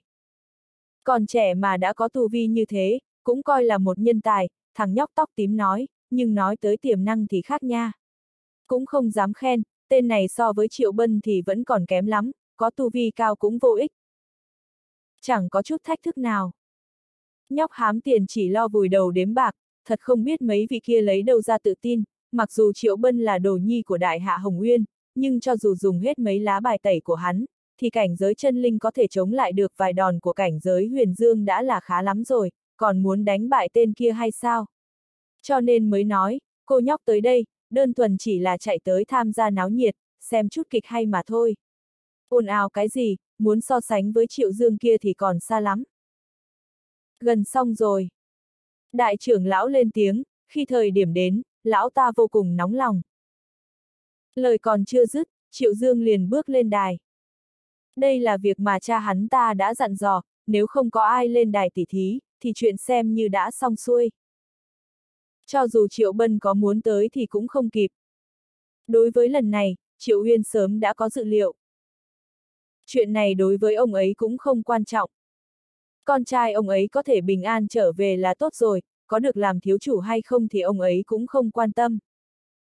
Con trai của ông ấy sẽ là đại bàng bay vút trên bầu trời, triệu gia chỉ là một gia tộc nhỏ, sợ rằng sẽ trở thành gánh nặng cho triệu bân, giống như ông ấy năm xưa, nếu không phải vì áp lực của lão tổ tông, ông ấy cũng sẽ không tranh giành vị trí thiếu chủ.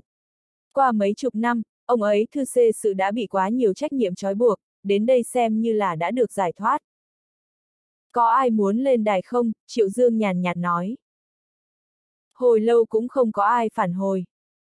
Con em trẻ tuổi của triệu gia không ít, nhưng lại không có ai lên đài, hoặc là nói, đã sớm có một hiệp định nào đó âm thầm diễn ra sau lưng mọi người, ra sức bảo vệ vị trí của Triệu Dương, trong giờ phút quan trọng chắc chắn sẽ không quấy dày, muốn lên chiến một trận cũng không phải là không được, nhưng nếu kéo dài tới khi Triệu Bân trở về thì sẽ hỏng bét. Suy cho cùng, đây vẫn là vấn đề lợi ích. Chỉ có trời mới biết đại trưởng lão đã hứa hẹn cho các trưởng lão khác bao nhiêu thứ tốt. Gia chủ nhà này thật thất bại. Chư Cát Huyền đạo tặc lưỡi nói, pháp nhãn của cảnh giới địa tạng như ông ta có thể nhìn thấy rất rõ ràng, gia chủ nhà này đã bị cả gia tộc cô lập, thật hết sức bi ai.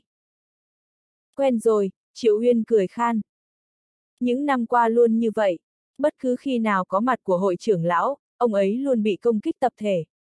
Có thể là vì lợi ích, cũng có thể là vì quyền lực, đã khiến cho một gia tộc không ngừng tranh đấu lẫn nhau trong nội bộ, làm trái nguyện vọng của tổ tông trước khi qua đời. Có ai muốn lên đài không? Triệu Dương lại nói. Bên dưới vẫn không có phản hồi, chuyện này đã sớm thương lượng xong xuôi, có hỏi cũng chỉ là hình thức. Nếu không có ai muốn lên đài, vậy thì... Ta lên. Đại trưởng lão vừa đứng dậy, còn chưa kịp nói xong thì liền bị cắt ngang. Có người tiến lên. Nhưng người tiến lên không phải Triệu Bân, mà là ông chủ tiệm cầm đồ Triệu Gia, Triệu Xuyên. Hắn ta cũng là người của Triệu Gia, đã tới từ lâu, chỉ đứng ở trong góc. Hắn ta vốn không có hy vọng xa vời đối với vị trí thiếu chủ. Lần này hắn ta tiến lên chẳng qua là vì muốn chỉ hoãn thời gian, vị trí đó vốn là của Triệu Bân, nên trả lại cho nguyên chủ, hắn ta không hiểu nhiều đạo lý, nhưng vẫn sẽ cố gắng hết sức, nói hắn ta muốn báo ân cũng được, mà nói hắn ta cảm thấy chán ghét thì cũng không sai, trận này hắn ta nhất định sẽ đánh. Ồ, lão cửu thật có tham vọng không nhỏ, Triệu Khang không ngồi yên, lớn tiếng chế nhạo nói, còn không biết tự nhìn lại phẩm hạnh của ngươi, còn dám tranh giành vị trí thiếu chủ sao? Ta cũng là con em Triệu gia, có quyền tham dự. Triệu Xuyên dừng dưng nói, hắn ta đã không còn nhát gan như xưa nữa, sống khiêm tốn hơn 10 năm, hiếm khi bộc phát dũng khí, cũng hiếm khi tỏ vẻ điên cuồng, để cho đám con em trong tộc nhìn một chút, hắn ta không phải là phế vật, hắn ta cũng có tôn nghiêm. Tốc chiến tốc thắng. Đại trưởng lão nói, chính là đang nói với Triệu Dương, không hề che giấu sự xem thường. Đã đến lúc này rồi, lão ta không muốn xảy ra thêm rắc rối. Một trưởng. Triệu Dương dựng lên một ngón tay mà ngoắc, khí thế lân át. Triệu Xuyên không nói gì, hắn ta cũng hoàn toàn tin tưởng rằng Triệu Dương có thể dùng một trường đánh bại hắn ta. Tuy nhiên, hắn ta cũng không ngu ngốc muốn chiến đấu với Triệu Dương. Hắn ta chỉ muốn chỉ hoãn, đánh không được thì né, né không được thì chạy, tỉ thí mà. Cũng không có quy tắc không được chạy, có thể Triệu Bân sẽ trở về trong khi hắn ta đang chạy, lúc đó thì sứ mạng của hắn ta cũng coi như đã hoàn thành, hắn ta chỉ nghĩ như vậy mà thôi. Bang! Triệu Dương đã di chuyển, một bước đạp xuống, một trường đánh ra. Thật quá uy lực. Tất nhiên là Triệu Xuyên không thể chống lại nổi, lập tức lui về phía sau. Thân pháp của hắn ta cũng rất nhanh. Nhìn thân pháp của hắn ta, có lẽ Triệu Bân đã âm thầm truyền cho hắn ta bí tịch, dường như đây chính là bước phong thần. Sao, không đánh chúng? Sắc mặt của Triệu Dương vô cùng khó coi, một trưởng uy lực của hắn ta cứ như thế mà bị tên kia tránh được trước mặt bao nhiêu người, thật quá mất mặt. Tự tìm cái chết. Triệu Dương hừ lạnh một tiếng, không giấu giếm thực lực nữa, cả thân hình lao lên nhanh như cắt. Vèo, vèo. Triệu Xuyên không đánh nhau với hắn ta, chỉ lo quay đầu bỏ chạy. Lúc này, trên đài khiêu chiến chỉ còn lại rất nhiều tàn ảnh, nhưng Triệu Dương vẫn không bắt được Triệu Xuyên. Chuyện này, hắn ta là Triệu Xuyên đó sao? Các trưởng lão trung lập đều cau mày, có chút bất ngờ. Ta đã xem thường hắn ta rồi. Triệu Khang nhíu mày, ngày thường hắn ta không ít lần ước hiếp Triệu Xuyên, nay cũng lộ ra vẻ kinh hãi, chưa nói đến những thứ khác, chỉ nói đến thân pháp này của hắn ta cũng không phải là thứ mà những con em Triệu gia khác có thể so sánh được. Thật con mợ nó kỳ quái. Một triệu bân, củi mục trở thành thiên tài. Một triệu xuyên, phế vật cũng có thể lột xác. Thân pháp huyền ảo như thế, tên nhóc này học được ở đâu vậy, Triệu Huyên cũng không khỏi kinh ngạc. Triệu Bân dạy cho đó. Bân Nhi. Lão cửu này cũng chỉ mới lĩnh ngộ được một chút xíu mà thôi, tiểu hắc mập vừa ăn trái cây vừa nói, nếu như trên đài là Triệu Bân, thì tàn ảnh kia đã đủ khiến cho tất cả mọi người phải hoa mắt. Triệu Uyên chớp chớp mắt, vẫn khó mà tin được. Chỉ có điều, Ngưu Anh nói không sai, Triệu Xuyên đúng là chỉ học được một chút xíu, còn kém xa Triệu Bân cho dù cũng có bí tịch trong tay. Bởi vì chỉ học được một chút, cho nên chẳng mấy chốc mà Triệu Xuyên đã rơi xuống thế hạ phong, tuy thân pháp huyền ảo, nhưng cũng không tránh được Triệu Dương lâu, trên người đã trúng mười mấy đường kiếm dài. Nhưng hắn ta vẫn chưa thể xuống đài. Tốc chiến tốc thắng, đại trưởng lão hử lạnh một tiếng, sắc mặt cũng tái đi. Tất cả trưởng lão bất ngờ, lão ta cũng bất ngờ. Triệu Xuyên ngày thường chỉ là một tên phế vật, vậy mà hôm nay cũng có thể làm cho lão ta kinh ngạc, tuy không có chiến lực nhưng tốc độ lại khá nhanh, cứ thế chỉ hoãn Triệu Dương, nếu như còn tiếp tục rượt đuổi, e rằng sẽ xảy ra biến cố. Chỉ biết chạy. Triệu Dương quát lên, sử dụng sóng âm bí thuật, đây không phải là bí tịch của Triệu gia. Hự. Triệu Xuyên thét lên, bị chấn động tinh thần không ít. Dù thì hắn ta cũng kém hơn Triệu Dương rất nhiều. Keng, keng. Chỉ trong một chớp mắt, kiếm khí đánh tới, phát ra thanh âm chói tai. Triệu Xuyên phản ứng khá nhanh, trong nháy mắt rút kiếm ra, dốc hết sức chống đỡ. Đáng tiếc, hắn ta vẫn không thể chống đỡ được, bị kiếm khí đánh trúng, phải lui về phía sau. Keng! Triệu Dương lại chém tới, đường kiếm mang theo ánh sáng chói mắt tỏa ra bốn phía. Một kiếm này, uy lực quá mạnh mẽ. Một kiếm này, khiến cho quá nhiều người cao mày, kiếm uy đó rõ ràng là đang muốn giết chết người kia. Triệu Xuyên nếu như không tránh được, chắc chắn sẽ bị một kiếm này giết chết. Ông! Giữa lúc đó, có một luồng sáng từ trên trời rơi xuống, rơi thẳng xuống trước mặt Triệu Xuyên, sau khi nhìn kỹ, chính là kiếm Long Uyên đã chặn đường kiếm giết người kia cho Triệu Xuyên. Đã nói mà, tới sớm không bằng tới đúng lúc. Soạt! Triệu Bân từ trên trời nhảy xuống, đạp lên đài chiến đấu một cái bụp. Chết tiệt! Đại trưởng lão hừ lạnh, lão ta chủ tính đủ loại, thế mà Triệu Bân vẫn đuổi đến kịp. Tam ca! Triệu Xuyên lảo đảo một chút, nở nụ cười. Chán sống rồi hả? Tần Ninh nói, rồi rót một ngụm linh dịch, từng khe máu đều khôi phục như cũ. Triệu Bân, ta chờ ngươi lâu lắm rồi đấy. Triệu Dương lạnh lùng nói, trong lòng hơi rụt rè, nhưng khí thế vẫn phải bày ra. Xuống đi, để ta cho. Triệu Bân vỗ vai Triệu Xuyên, thần sắc đã lạnh hơn nhiều. Một kiếm ban nãy đủ để lấy mạng Triệu Xuyên. Hắn đã xem thường Triệu Dương quá rồi, hung ác như vậy, không nhận người thân. Ta cũng không nghiêm minh đâu. Triệu Dương cười lạnh, ngụ ý rất rõ ràng, hắn ta sẽ không nương tay, hắn ta nhất định phải có được vị trí thiếu chủ, cảnh giới chân linh đỉnh phong với tầng 4, hắn ta sẽ không thua. Triệu Bân không đáp, có lẽ là rất tùy ý. Keng! Triệu Bân không nói nhảm, lập tức tấn công, một kiếm chém mạnh ra một vùng kiếm khí.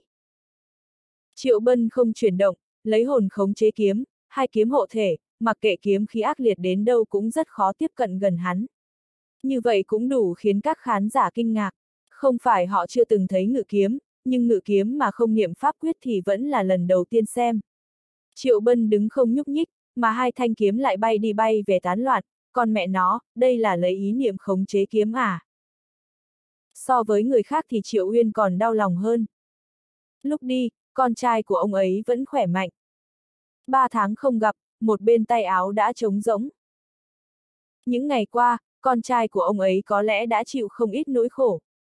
Nếu không có chư cát huyền đạo lôi kéo, có lẽ ông ấy đã sớm xông lên đài, nhưng vì sợ Triệu Bân phân tâm nên không làm. Qua! Wow. Đang lúc đấy, đại bằng quay vòng, hạ xuống võ trường. Đừng nhìn bề ngoài nó không ra sao, nhưng bá khí ẩm ẩm, rơi xuống tạo ra một hồi gió lốc.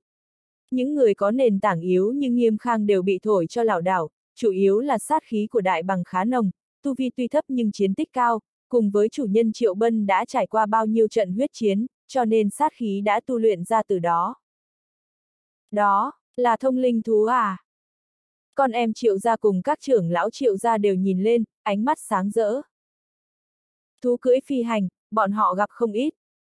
Có điều, bọn chúng đều được nuôi trong chuồng, đây là lần đầu họ được thấy thông linh thú. Vì cực kỳ ít người thông hiểu thuật thông linh, hoặc có lẽ là, vì yêu cầu nghiêm ngặt, phải cần dòng máu đặc thù mới có thể, người bình thường muốn cũng không được. Không một ai biết Triệu Bân làm kiểu gì. Đứa nhỏ nhà ai kia? Trông thấy đại bằng, đương nhiên cũng thấy tiểu linh lung. Triệu Bân đi xuống trước, còn cô ta vẫn ngồi bên trên, tay nhỏ nắm chặt lông của đại bằng, chỉ sợ không cẩn thận mà té xuống, đệ tử chân truyền của đại hạ Hồng Uyên chết vì té ngã thì nhục không thể đâu cho hết. Soạt! Lão mập đưa tay, cách không kéo cô ta xuống, ôm vào ngực, dò xét một lượt. Da thịt hồng hào mũm mĩm, đúng là đáng yêu quá đi mất. Chư cát huyền đạo cũng không trung thực, duỗi tay nhéo gương mặt nhỏ. Đều là ông già cả, ai cũng thích trẻ con, đây có lẽ là sự thân thiết cách thế hệ trong truyền thuyết, có điều, chức vị của tiểu linh lung còn cao hơn bọn họ ấy chứ. Tính từ đại hạ Hồng Uyên thì lão huyền đạo còn phải gọi cô ta là sư thúc cơ đấy. Nhóc con này có khung xương thật kỳ lạ. Lớn lên chắc chắn sẽ là một mỹ nhân. Nào, cười cho ông xem cái đi. Lão mập, trừ cát huyền đạo, thằng nhóc tóc tím với tên mập tụ tập nói nhảm, nhưng nghiên cứu bảo bối, vây quanh tiểu linh lung, lúc thì lấy tay xoa bóp gương mặt nhỏ, nắm bóp chân tay, mà nụ cười không bình thường chút nào. Khuôn mặt của tiểu linh lung cũng đen đi mấy phần. Phản lão hoàn đồng nên vẫn lúng túng như cũ, cái đám lão bất tử, phường danh con này, gan to thật. Chờ bà đây khôi phục tu vi, không đánh cho các người khóc thét thì không xong đâu. So với bọn họ, nhóc ham tiền với xích hiên chỉ chớp mắt một cái, thấy cô bé đáng yêu nên bộc phát tình yêu thương của mẹ. Đám người này thú vị thật chứ. Trên đài thì đang chiến đấu kịch liệt, không ai thèm xem, một mực đi nghiên cứu cô bé này, như kiểu không phải đến xem đánh nhau mà đến để tụ tập nói chuyện phiếm vậy. Cũng đúng thôi, Triệu Bân lên sàn rồi, có xem hay không cũng không khác gì. Triệu Dương không bao giờ là đối thủ của hắn. Chính xác là, khoảng cách không chỉ có một chút. Từ lúc bắt đầu, Triệu Bân không hề động dậy, như một pho tượng đá sừng sững, chỉ lấy hồn khống chế kiếm. Hai kiếm tấn công mạnh mẽ, đã sớm được hắn diễn luyện vô cùng linh hoạt. Nhìn hai thanh kiếm cứ như hai luồng ánh sáng, đánh cho Triệu Bân liên tục lui lại, vết máu trên cơ thể xuất hiện không ngừng. Đây là thuật ngự kiếm sao? Rất nhiều người kinh ngạc, thật sự không biết Triệu Bân đã khống chế kiếm như thế nào, mà ngự kiếm đến mức tinh diệu như thế. Giống như đây không phải khống chế kiếm, mà là có người cầm kiếm tấn công, kèm theo chiêu kiếm ảo diệu, tầm mắt không đủ, đều thấy không rõ thức kiếm, chỉ thấy hai luồng ánh sáng kia bay tán loạn, tiếng kiếm xé gió vang lên, chấn động tâm trí. Chỉ nguyên khí thế như vậy thôi, bọn họ không thể nào sánh nổi. Sao lại mạnh như vậy chứ, đại trưởng lão ngồi không yên. Vì cuộc tỉ thí hôm nay, lão ta đã hao tổn tâm huyết rất nhiều. Lão ta đã chuẩn bị rất nhiều át chủ bài cho Triệu Dương nhắm vào Triệu Bân, ví dụ như bùa nổ, như thân pháp của Triệu Bân, bao gồm cả thông linh thú các thứ, lão ta đều đã tìm ra phương pháp ứng phó. Đến lúc chiến đấu mới biết, những gì lão ta chuẩn bị đều vô dụng hết. Triệu Bân không thèm nhúc nhích, chỉ dùng thuật ngự kiếm cơ bản nhất. Chỉ vậy cũng khiến cho Triệu Dương đứng không vững. Ba tháng qua, hắn đã trải qua những gì vậy? Con em Triệu gia, đặc biệt là những người từng sỉ nhục Triệu Bân đều ngẩn ra, nhìn khí huyết đó bành trướng ra, khí thế cũng hùng hậu vô cùng. Chỉ ba tháng. Một phế vật lại luyện được đến cảnh giới này, quá đáng sợ. Đứng im như núi, khó biết nông sâu. Các trưởng lão trung lập đều vuốt râu, con người thâm thúy. So với Triệu Dương, Triệu Bân dường như càng thích hợp làm thiếu chủ hơn. Triệu Dương không có được tâm tính như hắn, còn thiên phú thì Triệu Bân đủ đè chết Triệu Dương. Thử nghĩ mà xem, một phế thể đứt mạch chỉ trong ba tháng mà đã có thành tựu cỡ đó rồi, Triệu Bân yêu nghiệt cỡ nào chứ? Nếu như dùng đến át chủ bài, chỉ trong ba chiêu là Triệu Dương sẽ thua không nghi ngờ. Áp chế tu vi trước mặt Triệu Bân dường như cũng chỉ để trưng mà thôi. Nói đến nội tình, Triệu Dương cảnh giới chân linh đỉnh phong lại kém xa cảnh giới chân linh tầng 4. Triệu Bân chỉ còn một cánh tay, nếu tứ chi đầy đủ thì e là càng không sánh được. Đó là con trai ta sao? Triệu Uyên lẩm bẩm, cũng thấy bàng hoàng, chưa đến mức lắp bắp. Cũng phải xem hắn là đồ nhi của ai. Chư Cát Huyền đạo ôm tiểu linh lung, vừa trêu chọc, vừa tùy ý nói. Xin hỏi tiền bối, sư phụ của Bân Nhi là Hồng Uyên, đại hạ Hồng Uyên. Hồng. Triệu Uyên bật thốt lên một chữ, chữ còn lại thì mắc ở trong cổ họng. Trong nháy mắt, ông ấy ngồi không vững được nữa. Thân là người đại hạ, sao có thể không biết đại hạ Hồng Uyên? Đó là thiên hạ đệ nhất được công nhận đấy. Thế mà lại là sư phụ của con trai mình. Cho đến giờ, ông ấy mới biết vì sao Triệu Bân lại lột xác như vậy. Đại hạ Hồng Uyên là ai chứ? Nghe nói đã đạt cảnh giới chuẩn thiên, thủ đoạn thông thiên, một người bị đánh gãy linh mạch làm sao có thể làm khó được ông ấy. Triệu Uyên chỉ không biết Triệu Bân đã bái đại hạ Hồng Uyên làm sư phụ như thế nào, ánh mắt của người số một thiên hạ chắc chắn vô cùng hà khắc. Con trai của ông ấy đã vượt qua được bài kiểm tra sao? Triệu Uyên lúc này đã đứng ngồi không yên. Nói chính xác hơn là hơi choáng, cảm thấy không chân thực. Ánh mắt của tiểu linh lung cũng hơi liếc chéo sang. Nhìn đi, cái thằng nhãi triệu bân kia quả nhiên đã dùng tên tuổi của sư phụ cô ta để lừa gạt. Ví dụ như lão huyền đạo cũng bị lừa hết cả, có thể diễn xuất ra khí thế cảnh giới thiên võ, thì đúng là một thiên tài. Phập. Trong lúc ấy, Triệu Dương ở trên đài lại phun máu, bị chém đến mức lùi về sau liên tục. Người khó chấp nhận được nhất vẫn là hắn ta. Mà khó chịu nhất cũng là hắn ta. Thật sự đối đầu với Triệu Bân, hắn ta mới biết tranh lệnh của hai người, cả hai không cùng đẳng cấp. Càng là vậy, hắn ta càng không tin. Hắn ta là cảnh giới chân linh đỉnh phong mà. Triệu Bân mới chỉ đến cảnh giới chân linh tầng 4, kém 5 cảnh giới nhỏ cơ mà. Chỉ là một thuật ngự kiếm cơ bản mà cũng đánh cho hắn ta đẫm máu liên tục. Hắn ta kiêu ngạo từ lúc ra đời, chưa từng bị đả kích đến vậy. Một giây trước còn là thiên được, một giây sau đã là địa ngục. Hắn ta thật sự cảm thấy khó chịu. Bang, bịch. Tiếng kim loại va chạm bên tai không dứt, lửa tóe ra từng tia. Triệu bân ngự kiếm công phạt. Triệu dương múa kiếm chặn lại. Một người đứng im như núi, một tên chật vật xấu xí, đánh nhau cuồng nhiệt. Tên nhóc kia chắc chắn phải có võ hồn. Lão huyền đạo vuốt dâu, cũng chỉ lão mập nghe được. Có điều, tiểu linh lung cũng nghe ra. Sao giờ ngươi mới biết hắn có võ hồn? Không niệm pháp quyết khống chế thì hiển nhiên là lấy hồn ngự kiếm rồi. Lão mập vung tay, tựa như hiểu biết rõ hơn lão huyền đạo. Đến nước này mới chính thức có kết luận. Chính vì nhìn ra nên mới thấy kinh hãi. Triệu Bân mới chỉ ở cảnh giới chân linh, mà tinh thần đã có thể lột xác võ hồn. Lại là Đại Hạ Hồng Uyên giúp hắn hay sao? Nếu là như vậy, thì Đại Hạ Hồng Uyên quá đáng sợ đi. Thiên hạ đệ nhất quả nhiên không phải để trưng. Bảo sao mà Khô Sơn thua, cùng là luyện khí sư, một bên tinh thần, một bên võ hồn, thắng được mới lạ. A à, Triệu Dương gào lên, khí thế tăng mạnh, tức thì, một cơn sóng trào cuộn lên. Không phải bí thuật của triệu gia, uy lực không tầm thường, bị dìm trong đó, dù có không bị chết đuối cũng sẽ bị tiêu diệt. Triệu bân ngửi được sức mạnh cấm kỵ bên trong, có lẽ là một loại cấm thuật đáng sợ nào đó. Đánh bao lâu rồi, chiều này coi như tạm tạm. Thằng nhóc tóc tím không nhìn đài chiến đấu, là một đứa nhóc chuyên tâm, chỉ trêu chọc tiểu linh lung. Gương mặt nhỏ của người ta đã bị sờ soạng không biết bao nhiêu lần. Không thể không nói, cảm xúc không tệ, đứa nhỏ này đáng yêu ghê. Keng! Tiếng kiếm vang lên, triệu bân ngự kiếm Long Uyên đến trước, chuyển động liên tục, có khí thế của rồng quanh quẩn, ánh sáng bao bọc, bên trên còn có chữ vạn nở rộ, kiếm huy mãnh liệt, một kiếm bổ ra cuộn trào như sóng biển. Phốc! Triệu dương phun máu, lui lại liên tục, mỗi một bước đều khiến đài chiến đấu nứt ra. Keng!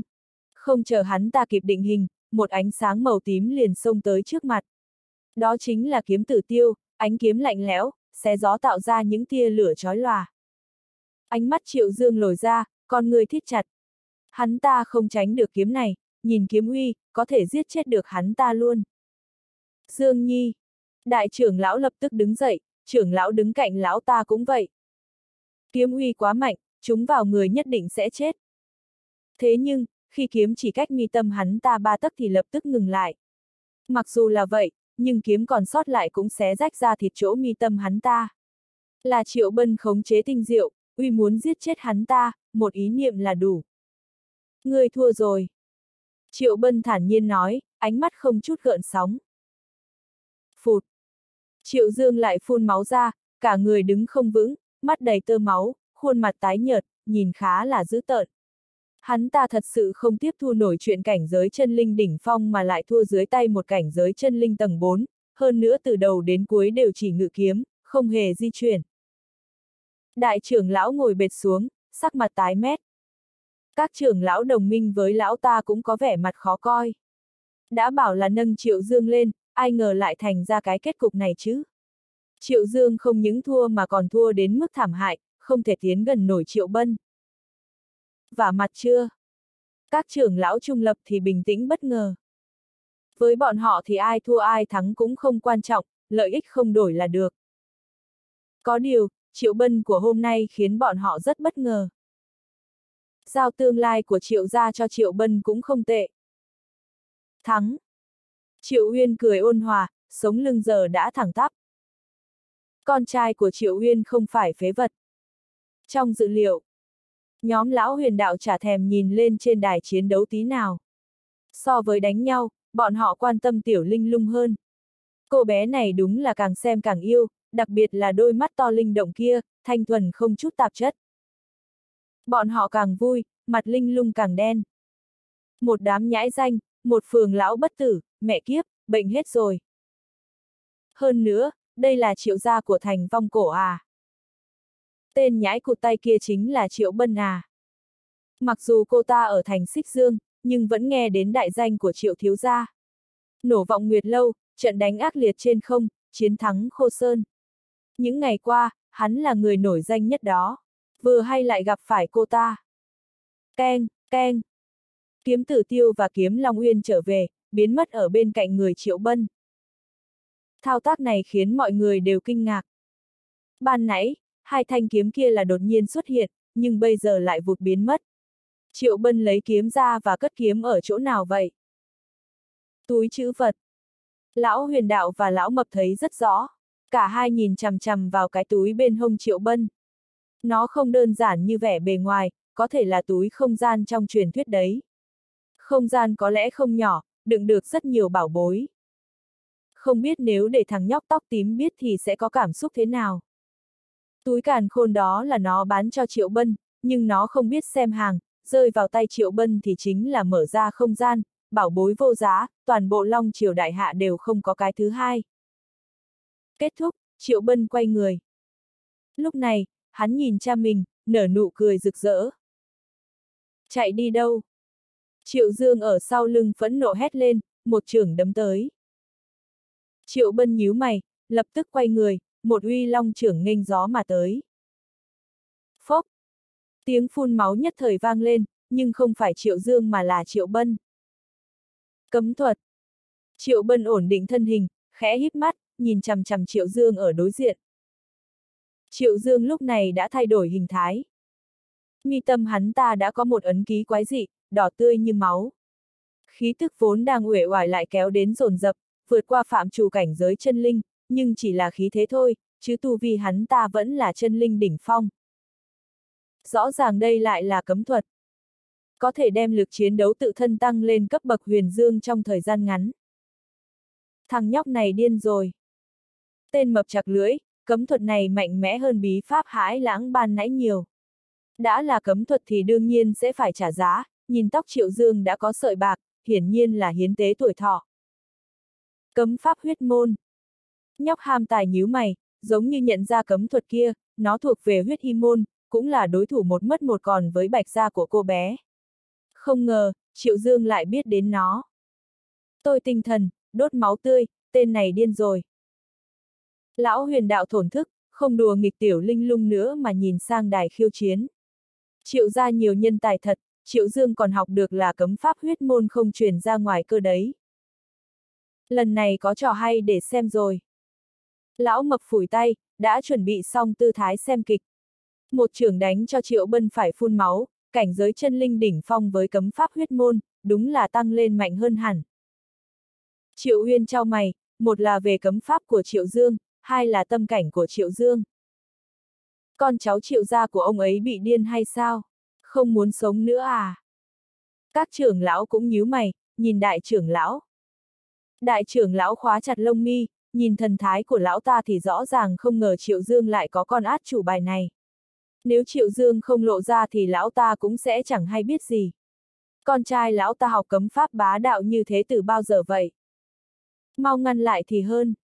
Có trưởng lão lên tiếng, là nói với đại trưởng lão, cấm thuật cắn ngược rất đáng sợ. Như Triệu Dương mà không đủ mạnh thì rất có thể sẽ bị phế. Thắng đã rồi nói. Đại trưởng lão hít sâu một hơi, cắn răng nói. Cấm thuật cũng mở rồi, bỏ cái giá cao như thế, còn hơn cả thiếu chủ nhiều. Nếu cắn ngược, lão ta tìm linh dược áp chế cho Triệu Dương là được. Cho nên nói, Triệu Dương điên, lão ta cũng điên theo rồi. Vẫn là lợi ích và quyền lợi làm cho lão ta mất hết sự bình tĩnh. Triệu Bân, không ngờ tới phải không? Triệu Dương cười âm hiểm, lúc này hắn ta không chỉ giữ tợn mà còn giống ác quỷ nữa. Triệu Bân không đáp, khí thế nháy mắt tiến lên đỉnh phong. Triệu Dương có lực chiến đấu cảnh giới huyền dương, vậy hắn cũng phải vận dụng toàn lực thôi. Giết! Triệu Dương giống lên, một bước đạp nát đài chiến đấu, xông tới với khí huyết bạo ngược. Hắn ta của hiện tại như một đại ma đầu, một trưởng mạnh mẽ bạo liệt, khí thế kéo lên đến cực điểm, ánh mắt đã mất đi sự thanh tỉnh. Triệu Bân không đối chọi, chân đạp bước phong thần né qua. Điều khiến hắn kinh ngạc là, Triệu Dương lúc này lại đuổi theo kịp tốc độ của bước phong thần. Một trưởng như đao sắc bổ xuống. Nếu là cảnh giới chân linh tầng 4 bình thường thì chắc chắn sẽ bị chết tươi ngay. Lực chiến đấu của cảnh giới huyền dương cực kỳ mạnh mẽ. Trong một ý niệm, hắn lại tránh đi. Triệu Dương vẫn đuổi kịp tốc độ kia như cũ, một quyền một trưởng đấm vào. Khóe miệng Triệu Bân chảy máu, lui lại từng bước. Không kể cái khác, chỉ nguyên sức mạnh thì hắn đã kém hơn. Giết! Triệu Dương như một con sư tử điên cuồng, nhào tới trước mặt, khí khát máu càng nồng đậm. Triệu Bân không sợ, đón đầu mà tới, há miệng một tiếng hổ gầm long ngâm, cộng hưởng với võ hồn. Một tiếng giống mang theo tiếng rồng ngâm mơ hồ, sóng âm cực kỳ mạnh mẽ. Hự! Triệu Dương hự một tiếng, bị sóng âm tấn công, đầu óc nhất thời choáng váng. Hắn ta đúng là có lực chiến đấu ở cảnh giới huyền dương, nhưng lực tinh thần thì không kháng nổi. Chỉ trong giây phút ngắn ngủi, Triệu Bân đã lần đến trước người hắn ta, sử dụng đấu chiến thánh pháp. Tuy chỉ còn một tay nhưng đồn tấn công vẫn bá đạo như cũ, chiêu thức ra tay không có kết cấu gì, hoặc là, phá vỡ quy tắc thông thường, tất cả chiêu thức đều mang theo tiếng rồng ngâm. Triệu Dương trở tay không kịp, lui lại liên tục. Có lực chiến đấu của cảnh giới huyền dương không có nghĩa là có tinh thần chiến đấu của cảnh giới huyền dương. Sức mạnh đáng sợ như thế, hắn ta khó mà khống chế được, liền rơi xuống thế hạ phong. Triệu Bân thì khác, đã từng chém giết cảnh giới huyền dương, đã từng đi qua sóng to gió lớn. Tinh thần chiến đấu của hắn đến cảnh giới huyền dương bình thường còn không bằng. Cũng vì đấu chiến thánh pháp quá mạnh mẽ đi. Triệu Dương thấy mình không còn phân được đông tây nam bắc nữa, chỉ thấy hoa mắt, nhìn không thấu đường đánh của Triệu Bân. Trong lúc lui về, ngay cả cơ hội thở cũng không có, muốn phản công nhưng Triệu Bân không cho thời cơ, một đường đại bại. Kỹ năng cận chiến thật mạnh. Trưởng lão Trung Lập kinh ngạc vô cùng, chỉ có một cánh tay, cảnh giới tầng 4, thế mà dám đánh chính diện với Triệu Dương có cảnh giới huyền dương. Hơn nữa lại còn lấy mạnh đánh mạnh, nền tảng của Triệu Bân lại một lần đổi mới, khiến bọn họ khiếp sợ. Không thể nào. Nụ cười của đại trưởng lão lúc này tan đi sạch sẽ. Cứ tưởng lực chiến đấu cấp huyền dương có thể hoàn toàn nghiền nát Triệu Bân. Ai mà ngờ là bị đánh cho đứng không vững đến vậy chứ. Cực nhầm bên rồi sao? Mà mấy trưởng lão ở cùng phe với đại trưởng lão cũng lẩm bẩm một tiếng. Thiên phú, tâm cảnh chiến đấu của Triệu Bân đều vượt qua dự liệu. Nếu như bỏ đi lập trường, Triệu Bân hoàn toàn thích hợp làm thiếu chủ hơn Triệu Dương, và cũng có tiền đồ hơn nữa. Hắn là yêu quái à? Con em Triệu gia đã tái mặt lại. Ngày xưa họ sỉ nhục Triệu Bân như thế nào thì hôm nay bị vả mặt đùng đùng. Lực chiến đấu cảnh giới huyền dương còn bị đánh như vậy, nếu bọn họ bị đánh thì sẽ thành bã mất. Triệu Uyên thở phào nhẹ nhõm. Con trai của ông ấy lại khiến ông ấy chấn động thêm lần nữa. Thật đáng ngạc nhiên. Mấy người ở cửa hàng binh khí đi tới đều yên vị, sớm biết Triệu Bân đánh nhau giỏi rồi, mà giờ cũng chỉ là đánh quy mô nhỏ thôi.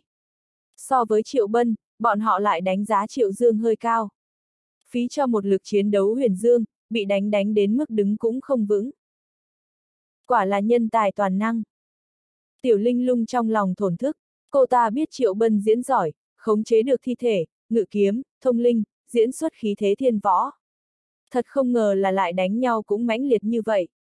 Tiểu bối cảnh giới chân linh tầng 4, cô ta gặp không ít, nhưng hung hãn như Triệu Bân thì đúng là lần đầu.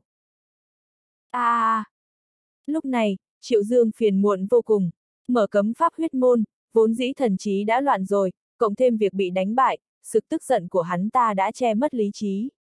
Một tiếng gào này đủ để thể hiện được sự điên cuồng của hắn ta. Tuy nhiên, gào vậy cũng vô dụng. Gào càng mạnh thì bị đánh càng ác. Hắn ta mạnh đấy, nhưng Triệu Bân còn mạnh hơn. Người đánh phụ cận chính là một bộ đấu chiến thánh pháp, chiêu sau bá đạo hơn chiêu trước, có trời mới biết Triệu Dương ho ra bao nhiêu máu, cũng có quỷ mới hiểu được hắn ta phải chịu bao nhiêu lần công kích. Đừng nói đám đại trưởng lão, đến Triệu Uyên còn không nhìn nổi nữa là. Kết thúc. Triệu Bân hừ lạnh, nắm lấy một cánh tay của Triệu Dương. Triệu Dương đầu váng mắt hoa, bị quăng đi cực mạnh.